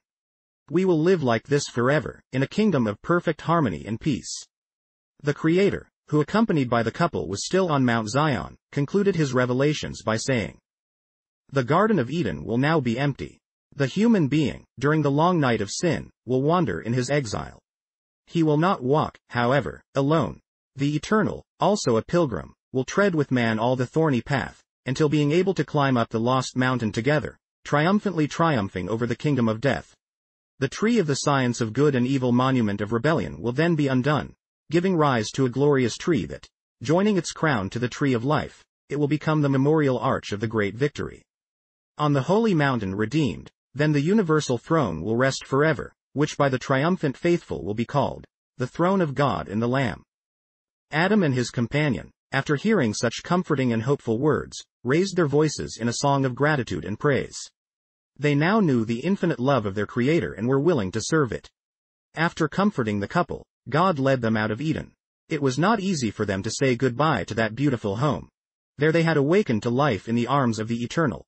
There they enjoyed moments of pure happiness, in the company of the Creator, the angels and the docile animals. An infinite nostalgia seemed to involve the couple in their abandonment steps. It was with horror that Satan and his subjects witnessed the intervention of the Eternal. They were shaken at the surprising revelation of the rescue plan. With rabid frustration, they understood that, if indeed the divine promise was fulfilled, there would be no hope. After considering everything that had happened, great anger took hold of his heart. He was not willing to recognize the redemption of the human being. He would make every effort to retain him, together with the kingdom that had been delivered to him. When the couple, accompanied by the Creator, reached the valley wounded by death, it dawned. There Satan confronted them with fury, in an attempt to seize the human being again. The couple was trembling on the face of the enemy, but God's protective hands calmed them. Expressing in the countenance the firmness of a justice that is eternal, the Eternal silenced the threats of the enemy with the following words, The human being belongs to me, because I bought it with my blood. As they walked silently beside the Creator, Adam and Eve watched with sadness the signs of death stamped on that nature before so full of life. The beautiful flowers, which had unbuttoned to exhale eternal aromas, now hung withered. The little birds, who happily greeted them at each dawn with their trills, now flew distant, sounding such sad songs. Everything was changed in nature. The science of good and evil had brought no good to the universe, but an intense spiritual and physical conflict. Faced with the devastating consequences of his fall, the couple, defeated by an inexpressible sadness, prostrated themselves and cried bitterly. God, who was also saddened by pain, contemplated the bleak stage, sought, with words of hope, to comfort them. He told them about the new heaven and the new earth that one day would create, where peace and love would reign in each heart. There they would always live together, not bringing on the forehead the marks of sadness, but crowns of eternal victory. There he would dry the tears on their faces and they would never wet his eyes again. Protecting Adam and Eve in their steps, the Creator led them through a wounded valley, until they reached the foot of a hill. They climbed it in slow steps, while exchanging words of encouragement and hope. His feet finally reached the soft grass that covered the spacious top of that hill. It was on that place that the couple saw each day the sun decline, bathing the sky and valleys a bright red, like the blood that had dripped from the lamb's chest. Turning to the eastern side, the couple, in a mixture of pain and nostalgia, contemplated in the distance the landscapes that enveloped them in that happy past. When they saw Mount Zion, which stood majestically in the middle of Eden, they cried when they remembered the fall. How weak they had been. The sun was declining in his day, announcing the arrival of one more sad night, the first out of paradise. In a calm gesture, the Eternal, showing them the outstanding valley of the hill, spoke to them with affection. Here will be your temporary abode from here you can contemplate the paradise that for some time will remain on earth, until it is collected to its place of origin, within the celestial Jerusalem. There, protected by justice, await the dawn of victory. When that great day arrives, we will return together to Zion, where we will be crowned in glory, in a kingdom of eternal happiness and peace. After saying these words, God commanded the couple to build an altar of stones there, on the which every week, on the night before Saturday, they should immolate a lamb, in memory of his sacrifice. As a sign of his presence, and for the certainty that his sins would be forgiven, he would light a fire on the altar, which would last all night, until he completely consumed the sacrifice offering. For the human being to be able to affirm his faith about the revealed truths, and not in the visible manifestation of the person of the Creator, he would remain invisible from that moment onwards. Only on special occasions, when his appearance or that of angels became necessary for new revelations and warnings, would this occur. Contemplating his children saddened at that moment when they would be left apparently alone. The Eternal said to them with love, Children, even if you have to remain in this hostile environment, you do not need to fear, for I will remain by your side. I will be a fellow friend on this journey, I will carry your pains on your shoulders, your desires your struggles. When, tempted by the enemy, they were about to give in, they will be able to find shelter in my arms, which will always be extended to save them and, if one day you will not resist, and by the fury of the enemy you will be dragged into the depths from the abyss, do not despair, believing you have no hope, for I will be there to meet you with my forgiveness and strength. Always keep in mind the meaning of the garments received from my hands, for they speak of the redemption that man belongs to. Rest my children, in my arms of love. After comforting the couple with these promises, the Creator, seeing that they were sleepy by fatigue, made them rest in his lap and, as usual, gently caressed them to numb them. Seeing them forgotten in their sleep, God wept as they foresaw the suffering they would experience upon awakening. With their hearts broken by the pain caused by that physical separation, the Creator left the couple asleep on the grass, after kissing the faces already marked by the suffering. His light dissipated by becoming invisible, giving rise to the darkness of that first night out of paradise. In the subconscious of the couple began to parade colorful dreams of a happy past. The beauties of Eden were once again in the middle, filled with eternal joy. Grateful for life, they ran through the flowery fields, playing with animals. Happily joined the voices to the angels in the harmonious songs in praise of the Creator. So many beautiful scenes paraded in his subconscious, but those dreams became nightmares, making them relive their tragedy. Agonizers woke up in the darkness of that first night in exile. Failing to fall asleep, the couple remained in tears until they were comforted by the dawn that revealed to them in the distance the nostalgic paradise. God, although invisible, remained next to Adam and Eve there on the hill. Their suffering was his suffering, as well as the hope that one day they would return victorious to Zion. Before the contemplative gaze of the Creator, the bleak future of humanity was revealed. With regret, I saw countless creatures perishing without salvation, for rejecting his love. Tears wet his face, foreseeing the enemy using all cunning in order to retain human beings under his domain. Long would be the night of sin, and the battle for the reconquest of the lost kingdom was at odds. The triumph of the light would require from God an immense sacrifice. In the person of the Messiah, in his time, he would be born among men, with the mission of paying the ransom price. Through him many would be freed from the claws of the enemy, all those who accepted him as Savior and King. Against those chosen, the enemy would attack all the forces trying to make them fall. In his vision of the future, the Creator contemplated with joy the final triumph of the redeemed. They had been extremely tested, but in everything they were more than conquerors through him who redeemed them from darkness into the kingdom of light. After anticipating the sufferings that would result from the great struggle, the Eternal extended his gaze across the captive plains, contemplating there the rebel hosts willing to fight. The aim of these armies was to seize the human being again, in which the right of dominion over the universe was sealed. Contrary to the nature of the Creator as war, but for the defense of his children, he was willing to use his power. His strength, however, would only be used fairly. If the human being rejected that protection offered by the sacrifice of the Messiah, God could do nothing to prevent himself from perishing in the grip of the enemy. Adam and Eve, however, had repented of their great sin, receiving by the mercy of God garments of salvation, symbolized by the skins of the sacrificed lamb. Justified by the delivery of the couple, the Eternal summoned his powerful armies for the fight. In prompt obedience the hosts of light stormed the outer space in the direction of the earth, surrounding which strong wall the hill, bearer of that treasure redeemed by the blood of the divine king. The human being was given a duty in Eden to take care of nature. They prepared quarries for flowers. They reaped fruits for support. They directed the animals in their innocent life, training them to be useful. These occupations had been for them sources of development and pleasure. Now, despite the adversities, they should continue to perform that duty.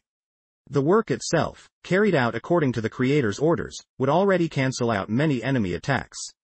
The couple's first occupations on that morning brought revelations of God's great love, hitherto unknown. As they gathered the stones for the construction of the altar, they experienced the pain of wounds that dripped blood, as well as the fatigue that caused sweat to emanate. Feeling and contemplating everything in their own flesh, they loved the Savior more, for whom the built altar foreshadowed greater wounds, which would shed all his blood, as well as fatigue that would undermine all the sage of his life. The look of nostalgia and hope of the couple from now on would never perch on distant Eden, without first discerning the altar of sacrifice. That altar, with its stains of sweat and blood, would remain as a remembrance of pain and suffering that, after moistening the lips of human beings, would transship into the Creator's cup. After contemplating for a long time the paradise of eternal life that extended far beyond that dark altar of death, the couple experienced the sweet relief of rest. Eager to know the landscapes of their new home, Adam and Eve, encouraged by hope, went for a walk. Their steps led them along the paths of smiles and tears, of charms and disappointments, of delicate flowers unbuttoned, bathed in perfume, and of flowers, lying withered and odorless, of still docile and submissive animals and of enemy, fierce and menacing animals. The couple discerned in their walk the currencies of two worlds, that of light and that of darkness, of love and selfishness, of hope and despair, of harmony and disharmony, of life and death. That vision filled them with sadness and they cried long. That sadness would increase even more in the future, when they discovered the depth of those currencies within their offspring. Six trees had already colored the skies announcing to the couple the dark and cold nights that with their cloak of darkness undid all the living images, except the hope of seeing them colorful again in the dawn of light. The hour of sacrifice was approaching, when the rude altar, scorched in his justice would cry for blood. If they did not offer the offering, it would explode with certainty, wrapping the whole world with its flames. There would be no dawn then, no hope of Eden to flourish. How precious is the blood! Blood is life. Life is light. For a being that night would become eternal, without dawn. That being should take the blame of everyone, giving his blood to the rude altar. Who would offer? Who would pour the sage of life, until he saw the last flash go out in his sky?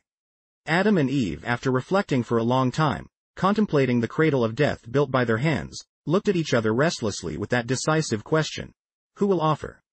That inquiry, born of his guilt, made the voice of the blessed Creator vibrate deep within his remembrances in his revelation of infinite goodness. I love you with an eternal love. I will die in your place. Dash. Grateful.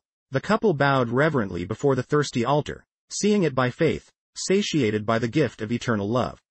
On that afternoon of the sixth day, God subjected the human being to a tremendous test of faith. They had before them the altar of stones, built according to the divine order, but there was no sheep for the sacrifice. In their yearning, they remembered Eden, where there were many flocks. When they saw the sun fall on the horizon, Adam and Eve began to cry out to God for help, because they knew that only a miracle could provide them, at that last moment, a lamb for sacrifice. In the eyes of the inhabitants of the universe, the great miracle for which the human being cried out, was already processed for almost a week. Guided by the Creator, an immaculate lamb had left Eden and followed the couple's traces in their walk to exile. In his long day, that little animal had to face many challenges and dangers, more protected and guided by the eternal he continued in his mission. When the shadows of the dusk began to wrap the hill, the couple who lived such a hard test of faith, discerned a little white dot that jumped on the grass coming towards them. As he approached, that lump seemed to speak of hope, of life and heat. Seeing that the great miracle had happened, they ran to meet the lamb, wrapping it in his arms. He was tired, but he would not rest, he would rest. He was thirsty, but he would not drink, he would drink the altar that cried out for blood. That lamb had the will to live in the arms of man, but he would die, so that he could live in the arms of God. It was a perfect symbolism of the Redeemer who would leave his glory, coming in search of the sinner. The darkness of one more prefigurative night slowly descended, enveloping all nature in his prison. His strength, however, would be struck down before the human being, by the brightness of a special fire, ignited by the hands of divine forgiveness upon the lifeless body of the innocent lamb. Everything was prepared for the painful blow, an act that would extinguish from those sweet eyes the last flash of life, immersing them in the cold darkness of an eternal night. Darkness that would generate light. Cold that would generate heat. Death that would generate life, undeserved gifts fruits of divine love offered to sinful hands, ready to hurt. In the middle of the silent night the altar cries out. The sad man exclaims, while the mute lamb does not claim to be extended for death. The hands that built the altar rise now, not to caress as before, but to hurt, bleeding the price of forgiveness. Just a gesture, nothing more, and the flash will go out forever from innocent eyes, making the light of salvation shine on the guilty face. Adam, trembling doubt in compassion. In the meek and submissive lamb, ready to die instead, go to the promised Savior. With a regretful heart, in a painful effort, he digs the stone knife into the chest of the animal that perishes in his hands without even giving a groan. The power of the night is immediately struck down by the brightness of the fire of acceptance. Its light reveals to the human being its tragic condition. Seeing the hands stained by innocent blood, the couple feels guilty for that death. In tears they kneel before the altar that no longer demands blood from them, but offers light, accepting the unmerited forgiveness. Rising, the couple contemplates the poorly wounded body of the poor little lamb, unable to thank him for the wealth granted in exchange for his so rough blow. Bathed in the soft light of sacrifice, Adam and his companion remain silent to meditate, until they are overcome by a deep sleep. Reclining on the ground covered with soft grass, they gently fall asleep under the warm rays of forgiveness, certain that their brightness and heat would last until they were the darkness of that Saturday completely vanished by the shining sun. The light of the Lamb, since it was lit on the altar that night, remained in constant war with darkness. On several occasions it grew in brightness, chasing away the cold darkness in the distance, bathing nature with its rays of life. Sometimes, the darkness bringing its cold wind almost completely tore the flame. This, however, in a great effort fed on the blood of the Lamb, throwing its burning flame high, flooding everything around it with light and heat. The conflict between the light born of sacrifice and darkness on that night, discovered to the faithful of the universe many important lessons, truths that would occupy their minds for all eternity. In that flame, whether it was burning in its brightness, whether it was whipped by the winds of the night, the faithful saw a representation of the millennial conflict between good and evil, conflict that truce would extend until the eternal dawn. The Eternal, in pledge of his future sacrifice, had lit in the midst of darkness, the light of truth, and that would be kept burning in the heart of the human being, by virtue of his blood that would be shed for remission of guilt. Against that light, the enemy would lash out all the cold winds of evil, banishing its sweet glow from the hearts of many. How many would be lost by rejecting the light of divine forgiveness, being enveloped by the darkness of the dark night? After long hours of combat, the signs of dawn arise in the sky. The darkness that with anger had thrown its winds over the flame that does not die trying to banish it, becomes confused at the signs of dawn. The sky dyed a bright red, reminds us of the blood that had sprouted from the breast of the Lamb so that the flame of forgiveness could illuminate human night. In the midst of the colorful of blood, the shining sun rises on the horizon, bringing in its warm rays the taste of victory, enveloping everything with its life. The dawn in his nostalgic affection, caresses the distant paradise, taking from his beloved bosom in his morning breeze the scent of nostalgia, in a message of comfort and hope for the suffering creatures of the valley of death. Bathed in the warm rays and the breeze of hope, the couple awakens on another Saturday, whose symbolism points to rest in the kingdom of God, at the end of the great conflict between light and darkness. Beyond that altar covered with ashes, Adam and Eve contemplate the nostalgic paradise. Although distant in their exile, they rejoice with the certainty that the sacrifice of the Messiah will scratch for them on Saturday of Saturdays. That of tears forever banished. From sun always to shine in a clear sky from lambs always alive to play on the grass. Day without dusk, when there will be no more altar covered with blood and ashes. They sigh for that day of glory, when God will become eternally visible, holding in their hands the marks of his infinite love for his children. Before the fall, the human being, as well as all the heavenly hosts, learned at the feet of the Creator who patiently taught them the treasures of wisdom contained in the vast compendium of nature. Everything in the universe, from the tiny atom to the largest of the worlds, testified in its perfect existence of the character of the divine king. Many teachings, however, remained hidden in the pages of that great book in the period that preceded the fall. They were like the stars that, hidden during the day, revealed their brightness as the shadows of the night come down. Having captive nature, the enemy, in an attempt to block the revelation of eternal wisdom, introduced in it spots of selfishness, destruction, unhappiness and death. I did not know that these spots would show in the face of creation the depth of God's justice and love, leading the faithful to love and revere Him even more. For the couple, as well as for all the children of light, the wounded nature broke their veil, revealing new aspects of the Creator's goodness hidden until then. Adam and Eve who were accustomed to the eternal flowers in paradise, those who did not see them unbuttoned, now saw them emerge in tender buttons, amid the threats of thorns ready to hurt them. These tender flowers, regardless of being with the thorns, exhaled soft perfumes of praise and gratitude, never getting tired of pleasing the environment. When whipped by the cold winds of the night, those flowers did not resent, but offered their scent, which transformed the fury of the winds into scented breezes of a dawn. Moved by deep gratitude, the couple closely accompanied the ministry of love of those flowers that they never tired of blessing, offering their beauty and perfume as relief for those who were hurt by the harsh thorns.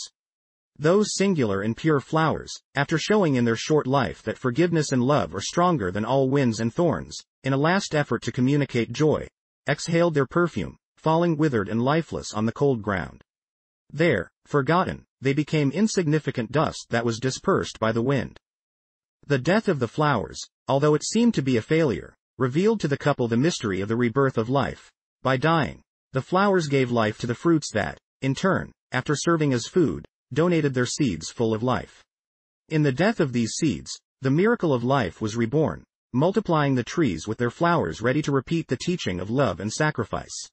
Nature, therefore, even stained by sin, revealed the hidden mystery of the plan of redemption. Each flower to unbutton in the middle of the thorns, in its short life of love, was a symbol of the Savior that would be born among the thorns of evil, to comfort the perfume of the heart of the afflicted. Similar to the flower, the Messiah after proving that love and forgiveness are stronger than all winds of hate, that the truth and justice of the kingdom of God are greater than all the deceptions and injustices of the kingdom of the enemy, would shed the sage of his life, dying to redeem the guilty. Chapter 6 Adam and Eve dedicated to edifying work. The hill became a miniature of Eden. Protection and divine care. Experiences in obeying the commandment on sacrifice. The cunning trap of the enemy. Looking at the symbols of sacrifice as bearers of forgiveness and life Adam and Eve offer sacrifices to the Lord, the Eternal manifests them by consoling them and preventing them from danger promise of the birth of their firstborn responsibilities towards their son birth of Cain birth of Cain reminds them of the promise of the future birth of the Messiah the rebellious childhood of Cain the enemy mocks the suffering of God and his faithful and tries to make God give up his plan of redemption the Eternal affirms his solemn promise Adam and Eve make sacrifices and pray for their son. The Eternal the Eternal reveals himself to Cain and tells him the story of Lucifer and the sun. Promise of the birth of Abel. Cain, like Lucifer, is dragged by R his pride to a false illusion. God would seek all forms in order to save Cain. Consoled by the revelations of nature, Adam and his companion, students in the school of suffering, learned each day to love the Savior more. They grew in wisdom, humility and holiness. All the virtues destroyed by sin were reborn in the heart. With enthusiasm, the couple dedicated themselves to edifying work, they planted gardens that, by the power of God, were filled with scented flowers and delicious fruits. His home in exile became a refuge for the persecuted animals of the valleys. The hill, under the protection of the angels of light, became a miniature of distant Eden. Among the animals gathered and tamed with love, there were many sheep. Adam and Eve could not put their eyes on those docile animals destined for sacrifice, without tasting a mixture of pain and gratitude deep within the soul. On the night before each Sabbath, Adam had, by order of the Creator, repeating the painful act. How much bitterness and regret came over the couple as the darkness of the night of sacrifice descended. How much comfort the flame of forgiveness brought to them that had never ceased to shine on the altar, on those prefigurative nights. The decisive value of the sacrifice, so that life could flourish under divine protection, led the couple to immensely value their little flock.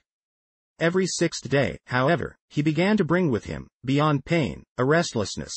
Who will donate his blood to the altar when the last sheep perishes? In the eyes of the marveled couple, the miracle of the love, renewing the hope of living other weeks under the brightness of the flame of forgiveness. A sheep, the fattest of them, began to bleed as if in sacrifice. From their pain, they were born four little lambs. Filled with joy and gratitude, Adam and Eve prostrated themselves before the invisible Savior, holding in their hands those new creatures that brought in their eyes the same tenderness and willingness to sacrifice. Sure that new miracles would multiply their days, the couple united their voice as before, in a song of gratitude and adoration to the Creator who, like the lambs would also be born of pain to fulfill in his life the greatest of all sacrifices, for the salvation of humanity. The Eternal, although invisible in the eyes of his human children, remained very close, accompanied by an army of angels, in a tireless ministry of care and protection. The couple was unaware that the sweet calm and peace reigning on that hill, as well as all their prosperity, were the fruits of such an intense struggle. If their eyes were open to the scenes that were invisible, they would be snatched away from horror. How terrible was the enemy and his hosts in their constant vested with the purpose of ruining the human being, snatching it from the hands of the Creator. Seeing that the use of force would not result in victory, the enemy in his cunning idealized a trap with which he could link the couple. Gathering his armies, he revealed his plans by saying, the human being was ordered to sacrifice lambs, as symbols of the coming Savior. We will tempt you to look at those symbols as bearers of forgiveness and life, gradually making you forget the reality of the sacrifice promised by God. It will be a slow process, but of a sure victory. The Creator, knowing the danger of that trap, was sad, because when he looked to the future, he could see so many of his children being diverted from the path of salvation how many would become attached to the symbols judging to find virtue in them. God in their love and care, would not leave them unaware of the danger that threatened them. He knew how much Adam and his companion loved those lambs who, by dying on the altar, offered them light and heat. They could easily be induced to see them as sources of life and light, beginning to revere them. Many weeks had passed, bringing with them the nights of pain and sacrifice, followed by the days of hope and nostalgia of the loving Father, who after making promises and drying his tears, had become invisible before his eyes. Each day that passed, he brought the couple a new burden of nostalgia, making them inquire at each sunset, when will we kiss his face again? When will we be wrapped in his arms, walking in the light of his love? How nostalgic they felt of those Edenic nights, when they fell asleep in the soft lap of their divine father. One more week of work and lessons learned was ending. The sun in its decline announced another night of regret and innocent blood to bathe the altar. The silent couple was far from imagining that on that night, the painful blow that was always followed by fire would reveal to them the blessed face of the Father. With trembling hands, Adam lifted the lamb that, mute, made no resistance when placed on the altar. Tears rolled down his face at the thought that one more innocent animal would dive into the hated darkness of death, to generate the light with his blood. It is painful to sacrifice, but there is no other way of salvation. Only through the spilled blood of the Lamb can they live to contemplate in the future the face of the Father. In a painful effort Adam drops that pointed stone on the little lamb that spills his blood in a groan of pain. A glorious light soon dissipates the darkness flooding the entire hill with its rays of life. Through the tears the couple then contemplates the Creator in the fire of the altar. In a gesture of love, God opens his arms as before, and with a smile he walks towards the long-awaited embrace. Without finding words that express their immense nostalgia, the couple throws themselves into his chest and cries bitterly. The Divine Father, moved, also cries, but tries to comfort his children, with his sweet smile. With excitement the couple contemplates the face of the Father, wrapping her with kisses and affection. Their love for him had been intensified by suffering. Grateful and happy, they walk beside the Creator, showing the gardens full of flowers and fruits. They tell you about the lessons learned with nature. They show him the flock tamed by affection.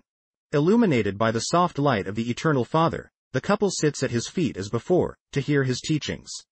The Creator, looking at them with tenderness, goes on to warn them of danger. Orienting them about the sacrifices of lambs, which were important in the sense of always keeping in mind the certainty of a coming Savior who, like the lambs, would be sacrificed for the redemption of sinners. The lambs, however, did not possess in themselves the power to forgive the faults, for they consisted only of symbols of the King Messiah. After being aware of the danger of sticking to the symbols seeking to find salvation in them, the couple received the task of transmitting these orientations to their descendants. After warning the human being, the Creator looked at the sheep that lay asleep next to his baby, and exclaimed, How beautiful are the little lambs! The couple, in a mixture of happiness and pain, added, When they are awake, they jump with pleasure, forgetting that at birth and death they cause so much pain. Dash. After contemplating the little lambs, God looked at the couple tenderly, revealing something that surprised them and rejoiced. When these lambs 36 have come up to the altar, your arms will wrap the first child who, as they will also arise from pain. That child in your childhood will bring you joy by jumping like little lambs in your home. You must instruct him with dedication in the laws of harmony, showing him the path of redemption. Like you, he will be free to choose the direction to follow. Accepting the teaching, your life will be victorious, rejecting it, will walk towards defeat.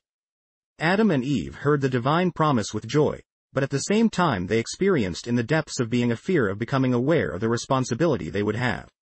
They knew that Satan would make every effort to bring the promised child to perdition.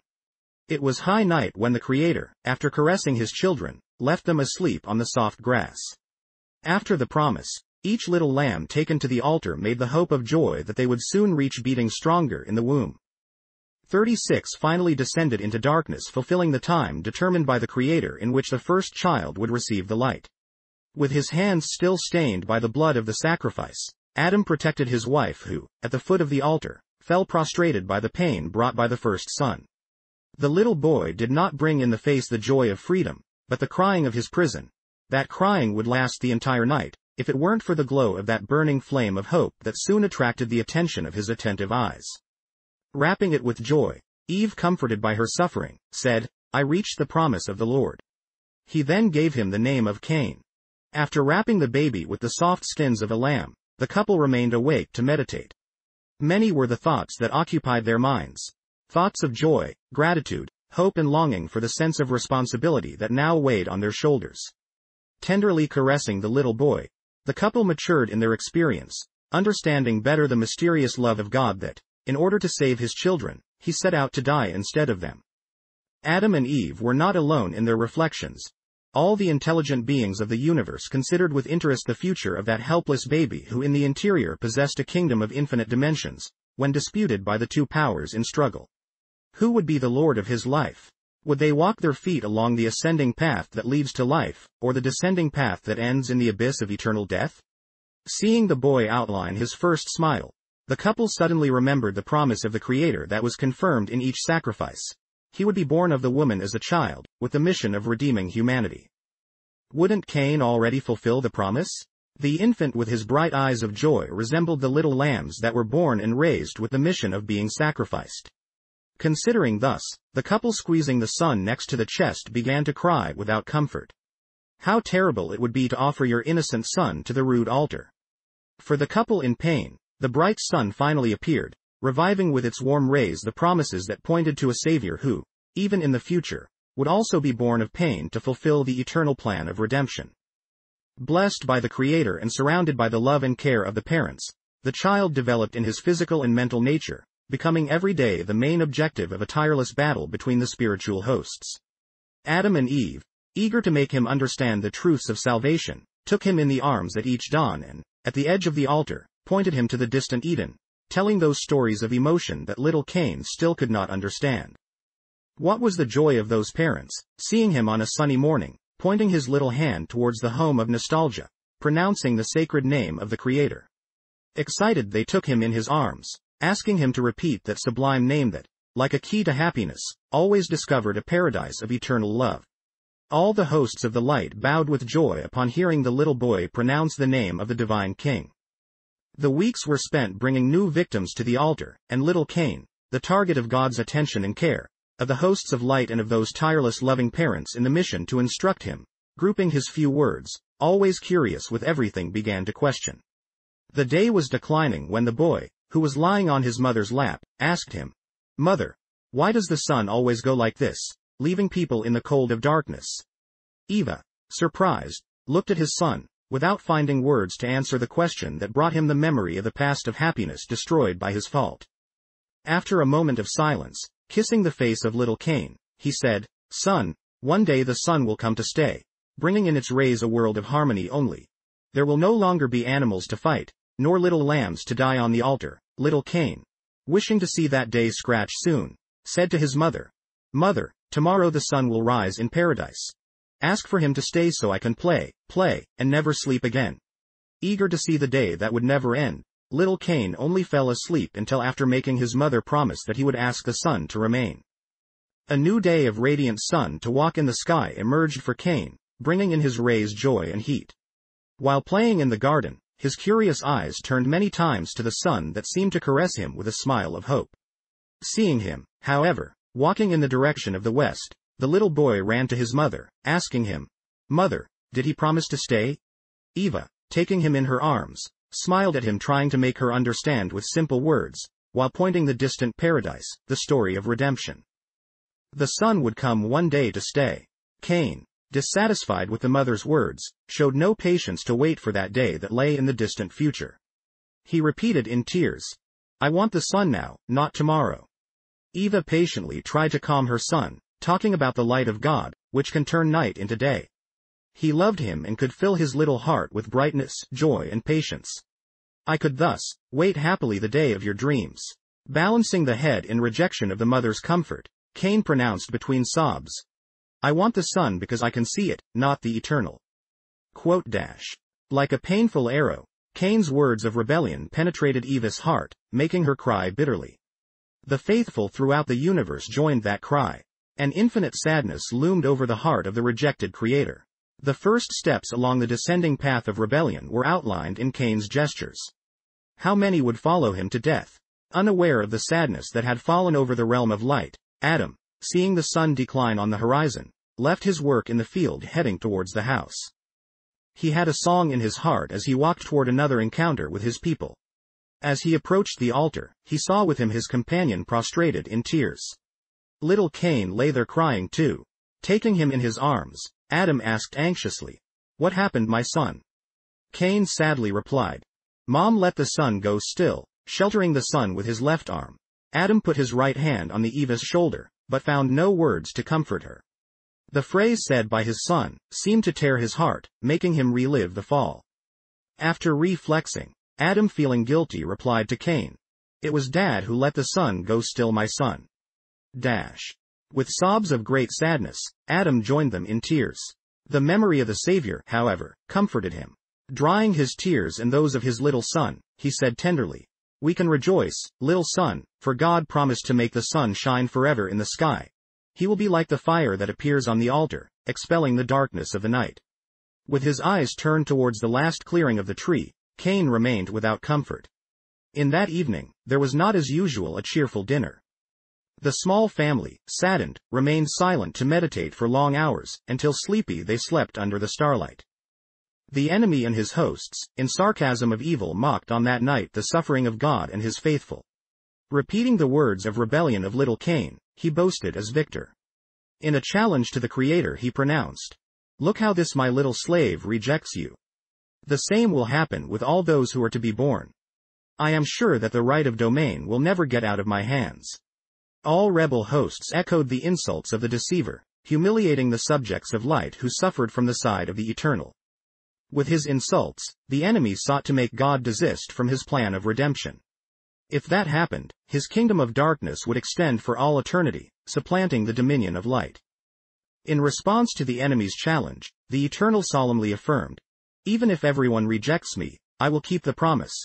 The Creator could not bear the thought of seeing little Cain walking towards perdition. Through him he interceded every day, offering to justice his blood that he would pour. Powerful angels kept him at all times, frightening the spiritual darkness that stalked him trying to make him insensitive to the benefits of salvation, which were illustrated by the symbols. Adam and Eve in their tireless ministry of love, every day they taught Cain the spiritual lessons illustrated in nature. On every Saturday they tried to affirm in their youthful minds the hope of an eternal life, which would be the fruit of the Savior's sacrifice. After living a life without sin, he would die like a lamb, in order to cast out darkness forever. Cain was sometimes moved by the teachings, but he almost always questioned hesitantly. He rebelledly asked, Why did Samael go to rebel? One night, refusing to hear his parents' advice, he accused them of all evil saying, If now we don't have a sun to shine, it is your fault. Quote dash. The contemplation of distant Eden bathed in the sun gave birth to thoughts of adventure in the youthful heart of Cain. He began to think, this paradise is not as far away as dad and mom affirm. Why wait and suffer so long? He is so beautiful. It is from him that the sun rises every day. If we conquer it, it will be easy to stop the light at its source, so we will live in a paradise of eternal sun. Cain's adventure ideas filled Adam and Eve's heart with sadness. They saw that their interest was only for the present time. He dreamed of a paradise of happiness and light conquered by its strength. In his plans, he did not feel the need for a savior. Why, if he was so young, intelligent, full of life and ideals? So he said. The days of struggles, intercessions and sacrifices for the destiny of Cain were past.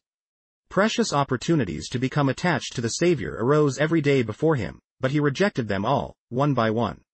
In his disbelief he came to doubt the existence of that God, which he had never seen. To the parents who, afflicted but always with patience, tried to free him from the perdition towards which he was walking, he promised one day, after smiling with disbelief, to believe in the Creator and his plan of salvation, if the case were to occur. That he became visible at the time of sacrifice. With burning faith, those parents began to cry out to the Eternal. His visible presence could, who knows, save that beloved son who became more rebellious every day. The Creator heard the cry of the afflicted parents. Although he knew that his appearance would hardly break his rebellious spirit in the heart of young Cain, he was willing to satisfy the request. He would extend the friendly arms to Cain, trying with love to conquer his heart. As he knew his longings and dreams of adventure, he could easily identify with him, captivating him, for he was also someone who had always carried dreams of adventure in his chest. Hadn't the creation of the universe been a great adventure? Hadn't it been his dream to see him encrusted with glowing suns, illuminating billions of worlds with his brightness? Wasn't he also the greatest of his going through the valley of death, in search of the conquest of distant Eden, forever uniting the sun in his sky? Exclamation mark. They had many things in common. Cain was curious on that sixth day. On the face of the parents, I saw the encouragement and joy, fruits of a great faith. Stimulated by that expression of confidence, the young man began to help them in the preparations for Holy Saturday. The sun finally slipped away rolling towards the west, leaving as usual its trace of nostalgia announcing fear.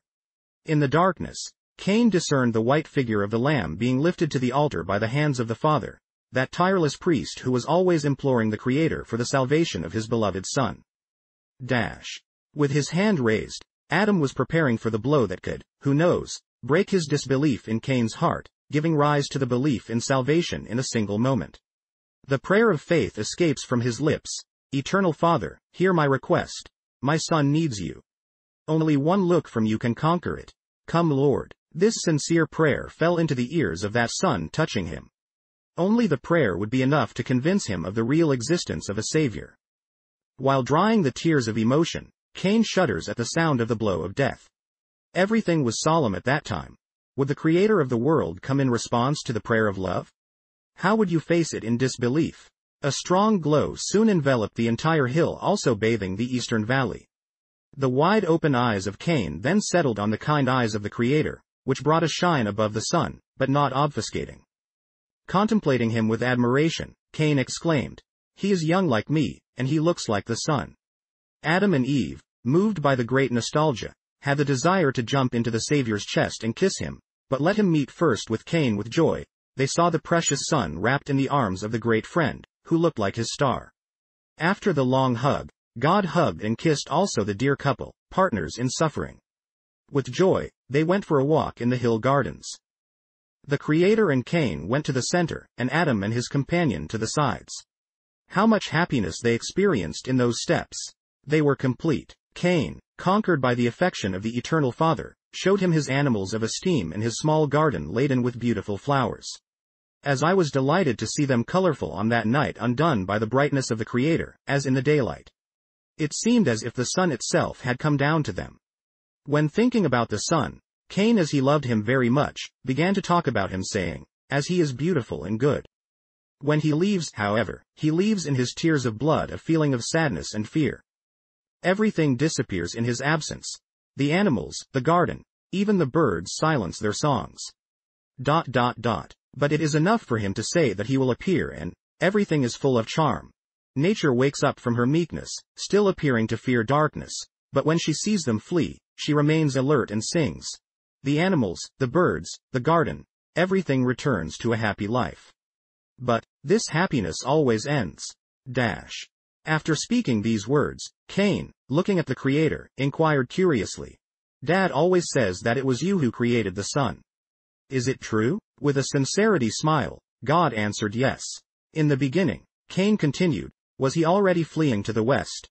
He never flees, replied the Eternal, it is the world that flees from him. He is sad with that ingratitude. But how? Cain asked, looking curiously at his face of light.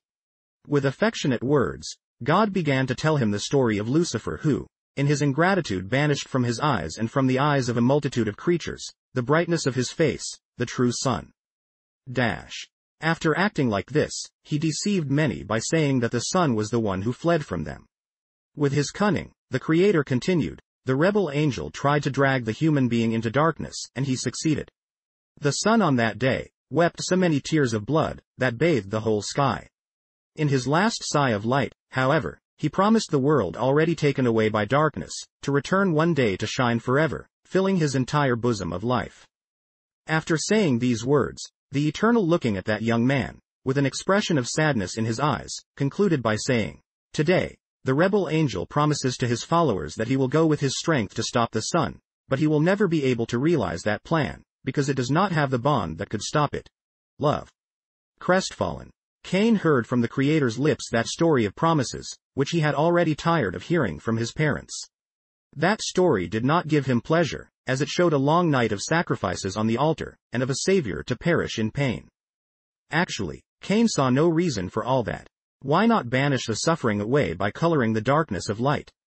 In an effort to conquer him, the Eternal with much love looked at that dissatisfied young man, and told him that only the blood of his sacrifice could make the sun shine forever, in a realm of eternal happiness and peace.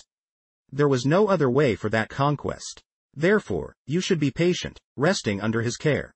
After conversing for a long time with Cain, in an attempt to make him recognize his need for salvation, Yahweh, turning to the couple, began to comfort them with the promise of the birth of another son. Thirty-six more sacrifices would be counted, and his arms would wrap the second son. It would also be born of pain, but it would bring in the eyes the brightness and comfort of salvation. His testimony of faithfulness would be perpetuated by all generations, in the symbol of an altar covered in blood. The weeks went by, bringing the couple new joys and sorrows. From a heart full of life to beat in Eva's womb, and from a void with the smell of death to grow in the heart of young Cain. Although he had been dazzled by the manifestation of God, that appearance in nothing changed his arrogant way of thinking about the meaning of life. He saw no sense in the sacrifices offered on the altar. In the days that followed his encounter with the Creator, he argued with his parents saying, If I were powerful like the Eternal, I would never submit to the sacrifice to reconquer the lost kingdom. He is strong, and shines like the sun. He could with one word expel all darkness, returning paradise to us. Why so much suffering? With that argument, Cain was supposed to be wiser than the Creator. Who knows if, in an upcoming meeting I would have the opportunity to advise him. In this way, the young Cain immersed himself more and more in the abyss of pride and selfishness, instead of illusions where he was going, thinking of walking towards victory. Hadn't Lucifer been together with a third of the heavenly hosts attracted by that same illusion? The gracious God, still, would not seal Cain's fate without first attempting to save him from eternal ruin. That undeserved grace, the fruit of divine love, would be granted to all human beings who were born in this world.